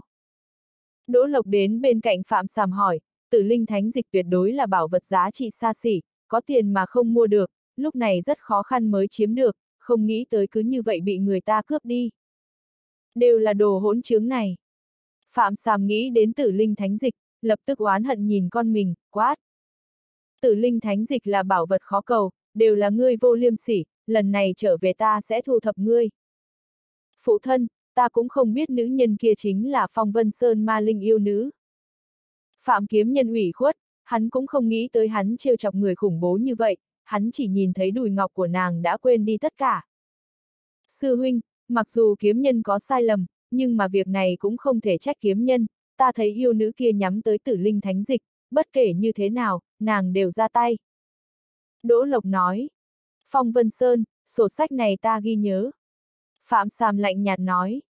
Trưởng môn, người mau nhìn, có người đi ra. Có một người tu vị phá giới cảnh kinh ngạc lên tiếng, chỉ thấy trong khe hở không gian hỗn loạn có một thân ảnh máu tươi đầm đìa, chật vật không chịu nổi chui ra khỏi vết nứt không gian. Cuối cùng cũng thoát được một mạng. Lục lâm thiên xé rách không gian vài lần mới trốn ra được, nhân phẩm đại bộc phát tăng thêm người mang không gian áo nghĩa, cộng thêm thân thể cường hãn, rốt cục thoát ly khe hở không gian hỗn loạn, cảm giác sau khi thoát khỏi nguy hiểm, lục lâm thiên có cảm giác như vừa mới trọng sinh, miệng phun máu tươi. Người chiến thiên liên minh. Lục lâm thiên cũng phát hiện có mấy trăm người trước mặt, bọn họ đang nhìn mình, ban đầu nghe được dường như là người chiến thiên liên minh, mà bản thân mình cũng đang tìm chiến thiên liên minh, còn cần gia nhập chiến thiên liên minh mới được. Là tiểu tử kia, hừ, người muốn chết. Thanh niên mặc hoa phục vẻ mặt biệt khuất, nhìn thấy lục lâm thiên lập tức lộ ra lạnh ý, hắn tìm được người chút giận. Người này cũng là chiến thiên liên minh, lần này phiền toái. Ánh mắt lục lâm thiên ngưng trọng, phạm kiếm nhân vừa nhìn đã biết là nhị thế tổ, chính mình đắc tội hắn, sợ rằng thời gian sau này không tốt. Tiểu tử, hiện tại rơi vào trong tay của ta, xem như ngươi không may. Thanh niên mặc hoa phục quát một tiếng, nguyên lực run run, thời điểm quát lên, thân ảnh đã phá không tới trước mặt lục lâm thiên, tu vị vượt qua phá giới cảnh tỏa ra chung quanh, uy áp sai vị bộc phát, cho dù lục lâm thiên thời kỳ toàn thịnh cũng không đỡ nổi. Ánh mắt lục lâm thiên kinh ngạc, không nghĩ tới thực lực của nhị thế tổ này lại mạnh như vậy, tuyệt đối đã đột phá trên phá giới cảnh. Các ngươi là người chiến thiên liên minh, chắc hẳn nhận ra thứ này. Trong thời gian ngắn, lục lâm thiên phất tay một cái, trong tay xuất hiện một khối ngọc bài, chính là chiến thiên liên minh thù tạ lệnh, tuy chỉ là thù tạ lệnh cấp bậc thấp nhất, nhưng mà tuyệt đối là thù tạ lệnh. Nhân nhi, dừng tay. Tiếng hét lớn vang lên, một thân ảnh áo lam xuất hiện trước mặt lục lâm thiên, trường bào run lên, trực tiếp ngăn cản phạm kiếm nhân. Các hạ, có thể giao vật kia cho ta nhìn kỹ. Người tới là Phạm Sàm, ánh mắt của hắn nhìn thù tạ lệnh trong tay lục lâm thiên, ánh mắt cũng không thèm dò xét lục lâm thiên. Sắc mặt lục lâm thiên nặng nề, cầm thù tạ lệnh trong tay vứt cho Phạm Sàm, còn Phạm kiếm nhân bị phụ thân ngăn cản, nhìn phụ thân với thần sắc nghi hoặc. Phạm Sàm cầm thù tạ lệnh trong tay, sắc mặt khẽ biến, thù tạ lệnh này là thật, hắn rót nguyên lực vào trong thù tạ lệnh, bí vân thần bí hiện ra, trong đó xuất hiện dấu vết cây búa, đây là thù tạ lệnh không thể nghi ngờ. Phạm Sàm lúc này mới nhìn Lục Lâm Thiên, cẩn thận dò xét thì nhận ra tu vị khí thức của Lục Lâm Thiên, ánh mắt hơi chấn động, không biết nội tâm đang suy nghĩ cái gì. Các hạ hiện tại đã là khách quý của chiến thiên liên minh chúng ta, cũng là khách quý của thiên thủy môn, có chỗ đắc tội, kính xin thông cảm. Ánh mắt hơi chấn động, Phạm Sàm mỉm cười, cũng ôm quyền với Lục Lâm Thiên, thì lễ ngang hàng. Phụ thân, người như thế nào, tiểu tử này hắn. Phạm Kiếm Nhân nhìn thấy thái độ của phụ thân tốt với tiểu tử kia, thần sắc vô cùng khó hiểu. Im miệng, vị tiểu huynh đệ này chính là khách quý của thiên thủy môn, về sau ngươi dám bất kính, lão tử sẽ thu thập ngươi. Phạm Kiếm Nhân muốn nói gì đó, lập tức bị Phạm Sàm quát ngưng lại, mắt tức giận, làm cho Phạm Kiếm Nhân sững sờ, hắn không dám nói nữa. Tiểu huynh đệ chớ trách móc, tiểu nhi bất tranh khí, chỉ biết sinh sự, ta hôm nào sẽ giáo huấn hắn, ta thấy tiểu huynh đệ nên chữa thương đi, mời vào khôi lỗi tọa giá, chúng ta cũng về trước, chờ thương thế tiểu huynh đệ đỡ một ít, chúng ta bàn lại sau. Phạm Sàm nhìn qua lục lâm thiên, ánh mắt mang theo vài phần chân thành. Làm phiền tiền bối. Lục lâm thiên gật đầu, mình bây giờ thật sự cần thời gian chữa thương, đối với chiến thiên liên minh, mình cho dù không tin, cũng phải tin tưởng sư phụ lão nhân gia, có thủ tạ lệnh, có lẽ không đến mức thế nào với mình. Tiểu huynh đệ không cần khách khí, ta là Phạm Sàm, bất tài chính là trưởng môn thiên thủy môn, thiên thủy môn chính là một thành viên trong chiến thiên liên minh, trong chiến thiên liên minh, thiên thủy môn chúng ta có một ghế hộ pháp, tiểu huynh đệ nếu không chê cứ gọi ta một tiếng lão ca. Phạm Sàm nói chuyện, nhắc tới mình còn một ghế hộ pháp trong chiến thiên liên minh, trên mặt mang theo kiêu ngạo, có thể có ghế hộ pháp trong chiến thiên liên minh, thiên thủy môn có ghế này đại biểu cho thực lực của mình. Thì ra thiên thủy môn bất phàm như vậy, Phạm Đại ca, thất kính. Lục Lâm Thiên ôm quyền thi lễ, dựa theo lão ảnh đã nói, trong chiến thiên liên minh, cao nhất là minh chủ chiến thiên liên minh, dưới minh chủ chính là trưởng thượng. Những trưởng thượng này đều là chủ nhân thế lực bá chủ trong chiến thiên liên minh. Mà dưới trưởng thượng theo thứ tự là trưởng lão, hộ pháp, đường chủ và chấp sự. Tại sao là hộ pháp? Đó là vì hộ pháp cao hơn chấp sự. Nghe nói chấp sự trong chiến thiên liên minh rất mạnh, chỉ có một chút thế lực lớn hoặc đại môn phái trong chiến thiên liên minh mới có thể trở thành hộ pháp, hoặc thân là một thế lực trong chiến thiên liên minh, nhưng thực lực còn chưa thể đạt tới tư cách trưởng thượng hoặc trưởng lão, dù là chủ thế lực nhưng cũng chỉ là hộ pháp mà thôi. Mà thiên thủy môn có một ghế hộ pháp, bởi vậy cũng có thể nhận ra thực lực hoàn toàn không kém. Tiểu huynh đệ, người đi nghỉ trước đi. Phạm Sàm thỏa mãn cười cười, lập tức tự mình dẫn Lục Lâm Thiên tiến vào tọa giá khôi lỗi, mọi người cung kính theo sau. Sư thúc, phụ thân ta. Nhìn thấy phụ thân mình có thái độ tốt với Lục Lâm Thiên, Phạm Kiếm Nhân nghi hoặc hỏi Đỗ Lộc, thần sắc rất là khó hiểu. Phụ thân ngươi hiểu rõ, trong tay tiểu tử kia chính là vật gì? Đỗ Lộc hỏi, hắn ở xa nên không nhìn rõ ràng. Ta cũng không nhìn quá rõ ràng, không thấy cẩn thận. Phạm Kiếm Nhân nói, vừa rồi hắn ra tay nên không quan sát kỹ càng. Đi thôi, đến lúc đó hỏi phụ thân ngươi thì biết. Đỗ Lộc nói, theo mọi người vào trong tọa giá khôi lỗi. Lục Lâm Thiên theo Phạm Sàm vào trong tọa giá khôi lỗi, Phạm Sàm lập tức phân phó người sau lưng. Phương chấp sự, phiền toái ngươi chiếu cố vị tiểu huynh đệ này, ta đi làm việc một lát. Phạm đường chủ yên tâm, ta nhất định sẽ an bài thỏa đáng. Một lão giả hơn 50 tuổi đi tới, cung kính đáp lời Phạm Sàm, lập tức chào hỏi Lục Lâm Thiên, mang theo Lục Lâm Thiên đi vào trong. Phụ thân, ta cũng đi. Lúc này nữ tử mặc váy dài bị bắt chung với Phạm Kiếm Nhân chậm rãi đi ra, thì ra cô gái này là con gái của lão nhân. Trong phi hổ tọa giá, trong đại sảnh có mấy phòng nhỏ, Lục Lâm Thiên theo lão giả đi vào một phòng nhỏ. Vị tiểu huynh đệ này, người nghỉ ngơi ở đây, có chuyện gì cứ tùy thời gọi ta. Lão giả dẫn Lục Lâm Thiên vào trong phòng nhỏ, lại nói với Lục Lâm Thiên, thần thái hơi miễn cưỡng, nhưng trên người vẫn có khí độ cường giả. Xin hỏi, đây là thế giới nào? Lục Lâm Thiên ôm quyền thi lễ, đối với lão giả hỏi. Người lại không biết đây là nơi nào. Nữ tử mặc váy dài nhìn Lục Lâm Thiên, ánh mắt mang theo vẻ ngạc nhiên. Nhìn Lục Lâm Thiên và lão giả, thân ảnh nữ tử mặc váy dài biến mất, ánh mắt Phạm Sàm hơi động, lúc này nhìn Đỗ Lộc và Phạm Kiếm Nhân nói. Các ngươi đi theo ta.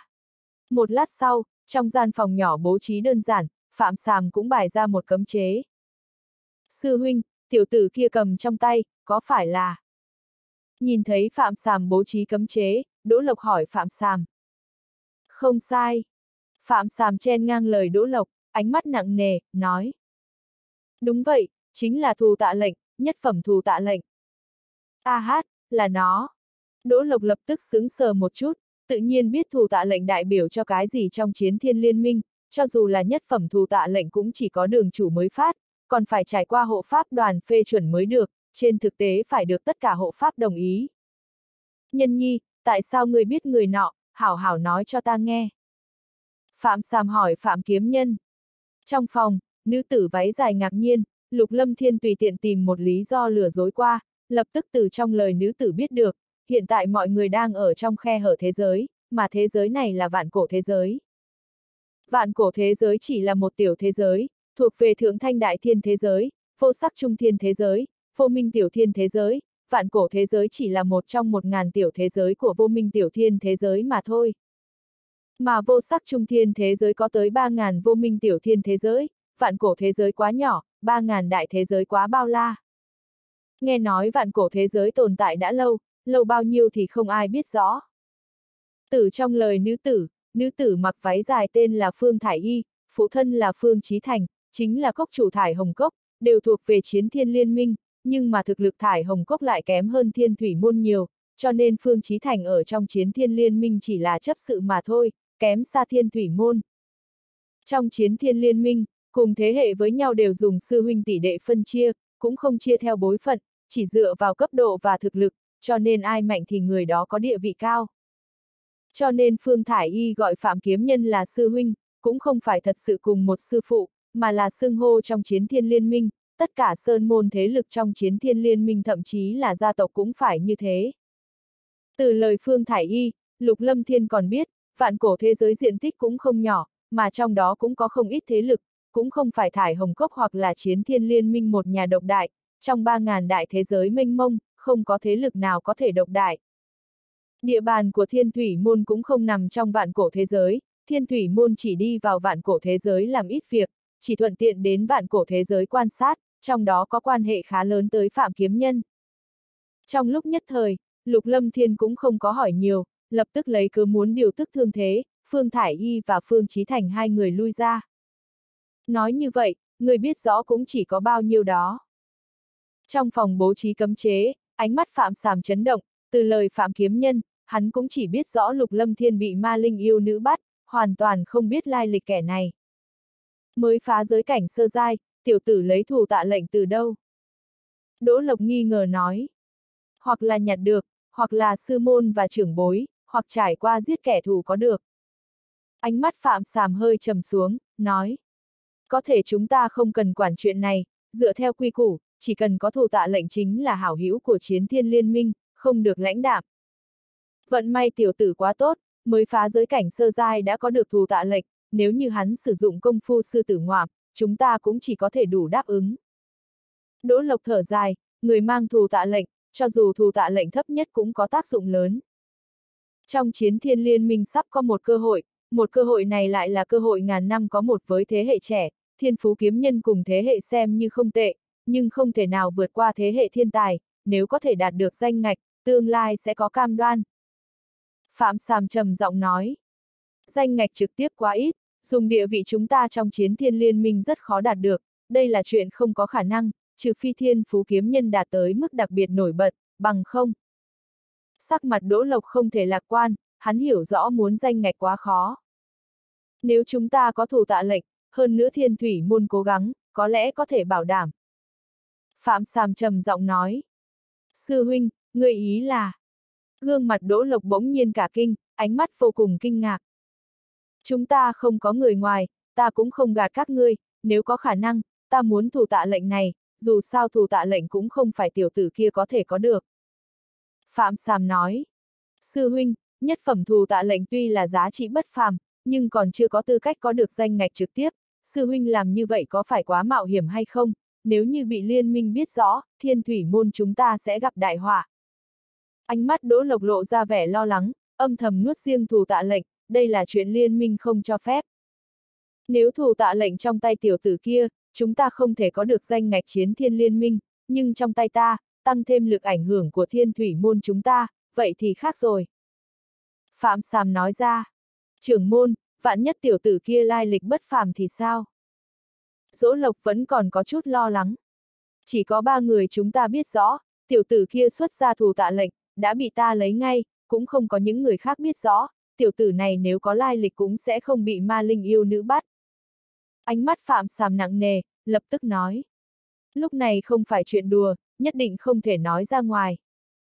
Phụ thân, diệt tiểu tử kia đi, nếu ta có thể có được danh ngạch trực tiếp, ta đi vào trong đó, tu vị chắc chắn sẽ tăng lên rất nhanh. Phạm Kiếm Nhân nói, hắn chán ghét tiểu tử kia đạt được thứ gì hơn hắn, hắn đương nhiên không ngại giết tiểu tử kia, cho dù không có lợi hắn cũng không ngại. Ngươi cầm miệng, đều là hỗn chứng ngươi, ngươi có biết tử linh thánh dịch chân quý thế nào không, chúng ta thật vất vả mới đạt được, lúc trước thiên thủy môn chúng ta lập công lao hiển hách cho liên minh, tăng thêm có người hoạt động, lúc này mới có được tử linh thánh dịch, bằng không với địa vị thiên thủy môn chúng ta cũng không thể chiếm được đâu. Thấy con mình không thành khí phạm sàm đau đầu, nếu không phải hắn cân nhắc tiền đồ cho đứa con duy nhất này, hắn cũng không khó xử như hiện tại, đánh chủ ý thù tạ lệnh, đây không phải chuyện tầm thường. Lúc này nếu không phải hắn chỉ có một nhi tử, hắn tuyệt đối sẽ suy nghĩ thật kỹ xem mạng của con mình có chân quý bằng tử linh thánh dịch hay không, tử linh thánh dịch, nó có tác dụng lớn với hắn. Nghe phụ thân nhắc tới chuyện này, Phạm Kiếm Nhân lại không dám nói lời nào, hắn cũng biết tử linh thánh dịch chân quý, đây là vật có tiền không mua được, người bên ngoài muốn đạt được còn khó hơn lên trời. Đúng rồi, người có ý với nhà đầu thải hồng cốc kia, có phải thật sự thích hay không?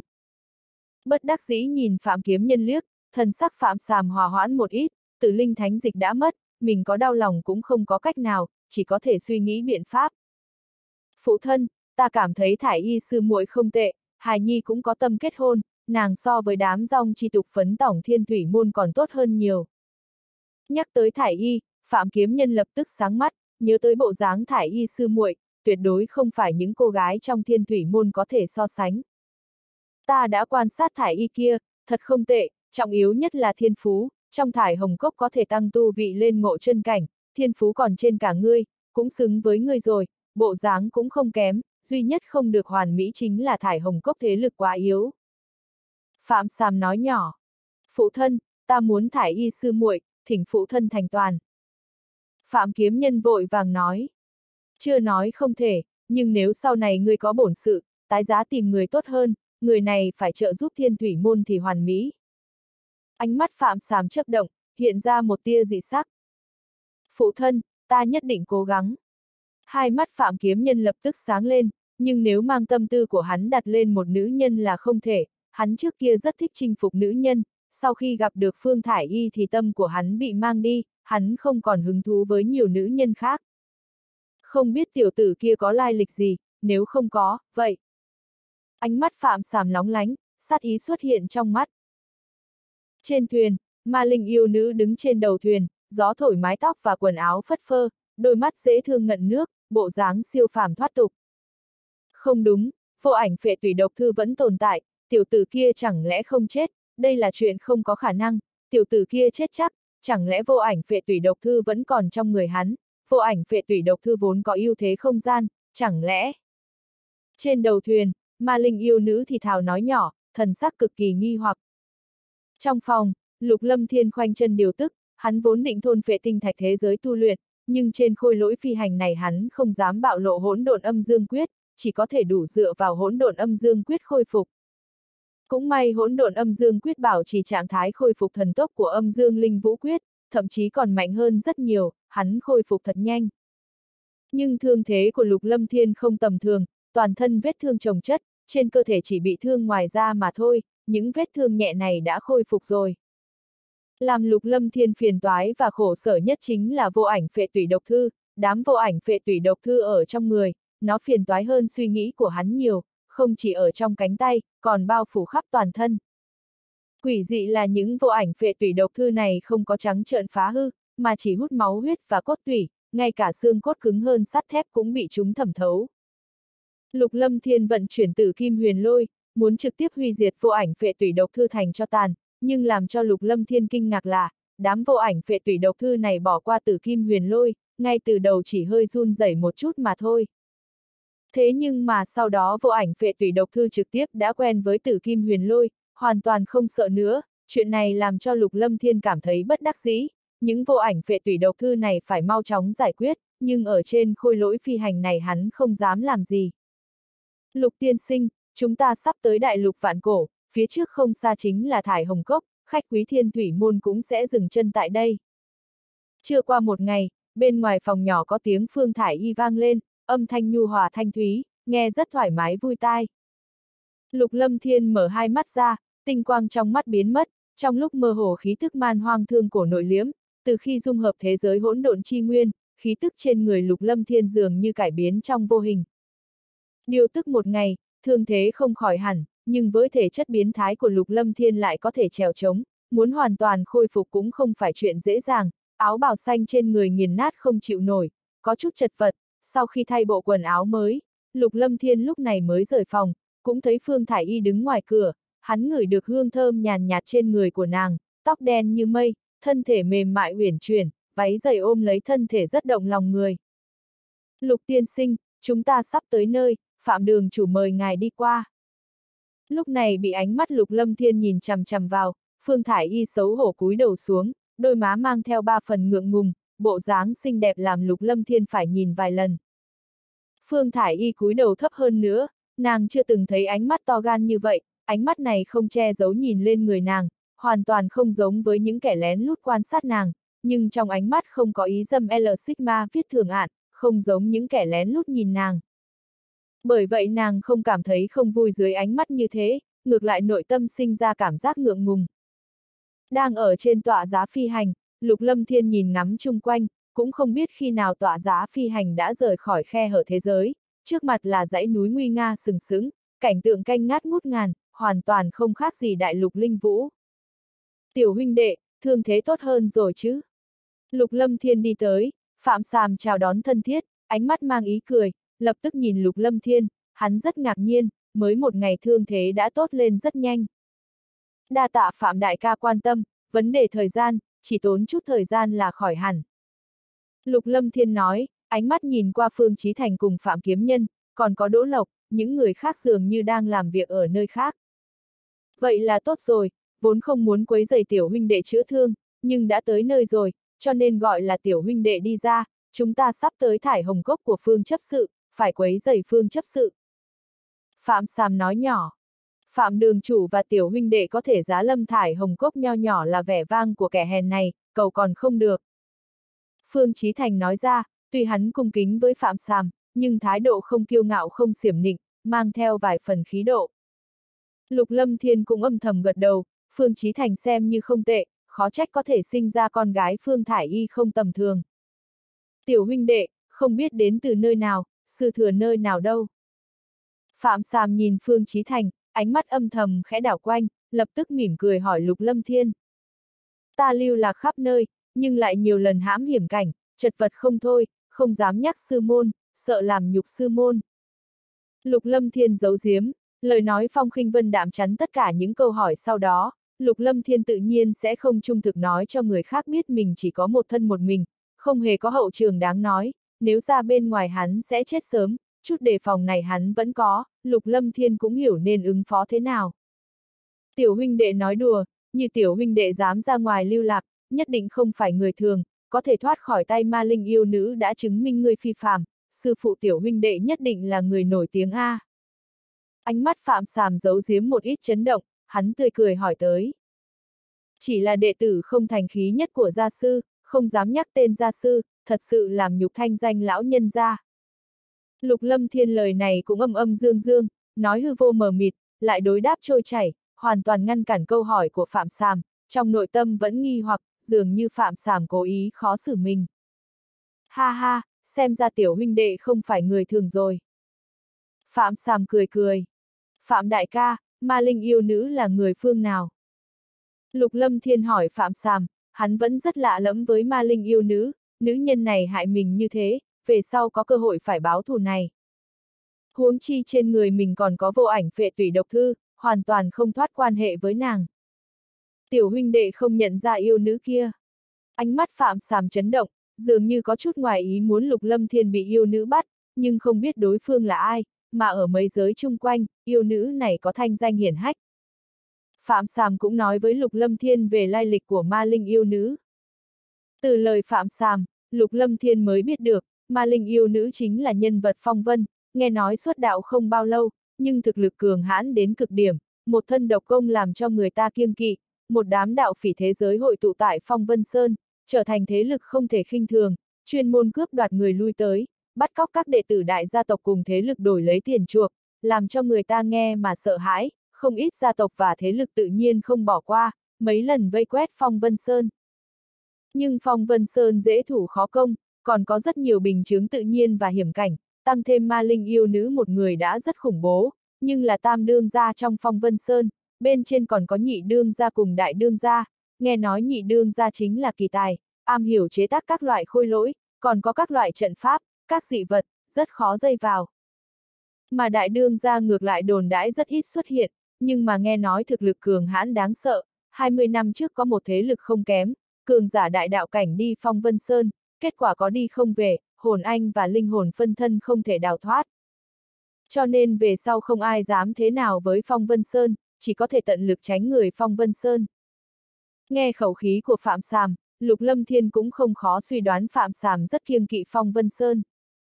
Phạm đại ca, thực lực yêu nữ đến mức nào? Lục Lâm Thiên hỏi, tu vị thực lực mạnh hơn mình, cũng không biết thực lực đại khái, cho nên Lục Lâm Thiên cũng cũng không biết yêu nữ thực lực ra sao, lần này hỏi cũng muốn biết rõ thực lực của Phạm Sàm, Phạm Sàm giao thủ với yêu nữ này cũng không chiếm bao nhiêu thượng phong. Ánh mắt Phạm Sàm rung động, cười khổ, nói. Thực không dám đấu giếm, yêu nữ tu luyện thời gian không dài, thế nhưng mà thiên phú rất mạnh, tu vị thực lực, đã là đến đại đạo cảnh, đừng nói trong vô minh tiểu thiên thế giới, nàng là cường giả tuyệt đối, cho dù trong vô sắc trung thiên thế giới cũng không phải tầm thường. Đại đạo cảnh, ánh mắt lục lâm thiên nhảy lên, thực lực yêu nữ mạnh như thế, đã là đại đạo cảnh, khó tự trách mình hoàn toàn không phải đối thủ, nội tâm lục lâm thiên run lên, không hề nghi ngờ, phạm sàm trước mặt cũng là cường giả đại đạo cảnh. Đại đạo cảnh và phá giới cảnh hoàn toàn chênh lệch mấy đại cảnh giới, lục lâm thiên biết rõ mình bây giờ hoàn toàn không thể chống lại, thực lực mình bây giờ còn cách đại đạo cảnh quá xa. Phạm đường chủ, tiểu huynh đệ, chúng ta đến rồi. Nhưng vào lúc này, Phương Chí Thành lại nhắc nhở, Lục Lâm Thiên nhìn dãy núi trước mặt, xuất hiện không ít kiến trúc to lớn, những kiến trúc này vô cùng bao la, diện tích kiến trúc còn lớn hơn cả đại thành trên đại lục Linh Vũ. Kiến trúc liên tục không dứt, núi non trùng điệp, dãy núi có chút kỳ lạ, nhìn từ xa còn nhìn thấy cầu vồng. Khôi lỗi đáp xuống một hạp gốc. Trong hạp gốc có động thiên khác, nơi này non xanh nước biếc, hoa tươi túm tụng, chim hót hoa nở giống như tiên cảnh nhân gian, năng lượng hội tụ nồng đậm mới là điểm làm lục lâm thiên kinh hãi nhất, năng lượng nơi này còn mạnh hơn đại lục linh vũ không ít. Bái kiến cốc chủ, bái kiến đại tiểu thư.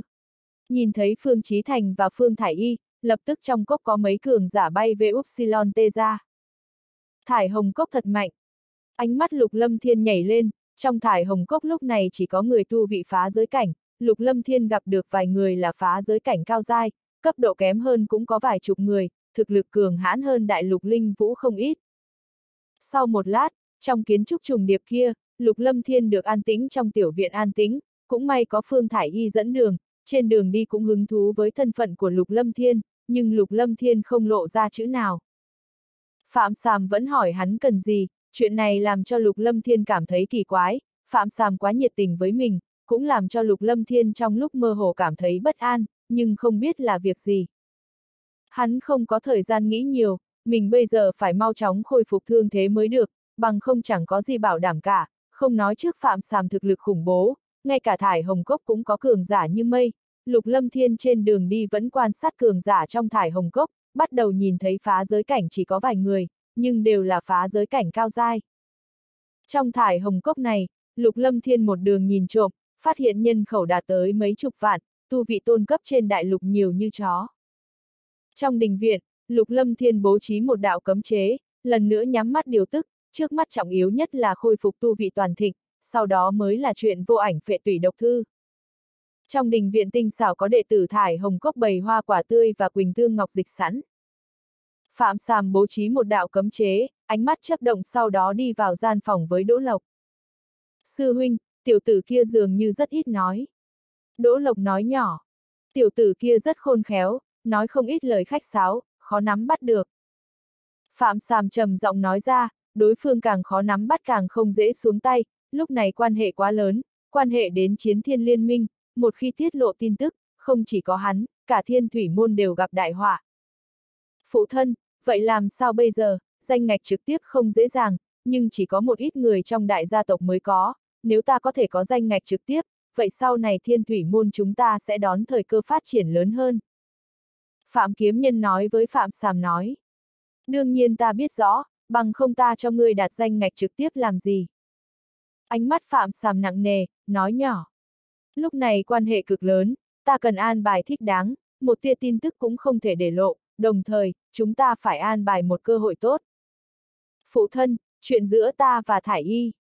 Phạm Kiếm Nhân nhìn qua Phạm Sàm, chỉ cần phụ thân ra mặt, chuyện này chắc chắn sẽ không thành vấn đề, nhớ tới không lâu sau đó, thân thể huyền chuyển kia sẽ hầu hạ dưới háng của mình, giọng nói thanh thúy kia rên rỉ nhẹ nhẹ, ánh mắt Phạm Kiếm Nhân vui vẻ và chờ mong vô hạn.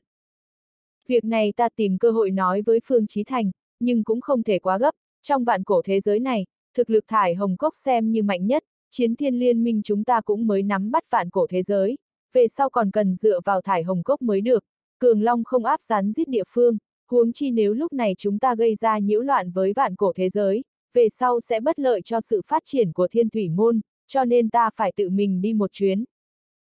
Phạm Sàm nói nhỏ.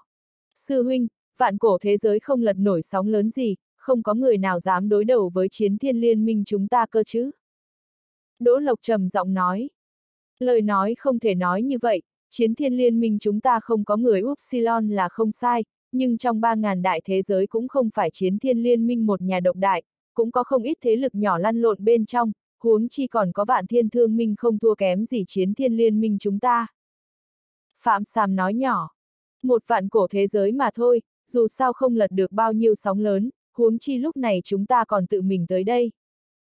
Đỗ Lộc nói, cẩn thận đi thuyền vạn năm, tuy Phương Chí Thành thực lực không tốt lắm, nhưng không phải nhân vật bình thường, người này cũng cần cẩn thận ứng phó, bằng không ta cũng không kiêng kỵ tiểu tử kia như vậy. Phạm Sàm trầm giọng nói.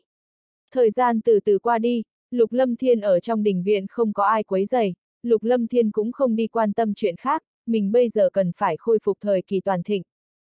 Đảo mắt ba ngày trôi qua, thương thế trên người Lục Lâm Thiên đã tốt hơn không ít, xem chừng cũng đã khôi phục ba bốn thành thương thế, chỉ tiếc ở địa bàn người khác cho nên không dám vận dụng thiên trụ giới và hỗn độn âm dương quyết, bằng không hắn đã sớm khôi phục từ lâu rồi. Ở trên địa bàn người khác, còn ở trong khu vực cường giả san sát như rừng, Lục Lâm Thiên cũng không dám lộ bảo, vạn nhất bị phát hiện thì phiền toái lớn. Ba ngày sau đó, Lục Lâm Thiên dừng điều tức. Hô! Hắn phun ra một ngụm chọc khí, Lục Lâm Thiên thu hồi thủ ấn, đôi mắt nhắm chặt mở ra, tinh quang lóe sáng, sắc mặt tái nhợt dần dần có một tia huyết sắc. Lục tiên sinh. Bên ngoài đình viện có tiếng nói thanh thúy truyền vào, người chưa vào nhưng hương thơm nhàn nhạt đã vào. Mời thải y cô nương vào. Lục lâm thiên nói nhỏ, hắn từ mùi hương đã biết là ai tới. Cửa phòng mở ra, một nữ tử chừng 25-26 đi vào, dung nhan kiều mị động lòng người, da thịt trắng nõn như bạch ngọc mang theo hương thơm thanh nhã, người đến là Phương Thải Y. Thương thế lục tiên sinh tốt hơn không ít. Nhìn sắc mặt lục lâm thiên, cảm giác khí tức trên người lục lâm thiên, Phương Thải Y cảm thấy ngoài ý muốn, đôi mắt dễ thương mang theo một ít chấn động. Đa tạ Thải Y cô nương quan tâm, đã không trở ngại. Lục lâm thiên đứng dậy, nhìn nữ tử trước mặt, trong lòng đầy nhu ý, dung nhan xinh đẹp mỏng nước mang theo phong vị khác. Lục tiên sinh, ánh mắt người nhìn nữ tử đều là như vậy sao? Phương Thải Y mắt thấy Lục Lâm Thiên nhìn mình như vậy thì cười, tâm hồn thiếu nữ cũng không sinh ra phản cảm, ngược lại còn có cảm giác khác thường, làm cho nàng trong lúc bất trí bất giác nghĩ sang chuyện khác, chính nàng còn không biết đây là gì. Đương nhiên không phải, ta gặp mỹ nữ mới thế này. Lục Lâm Thiên mỉm cười, Phương Thải Y thật sự là mỹ nữ ít thấy, không phải từ dung mạo mà là khí chất, nàng không có vũ mị của mộ dung lan lan, không có thanh xuân và tự thành hấp dẫn như đạm thai tuyết vi, càng không có khí chất thành thục của mộ dung lan lan, cũng không có nét thanh linh hoạt bát của đạm thai tuyết vi. Thì ra người cũng biết cười, còn nói dễ nghe như vậy. Thân thể Phương Thải Y hơi rung động, nàng tuyệt đối là nữ nhân có phong vị mười phần, nhìn Lục Lâm Thiên, nói. Nhưng ngươi không giống với người khác, ngươi nói êm tai, người nghe thật cao hứng. Thật sao? Lục Lâm Thiên mỉm cười. Đúng rồi Lục Tiên Sinh, người có quan hệ thế nào với Phạm Đường Chủ, hắn khách khí với ngươi như vậy, cho dù là là phụ thân ta cũng không được hắn đối xử như thế, với thực lực của ngươi càng không cần phải làm vậy. Phương Thải y nghi hoặc nhìn Lục Lâm Thiên, nàng nhận ra thực lực Lục Lâm Thiên, chỉ là phá giới cảnh sơ giai mà thôi, loại thực lực này hoàn toàn không lọt vào trong mắt thiên thủy môn, nhưng hành động của thiên thủy môn cũng quá khác thường. Thải y cô nương biết thù tạ lệnh không? Lục Lâm Thiên hơi do dự, chuyện này cũng không cần gạt Thải y. Thù tạ lệnh, chẳng lẽ người giao thù tạ lệnh cho phạm đường chủ? Ánh mắt Phương Thải Y chấn động, chiến thiên liên minh thù tạ lệnh, nàng tự nhiên biết rõ, đó không phải là thứ người bình thường có thể có được, nghe nói hiện tại thủ tạ lệnh không có bao nhiêu, dùng thực lực và địa vị của chiến thiên liên minh hiện không có bao nhiêu người có thể trợ giúp chiến thiên liên minh, chiến thiên liên minh cũng tuyệt đối không cần trợ giúp. Đúng vậy, trên người ta có thủ tạ lệnh, cho nên ta mới tới thải hồng cốc. Khóe miệng lục lâm thiên hơi nhếch lên, lập tức nói với Phương Thải Y. Có một chuyện cần phiền toái Thải Y cô nương, không biết Thải Y cô nương có thời gian hay không? Lục tiên sinh là khách quý của Phạm Đường Chủ, có chiến thiên liên minh thù tạ lệnh, cũng tự nhiên là khách quý của Thải Hồng Cốc, mời nói. Phương Thải Y lập tức nói. Ta chỉ muốn biết một ít chuyện về vạn cổ thế giới, nếu Thải Y cô nương có thời gian, có thể nói cho ta biết một hai. Lục Lâm Thiên nói nhỏ. Thực lực như Phương Thải Y còn hơn cả mình, thái độ của Lục Lâm Thiên rất lễ độ, trong thế giới cường giả vi tôn, khó có người nào dám bỏ qua cường giả. Đương nhiên là có, nhưng không biết Lục Tiên Sinh muốn biết cái gì, đại lục vạn cổ tồn tại thời gian không ngắn, nếu nói những việc này quá mất thời gian. Phương Thải Y cười một tiếng, nhìn qua Lục Lâm Thiên, nói. Bằng không như vậy đi, trong thải hồng cốc có thải hồng điện, bên trong trừ có một ít công pháp đệ tử hậu thiên tu luyện ra, còn có không ít tư liệu, ta sẽ chọn ra những thứ theo yêu cầu của lục tiên sinh, lục tiên sinh đi xem nhé. Vậy thì tốt, đa tạ thải y cô nương. Lục lâm thiên cung kính gật gật đầu, thải hồng cốc thải hồng điện có lẽ cũng giống vân dương tông vạn võ lâu trên đại lục linh vũ, bên trong có không ít tư liệu, trong vân dương tông vạn võ lâu, bên trong có không ít giã sử tạp chí trên đại lục linh vũ, trong thải hồng điện có lẽ có không ít tin tức hữu dụng. Lục Lâm Thiên hiện tại bức thiết muốn biết tin tức trong 3.000 đại thế giới, miễn bản thân mình đi ra ngoài cái gì cũng không biết. Một lát sau, Phương Thải Y mang theo Lục Lâm Thiên đi trong ánh má nghi ngờ của đệ tử Thải Hồng Cốc, xuyên qua không ít ngọn núi và kiến trúc, cuối cùng cũng đi tới đại điện bên ngoài Sơn Cốc. Đại điện khổng lồ, nhìn thấy Phương Thải Y, lập tức chung quanh có mấy đệ tử bản quyền Upsilon ân kính hành lễ, Phương Thải Y vẫy tay cho các đệ tử lui ra, lập tức tự mình dẫn Lục Lâm Thiên đi vào trong đại điện. Trong đại điện cực kỳ khổng lồ, nơi này đặt nhiều tư liệu ngọc giản, muốn tìm đọc chỉ cần cho tâm thần tiến vào trong là được, có thể biết được tin tức bên trong, bên ngoài ngọc giản có ghi rõ chủng loại. Lục Lâm Thiên tiến vào thải hồng điện, lập tức bị hấp dẫn, mặc dù trực tiếp xem, tin tức về 3.000 đại thế giới, Lục Lâm Thiên rất muốn biết. Lập tức có không ít tin tức trong ngọc giản xuất hiện trong đầu Lục Lâm Thiên, Lục Lâm Thiên bắt đầu hiểu thêm về 3.000 đại thế giới. Nhìn Lục Lâm Thiên, đôi mắt Phương Thải Y khinh động, lập tức chờ đợi bên cạnh, ngẫu nhiên giảng giải cho Lục Lâm Thiên biết, đôi mắt dễ thường giấu giếm một ít gì đó, thỉnh thoảng quan sát Lục Lâm Thiên, dường như càng nhìn càng kỳ quái, nàng hoàn toàn không hiểu về nam nhân áo xanh này. Đến trạng vạng tối, Lục Lâm Thiên không có dấu hiệu muốn rời khỏi thải hồng điện, Phương Thải Y trực tiếp kéo Lục Lâm Thiên rời đi, bảo hắn ngày mai lại đến, Lục Lâm Thiên lúc này mới rời khỏi, một ngày trôi qua hắn biết không ít chuyện về vạn cổ thế giới, cũng cần trở về tiêu hóa. Trên đường quay về, Phương Thải Y hiếu kỳ về Lục Lâm Thiên, cũng nhìn ra Lục Lâm Thiên cũng không phải người vạn cổ thế giới, bởi vậy quấn quýt hỏi Lục Lâm Thiên không ít chuyện bên ngoài. Lục Lâm Thiên lúc này mới phát hiện, Phương Thải Y tu vị mạnh hơn mình, nhưng mà tâm tính ngược lại rất đơn thuần, giống như thiếu nữ mới lớn, tùy ý nói một ít chuyện trên đại lục linh vũ, đương nhiên nói rất mờ mịt, về phần đại lục linh vũ ở đâu thì không lộ ra, lục lâm thiên còn không ngốc nói việc này.